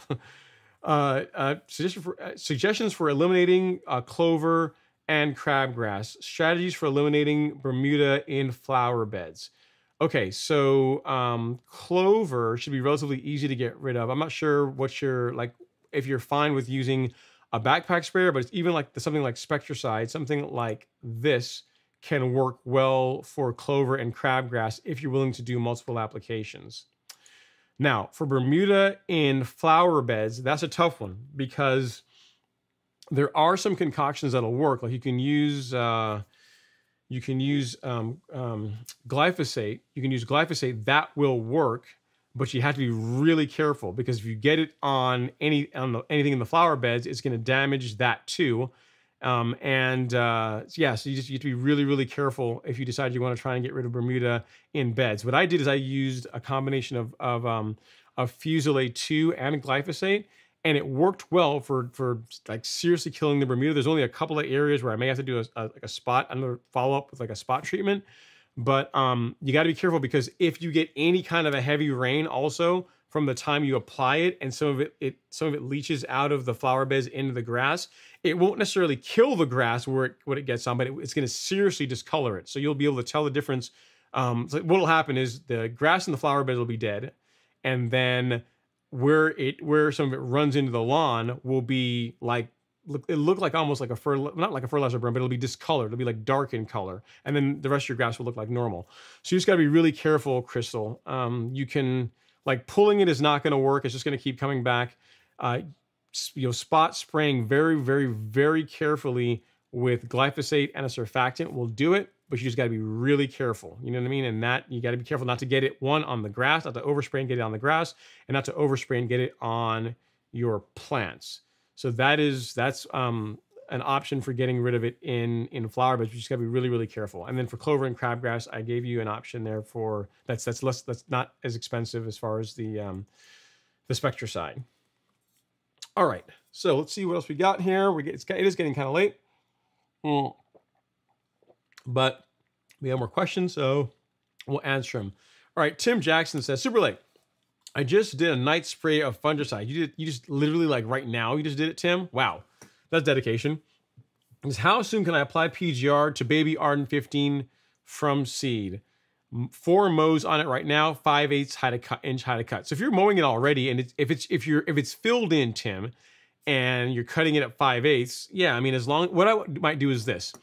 Uh, go out or apply primo, just apply it at half rate don't go don't use the full rate um you know like the, like the monthly rate all at once. To apply it at like half rate and it should be fine because you've already you've already mowed it a few times you're cutting it at you know five eighths which is you know that's not short and the grass is doing well then if you want to put primo on it by all means go for it. Just uh, if you just want to be give yourself a little extra margin uh, apply it at half rate. So just every two weeks um, you know just cut the monthly rate in half and apply it there and you should be absolutely fine uh, Brad says, um, "How about weed stop on preventing POA?" I don't know that it's gonna how well it would work for that man. I've never actually tested it. I've never tested it to know how well it would work for preventing POA.